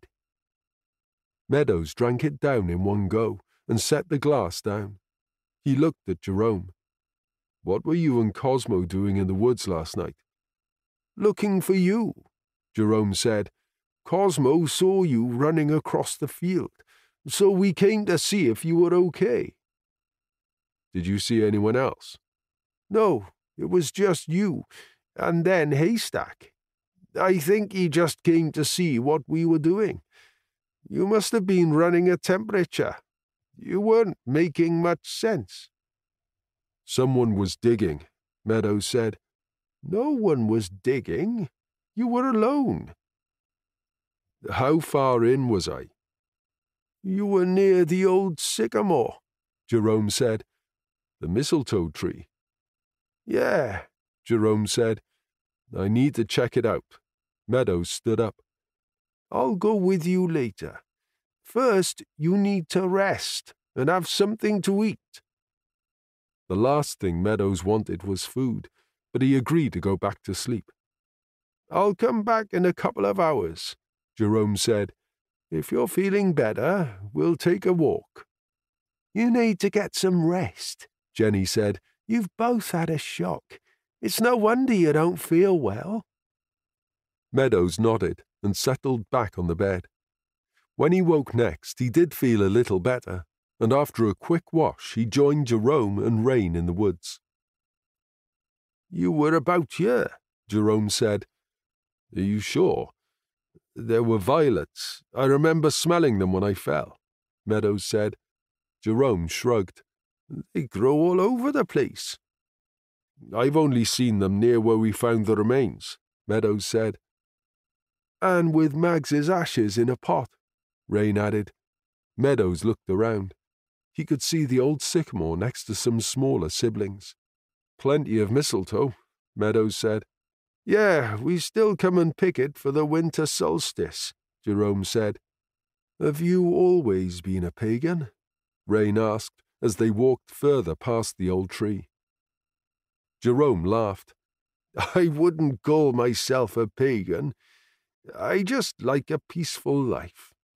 Mutual respect for people and the earth. All that stuff is down to Wiggy. He started it off, and the rest of us just followed. It's more out of habit. It marks the passing of the year, and it gives us all a chance to get together and celebrate. We don't much bother with birthdays. I also say my prayers before I go to sleep. I wouldn't want to die without ever having spoken to God. Can't just turn up at the pearly gates. That would be rude. I guess that's one way of looking at it, Meadows said. He stopped walking. Look over there. He pointed to a clump of purple flowers on the forest floor. You think someone else is here? Rain asked. They're just flowers, Jerome said. I think you're reading too much into it. These ones have been trampled. Meadows knelt down. Yeah, probably by you last night, Jerome said. Meadows examined the earth near the flowers. Someone has been digging here. Look, the earth's been disturbed. Maybe a little, Jerome said, but it looks like some animal has been scrambling around. Probably one of Iggy's cats. They bury their business. I would get up if I were you. Think of the amount of people that have taken a pee around you. You don't know what you're putting your hands in. Jerome laughed. Why would the flowers be here and near the remains?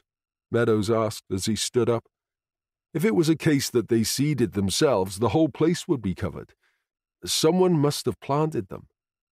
I'll ask around, Jerome said. If Jenny has them for Mags, then someone else could have planted them here, as it was a special police for a loved one, even a pet. Or ashes, Rain said. Meadows wasn't convinced, but he let it go. His head was still sore. How about I make you boys a veggie curry tonight? Jerome said. Spices are good for you in this weather. Sounds great, Rain said. Come on then, let's go back. You two can relax by the stream. He patted Meadows on the shoulder. You still don't look well, my boy. Once they were out of the cover of the trees, Rain's mobile phone trilled. He took it out of his pocket and looked at the screen. It's a text from Mum. Blackwell wants to see her, and he suggested that the two of us be present. Meadows looked at his own phone and saw the same message. That doesn't sound good, he said. I'm surprised Blackwell didn't contact me. I guess he's still pissed off with you, Rain said. We better get going. He'll be there in an hour, Meadows said. Hope everything is okay, Jerome said. I'll have the food ready for you when you get back. Meadows let Rain drive. He put the seat back and turned the aircon on full, and still he felt too hot. The winding roads made him feel nauseous, and the sun glaring through the windscreen hurt his eyes. They reached the top of the mountain, and Rain pulled over into the car park. What are you doing? Meadows asked. Ice lolly, Rain said. He jumped out of the car and went to the ice cream van. Meadows watched an elderly couple sitting on a bench and thought it could easily have been his parents if circumstances had been different. Rain got back in the car and handed Meadows an ice lolly, then peeled the wrapper off his. Mmm, that's good, Meadows said as the ice hit his tongue. They drove down the other side of the mountain and passed through the villages in the valley and arrived in Danicoid, five minutes past Blackwell's given time. Fern was waiting outside the door. Meadows could see Blackwell's car already parked. Are you okay? Meadows asked as he hugged his mum.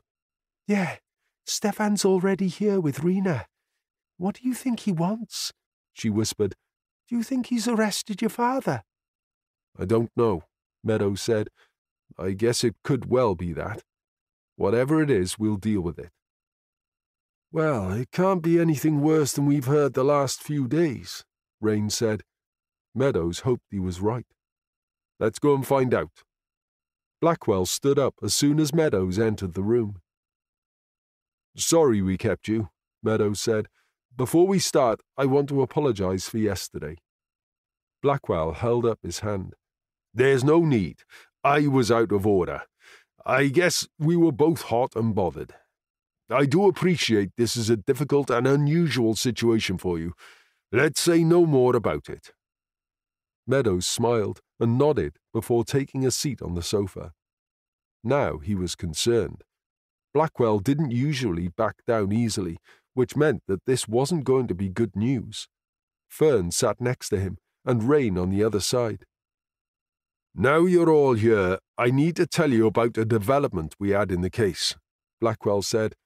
You know that we requested a DNA sample to be taken from the remains and tested against your sample. That's come back now, and it's a positive result. It took a moment for this information to set in. I don't understand, Meadows said. The medical records were not a match. Was there some error? No, Blackwell said. The medical records were not a match for Kern Meadows. We ran the DNA sample again, this time using the sample Rain provided, Valentine said. The results were the same. Blackwell looked at Fern. Can you shed any light on this? Meadows knew what Blackwell was driving at. Are you saying the medical records were not Kern's? Fern asked.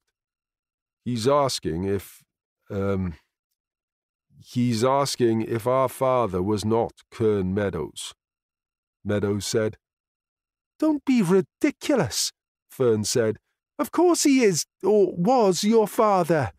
Is he dead or isn't he? Blackwell shook his head. There isn't a straight answer to that. The remains that we found are those of the father of your son, so yes, he is deceased. However, they are not the remains of Kern Meadows. They are not the same person. The only conclusion that we can draw from that is that your husband was not who he said he was. Do you have a marriage certificate? Valentine asked. Or better still, Kern Meadows' birth certificate. I don't have his birth certificate, Fern said, but my marriage certificate is somewhere in a drawer upstairs. Would you like me to get it for you? That would be very helpful, thank you, Valentine said. Fern left the room, and there was silence for a moment. Is it possible that there is more than one Kern Meadows? Rain asked. I'm sure if you searched your own name, you would find more than one Stefan Blackwell. We've checked the registry of birth and deaths, Blackwell said. There is no other Kern Meadows within the date range. There is only one, but he'd be too young to be your father. So, my father is definitely dead, but you don't know who he is. Is that about right? Rain asked. Blackwell nodded. This is seriously messed up, Rain said. I've brought a copy of the DNA results for you, Valentine said. She handed the paper to Meadows. Meadows looked at it and handed it to Rain. He didn't know what to say. I think it's best we leave you to have a talk with your mother, Blackwell said. I understand it may be uncomfortable for her to talk freely in front of us. If our father was someone other than the one we called Dad, she would have told us, Meadows said. He tried to think of an explanation, or someone who could shed light on the situation. Kern Meadows' parents are dead, and his brother died in the crash, he thought. Then he remembered the report he had read. What about Lee Morris? What about him? Blackwell asked. Well, he survived the crash, he was obviously friends with Kern Meadows, so he would know what happened to him. Maybe he stayed in touch. We'll look into it, Blackwell said. What about Jonah? We're still looking. Without a surname, it's not easy. So, where does that leave the investigation? Meadows asked. We're still looking for any trace of Kern Meadows, Valentine said, talking to anyone he shared a cell with and where he went when he was released. If your father took his identity, then the likelihood is that he knew him at some stage. It could be that Kern Meadows is our killer. As for identifying the remains, I'm afraid there is not a lot we can do. If I'm honest, I was hoping your mother would have an explanation, Blackwell said. You can see that she is as confused as the rest of us, Rain said. Blackwell nodded. There is something I wanted to talk to you about, Meadows said. I think there is a chance that other remains are buried in the woods. He told them about his experience in the woods during the night and the flowers. Someone wandering around at night and some flowers is not enough to authorize a team of forensic officers to spend days digging up the woods. It's not as if we have a missing person who we suspect is buried there, Blackwell said. Kern Meadows is missing, Rain said. We don't know that, Blackwell said. Unless you're thinking that your father killed Kern Meadows and stole his identity, then someone killed him, Blackwell said. No, Meadows said. That's highly unlikely. Uh, what about Stephen Parry? He's missing. Stephen Parry was known to go off of his own accord. There is no connection between him and the commune, and as far as we know, Kern Meadows was never there. Stephen Parry didn't know that, Meadows said. As far as he was concerned, my father was Kern Meadows. If that was the case, we would be looking for him in connection to a murder, not looking for his remains. What you're saying doesn't make sense. Don't make it more complicated than it already is. What he's saying is right, Meadows thought. What he couldn't explain was the feeling he had while he was in the woods. Here it is. Fern came back into the room with a certificate. See? Kern Meadows. She handed it to Blackwell. Blackwell looked closely at the certificate. It looks genuine. It is, Fern said. We also provided identification. So no matter what you say, my husband was Kern Meadows. Blackwell handed the certificate back. Thank you for showing us. I'll be in touch if we have any more news. We'll see ourselves out. I'll be glad when you're back, Valentine whispered before she followed Blackwell out. Well, that was a load of crap, Fern said. I don't think they know what they're doing. You do know that Blackwell is going to think that our real father turned up and Kern killed him, Meadows said. I know how his mind works. Kern was your real father, Fern said. This is like a bad trip, Rain said. I need a smoke. He pulled his tin from his pocket. I promise you that Kern, well, the man who called himself Kern, was your father, Fern said. I know, Meadows said. The question is, why steal the identity of a man who has a criminal record? Maybe he just chose the name randomly and didn't know, Rain said. He must have used a birth certificate for identity. To do that, he would have had to have known the real Kern Meadows' date of birth, Meadows said. He could have read about the car crash and the court case in the paper, Fern said. That way he would know the real Kern was stuck behind bars. All he would need to do is apply for a copy of the birth certificate. I don't think it was that difficult back then. I think it's more likely he knew him, and well enough to have details of his life, Meadows said. Then there's the question of why. What was he running from? Or what did he do? Rain asked. Well, it wasn't something good, Fern said. I don't think I want to know.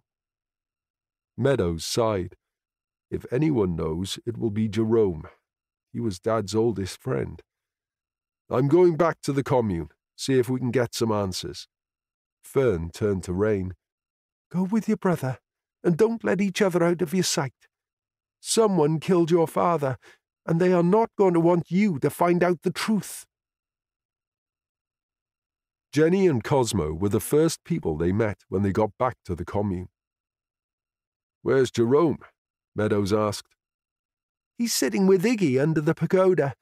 Is everything all right? Jenny asked. Not really, Meadows said. Maybe the two of you should come with us. I'll explain when you're all together, OK, Jenny said. They walked together silently. Meadows didn't feel like talking, and he only wanted to explain once. He also wanted to watch everyone's reactions. When they reached the pagoda, they found Jerome, Iggy, and Mina drinking from mugs. Oh, good, you're back, Jerome said. Food is nearly ready. And I've left you a jug of tonic in your teepee. I hope you don't mind me going in, Mina said. Thanks, Rain said. I think it's working wonders. I need to speak to you all, Meadows said. He quickly explained the latest developments. Cosmo was the first to speak. Dead? Uh, again? No. I thought it would be. that it wasn't. that he. It's okay, Cosmo, Jenny said. She put her hand on Cosmo's arm. It's not bloody okay. He shrugged off Jenny's hand and stood up. I c- can't do this any more. He hurried away. Let him be, Jerome said. He'll be all right. So, what are you going to do now? Iggy asked. I don't know, Meadows said. If there's anything you know about Kern's past, you need to tell us. It doesn't matter how bad it is. He looked around the group. No one spoke. Did any of you know that Kern wasn't his real name? They all shook their heads. It was clear to Meadows that he wasn't going to get any answers. He felt his best option was to speak to Jerome alone later. Tomorrow morning, Rain and me are going to start digging in the woods. That got a reaction, he thought. Jenny stiffened. Iggy shot Jerome a look, and Meadows was sure he'd seen a hint of a smile on Mina's face. What's the point of that? Jenny asked. Because I think someone else is buried there, Meadows said. Are the police coming to help? Iggy asked. No, why? Meadows asked. Well, it's a big area. You'll be digging for years. No, I have an idea where to look, Meadows said. I think the food will be about ready, Jerome said. I'll just go and find Cosmo, Jenny said.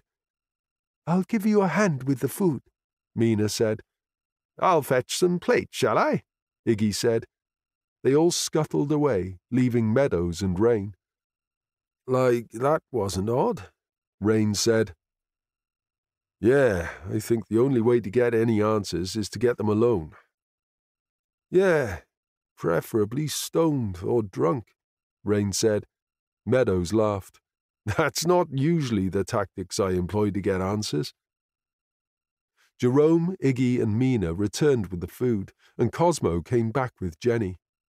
Meadows decided not to ask any more awkward questions, and although they were quieter than usual, it was a pleasant evening, and everyone seemed to relax. Right, I'm off to bed, Jerome said. I need an early night if I'm going to help you two treasure hunt in the woods in the morning. The comment took Meadows by surprise. Oh, there's no need for you to come, he said. We'll manage. It's not a problem, Jerome said. Iggy and Cosmo will help as well. Yeah, okay, Cosmo said. You'll need a bit of weight behind those shovels, Iggy said, and patted his stomach. Great, Rain said. We'll walk back with you, Meadows said. An early night will do us good. They all stood up, and Meadows was disappointed that it wasn't just Jerome walking with them. They chatted as they walked, and when they were close to Jerome's yurt, Meadows stopped. Actually, there was something I wanted to show you, Jerome. Do you mind coming back to our place for a few minutes? I'll make you some chamomile tea. It will help you sleep. I don't think he needs any help sleeping, Jenny said. At our age, we need help staying awake. Meadows smiled. He can share some of Mina's tonic, then. Now that I won't say no to, Jerome said. You're lucky. Mina doesn't give it to anyone. Can't remember the last time I had a jug. That's because you're hardly ever ill, Mina said. What about my arthritis? I give you medicine for that. So you do, and it works wonders. Jerome blew Mina a kiss. See you all in the morning, Meadows said. The group moved on, and Jerome followed Meadows and Rain into the teepee. Tea? Meadows asked. I wasn't joking about the tonic, Jerome said. Rain picked up the jug. Looks better than the one we had this morning. It looked like black sludge. Probably charcoal, Jerome said. Great for an upset stomach. He took the glass from Meadows and held it out for Rain to pour. What was it you wanted to show me? Nothing, Meadows said. I wanted to speak with you alone. Jerome raised his eyebrows. Why do I get the feeling I'm not going to like this? Meadows smiled. It's nothing bad. I just need information. Okay, Jerome said and sat down. Can you tell me about the first time you met my father? Meadows asked. Jerome took a sip of his drink. That's not a secret. You could have asked in front of the others. I'm sure I already told you I was doing some volunteer work with the homeless. Dad was homeless? Rain asked. No, a volunteer like me. Where was this? Meadows asked. In Cardiff. That's a long way to travel from here, Rain said. I didn't always live here, Jerome said. I moved around a lot as a youngster. I lived for a while in Grangetown before coming here. What did you do there? I mean, other than volunteer work? Meadows asked. What's this about? I'm just interested, Meadows said. You two have known me all your life. Am I a suspect in your eyes? It's the job. He can't help it, Rain said. You were the one to encourage him. Oh, yeah, Meadows said. I would never have had the courage to go to university and join the force without your encouragement. Look, I don't suspect you of anything. I just need a little help, and starting at the beginning seems like a good place. You probably knew Dad the best. I'm trying to understand who my father was. He was Kern Meadows. That hasn't changed, Jerome said.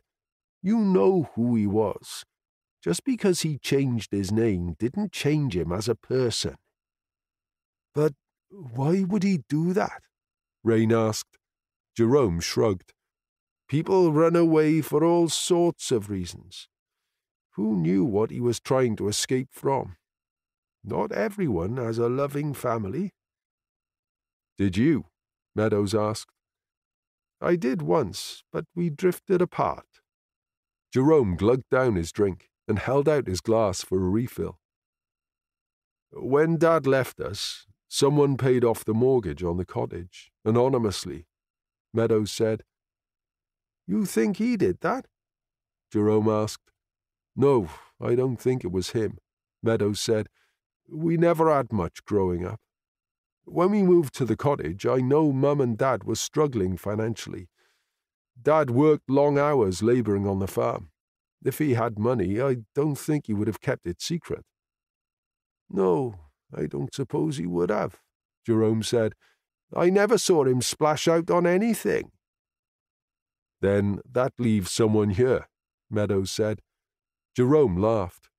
Well, it wasn't me. My grandfather left me a little bit of money with the land, but just enough to set up here. I don't think there's anyone here that could afford to pay off a mortgage, and besides, why would they? Guilt, maybe, Meadows said. I guess we'll never know. What we do know is Dad had a life and a family before he came here. If we can learn more about that, we may be able to find out his identity. What if you don't like what you find out? Jerome asked. Better than not knowing, Rain said. Otherwise, all we're left with is our imagination. I don't even want to talk about what's been going through my mind.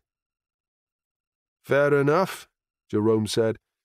If I could help you, I would. If Dad was volunteering with you, he must have also had some other form of income. Meadows said, Yeah, I'm sure he did a lot of labouring, casual work. You could walk from one job to the other in those days. What about accommodation? Did he live with his parents, have his own place? Boarding. Do you remember where? You're asking something there. Uh, near the docks, maybe. I never went to his place. There was no reason to. Mina thought he may have been inside. Would make sense if he was Kern Meadows, but maybe that's where he met the real Kern. He was a private man back then. Didn't talk much about his life. Was he friendly with anyone else? He kept to himself. He was quiet. He wasn't one to go off to the pub drinking. Well, not back then. We hit it off. I asked him if he would come back here and help me sort the place out. It was a mess. He came and he never left. That's all I can tell you. Now, all this talk of prison and stolen identities means nothing to me.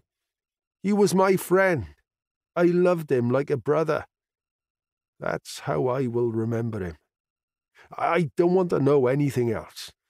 I promise you this neither I nor anyone here hurt your father. Jerome stood up and swayed.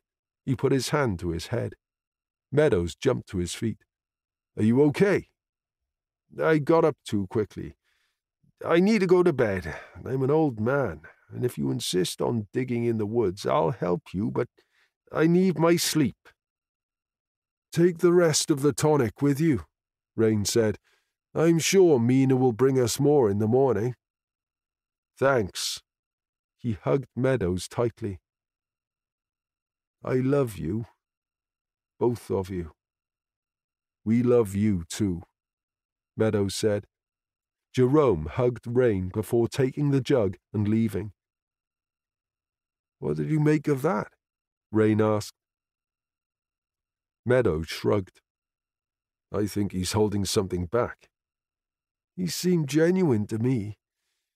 We have to assume he is telling us the truth, and he doesn't know anything about Dad's identity. The first rule of investigation is ABC assume nothing, believe nothing, and challenge everything, Meadows said. Rain laughed. So your starting point is everyone is lying. They all seemed happy to help us dig the woods. Yeah, but maybe they are too keen. Maybe they want to keep an eye on us to make sure we are not digging in the right spot. Someone led me into the woods and wanted me to find what's there. I also think the flowers were more widespread when I first saw them, like they are where we found Dad's remains. Someone has removed some of those flowers. Why not take them all? Rain asked. Either they didn't have time, or they want us to dig in a spot they know won't yield anything. You think we are being managed? That's exactly what I think. Meadows took a notebook from his backpack. What are you doing? Writing up notes. I've kept a record of everyone we've talked to and what's been said. Easier to keep track of inconsistencies. You should try and unwind. All this stress is not good for you, Rain said. He took up the liberation pose. I need to cleanse my mind. I'll be quiet, Meadows said. No need. I can zone you out. Meadows wrote up his notes and got into bed. Not long after, Rain turned the lamp off, and Meadows heard his brother's breathing change rhythm. It felt like he had only closed his eyes when he was awoken by a rustling in the yurt. What are you doing? Meadows asked. Rain grunted in his sleep. Meadows sat up and saw a figure near the entrance of the teepee. Oi! he shouted. He jumped up from the bed as the figure made its escape. Meadows swayed, and the ground seemed to move under him. Rain! Rain! What? Someone was in here. Meadows slipped on his sandals and dashed out of the teepee. He looked around and just caught sight of something moving towards the second field.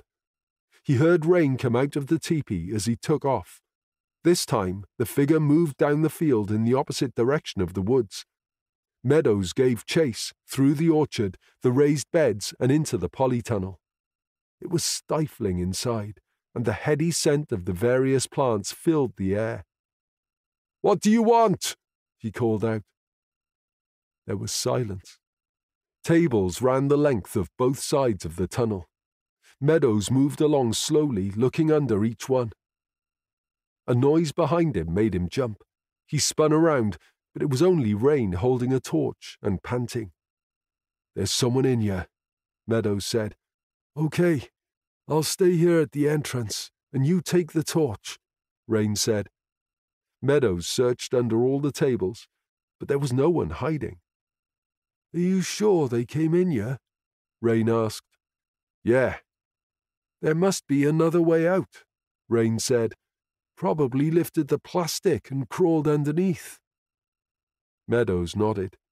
He could feel sweat trickling down his back. His heart was racing, and he felt like there wasn't enough oxygen in the air. He tried to draw in breath. He felt like he was suffocating. He needed to get out. He moved forward, but lost his balance. He crashed into one of the tables, knocking the plants to the floor. Win! Rain grabbed him under the arm. Let's get you out of here.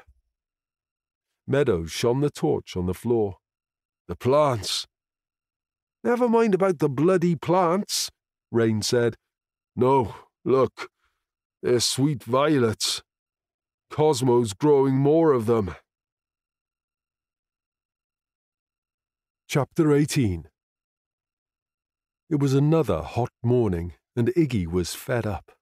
The heat was making him irritable, and he had to fight hard against snapping at people.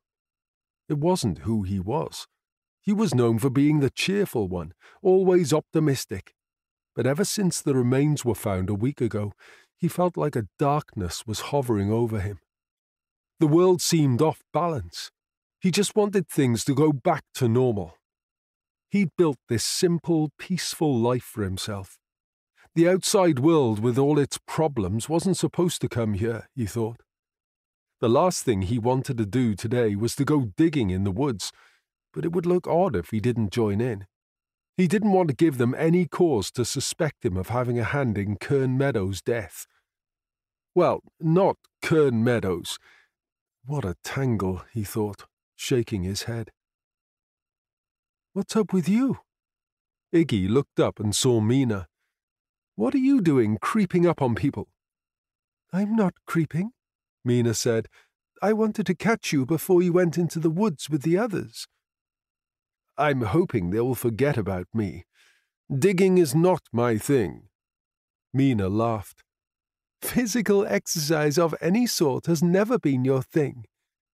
She moved a cat from the deck chair and plonked herself down. He was sleeping, Iggy complained. How would you like it if someone dumped you on the floor when you were asleep? He reached down and stroked the cat. Mina rolled her eyes. You've got more to worry about than an upset cat. What do you mean? Jerome and Cosmo. You know how close those two are. They are going to look after themselves. No, I don't think so, Iggy said. We all look out for each other, like we've always done. Like the way we looked out for Kern. You need to talk to Winter. You told me that. Shush! Iggy cut in. You don't know who is listening. There's no one around, Mina said. I told you those things when I was drunk. It was just a load of nonsense. Besides, we all agreed we need to protect the boys. They are not boys any more. And what are we protecting them from? They already know about their father. They know about Kern Meadows, Iggy said. Jerome said, Yeah, Jerome. Mina huffed. That's what I'm talking about. The only person he's interested in is protecting himself.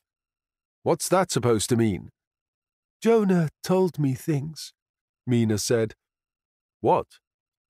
It doesn't matter, but Kern Meadows wasn't the only one hiding things. Jerome isn't going to protect you. Iggy thought about what she was saying. Would Jerome side with Cosmo? I can't go back to prison, he thought. The idea made his skin crawl. What do you suggest we do? Iggy asked. We stick together, Mina said. We'll say we were together the night of the summer solstice.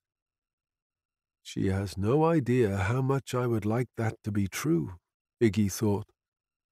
You already told Winter you saw Jonah coming out of the woods. Yes, and I told him I'd just gone for a pee. I left you, saw Jonah, then came straight back, right? So, what am I going to say to Winter? That's up to you. I think I'd rather not say anything. What if it was Jonah that Winter saw in the woods two nights ago? Then you're all screwed, Mina said. Jerome said he found Winter by the old sycamore tree. Why would Jonah lead him there? If it was Jonah. I don't know, but Jerome says we should go with Winter. Make sure he stays there digging. Once he sees there is nothing there, he'll stop asking questions. He's never going to stop, Mina said. I wish things would just go back to the way they were before. Well, things can never be the same now, Iggy said. I guess not. Mina stood up. Just think about what I said. Iggy watched Mina walk away. He didn't want to believe that Jerome could be that selfish. Mina was up to something, he was sure of it.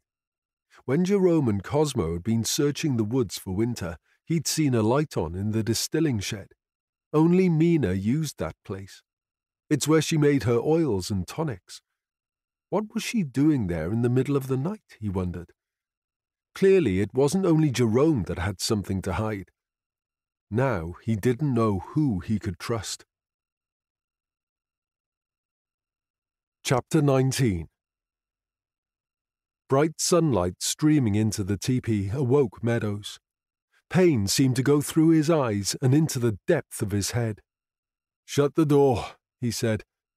What time do you call this to wake up? Edris? Meadows sat up, and the pounding in his head increased. What are you doing here? Come to see you. Are you okay?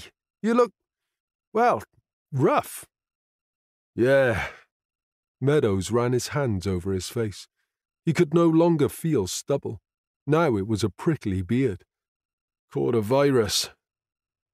That's why I never go camping. Too many germs, Edris said. We're not camping, Rain grumbled from his bed. What time is it? Meadows asked. Ten thirty, Edris said. Oh, hell, I wanted to get up early. Doesn't matter, Edris said. You're on holiday. I've tried telling him that. It doesn't work. Rain sat up in bed, looked at Edris, and ran his hand through his hair. I don't think we've met. Tristan Edris, Edris held out his hand. You can just call me Edris. Everyone else does. You must be Rain. You look just like your brother. Yeah, just better looking, Rain said. So, is this a social visit? Meadows asked. Um, officially, I'm on duty. Blackwell has me checking out all the communes looking for this Jonah guy. I'm on my way to North Wales. Unofficially, I'm just visiting a friend. Meadows smiled, meaning you have some information for me. I'll give you a chance to get yourself together, then we can have a chat, Edris said. I've brought a towel, so I'll go and dip my feet in the stream. Go ahead, we'll be right behind you, Meadows said. He's hot, Rain said. Meadows rolled his eyes. Behave yourself. What? I'm just saying. No harm in admiring, and Perhaps a little flirting? Meadows laughed. Flirt all you want. You won't get anywhere. Damn shame, Rain said. Still, just as well if I look as bad as I feel. I think I'm going to have enough problems getting out of bed, let alone digging in the woods. I'd like to say the mind is willing, but the body is weak, but not even the mind is willing, Meadows said. I don't think we're the only ones not wanting to dig, given that no one has bothered to wake us up. So much for Mina's tonic, Rain said. I've still got some paracetamol somewhere. Meadows rummaged around and found a packet in his backpack. He popped two and handed the rest to Rain. Stay in bed if you like. I'll go and talk to Edris. Nah, I'll come with you. A dip in the cold water will do me good. Meadows pulled on a pair of shorts and a t-shirt and grabbed his sunglasses and a bottle of water. There was the usual activity in the commune. Children running around, repairs being made to the shower cubicles, and water being carried. People seemed to be talking too loudly, and it echoed around Meadows' head. I hope it's quiet by the stream, Rain said. I can't stand the noise today. Edris had chosen a place downstream where he sat alone with his feet dangling in the water. Enjoying that, are you? Meadows asked. Yeah, I could stay here all day, but I haven't got long. I appreciate you coming to see us. Meadows sat down next to Edris. Rain jumped into the water and sat down so it ran over his back and around his waist. How are things going with the investigation? Meadows asked. He didn't want to put Edris on the spot by asking specific questions. Honestly, not great. I can't wait until you can come back to work. Blackwell is driving me mad. Paskin has only been back a couple of days and she already looks like she needs another holiday. Meadows laughed. He's not that bad. Edris raised his eyebrows. Anyway, the truth is, we are not getting anywhere. We've been searching for Kern Meadows, the real one, that is. We've checked his prison records. Looks like he kept his head down, stayed out of trouble, and served his time. He was moved around a lot. Only one visitor the whole time he was inside. Lee Morris. The one in the car crash with him? Rain asked. Yeah, Edris said. We thought that would be a good lead, but it turns out that he's also dropped off the grid. No social media accounts, not on the electoral roll. There's something odd going on here.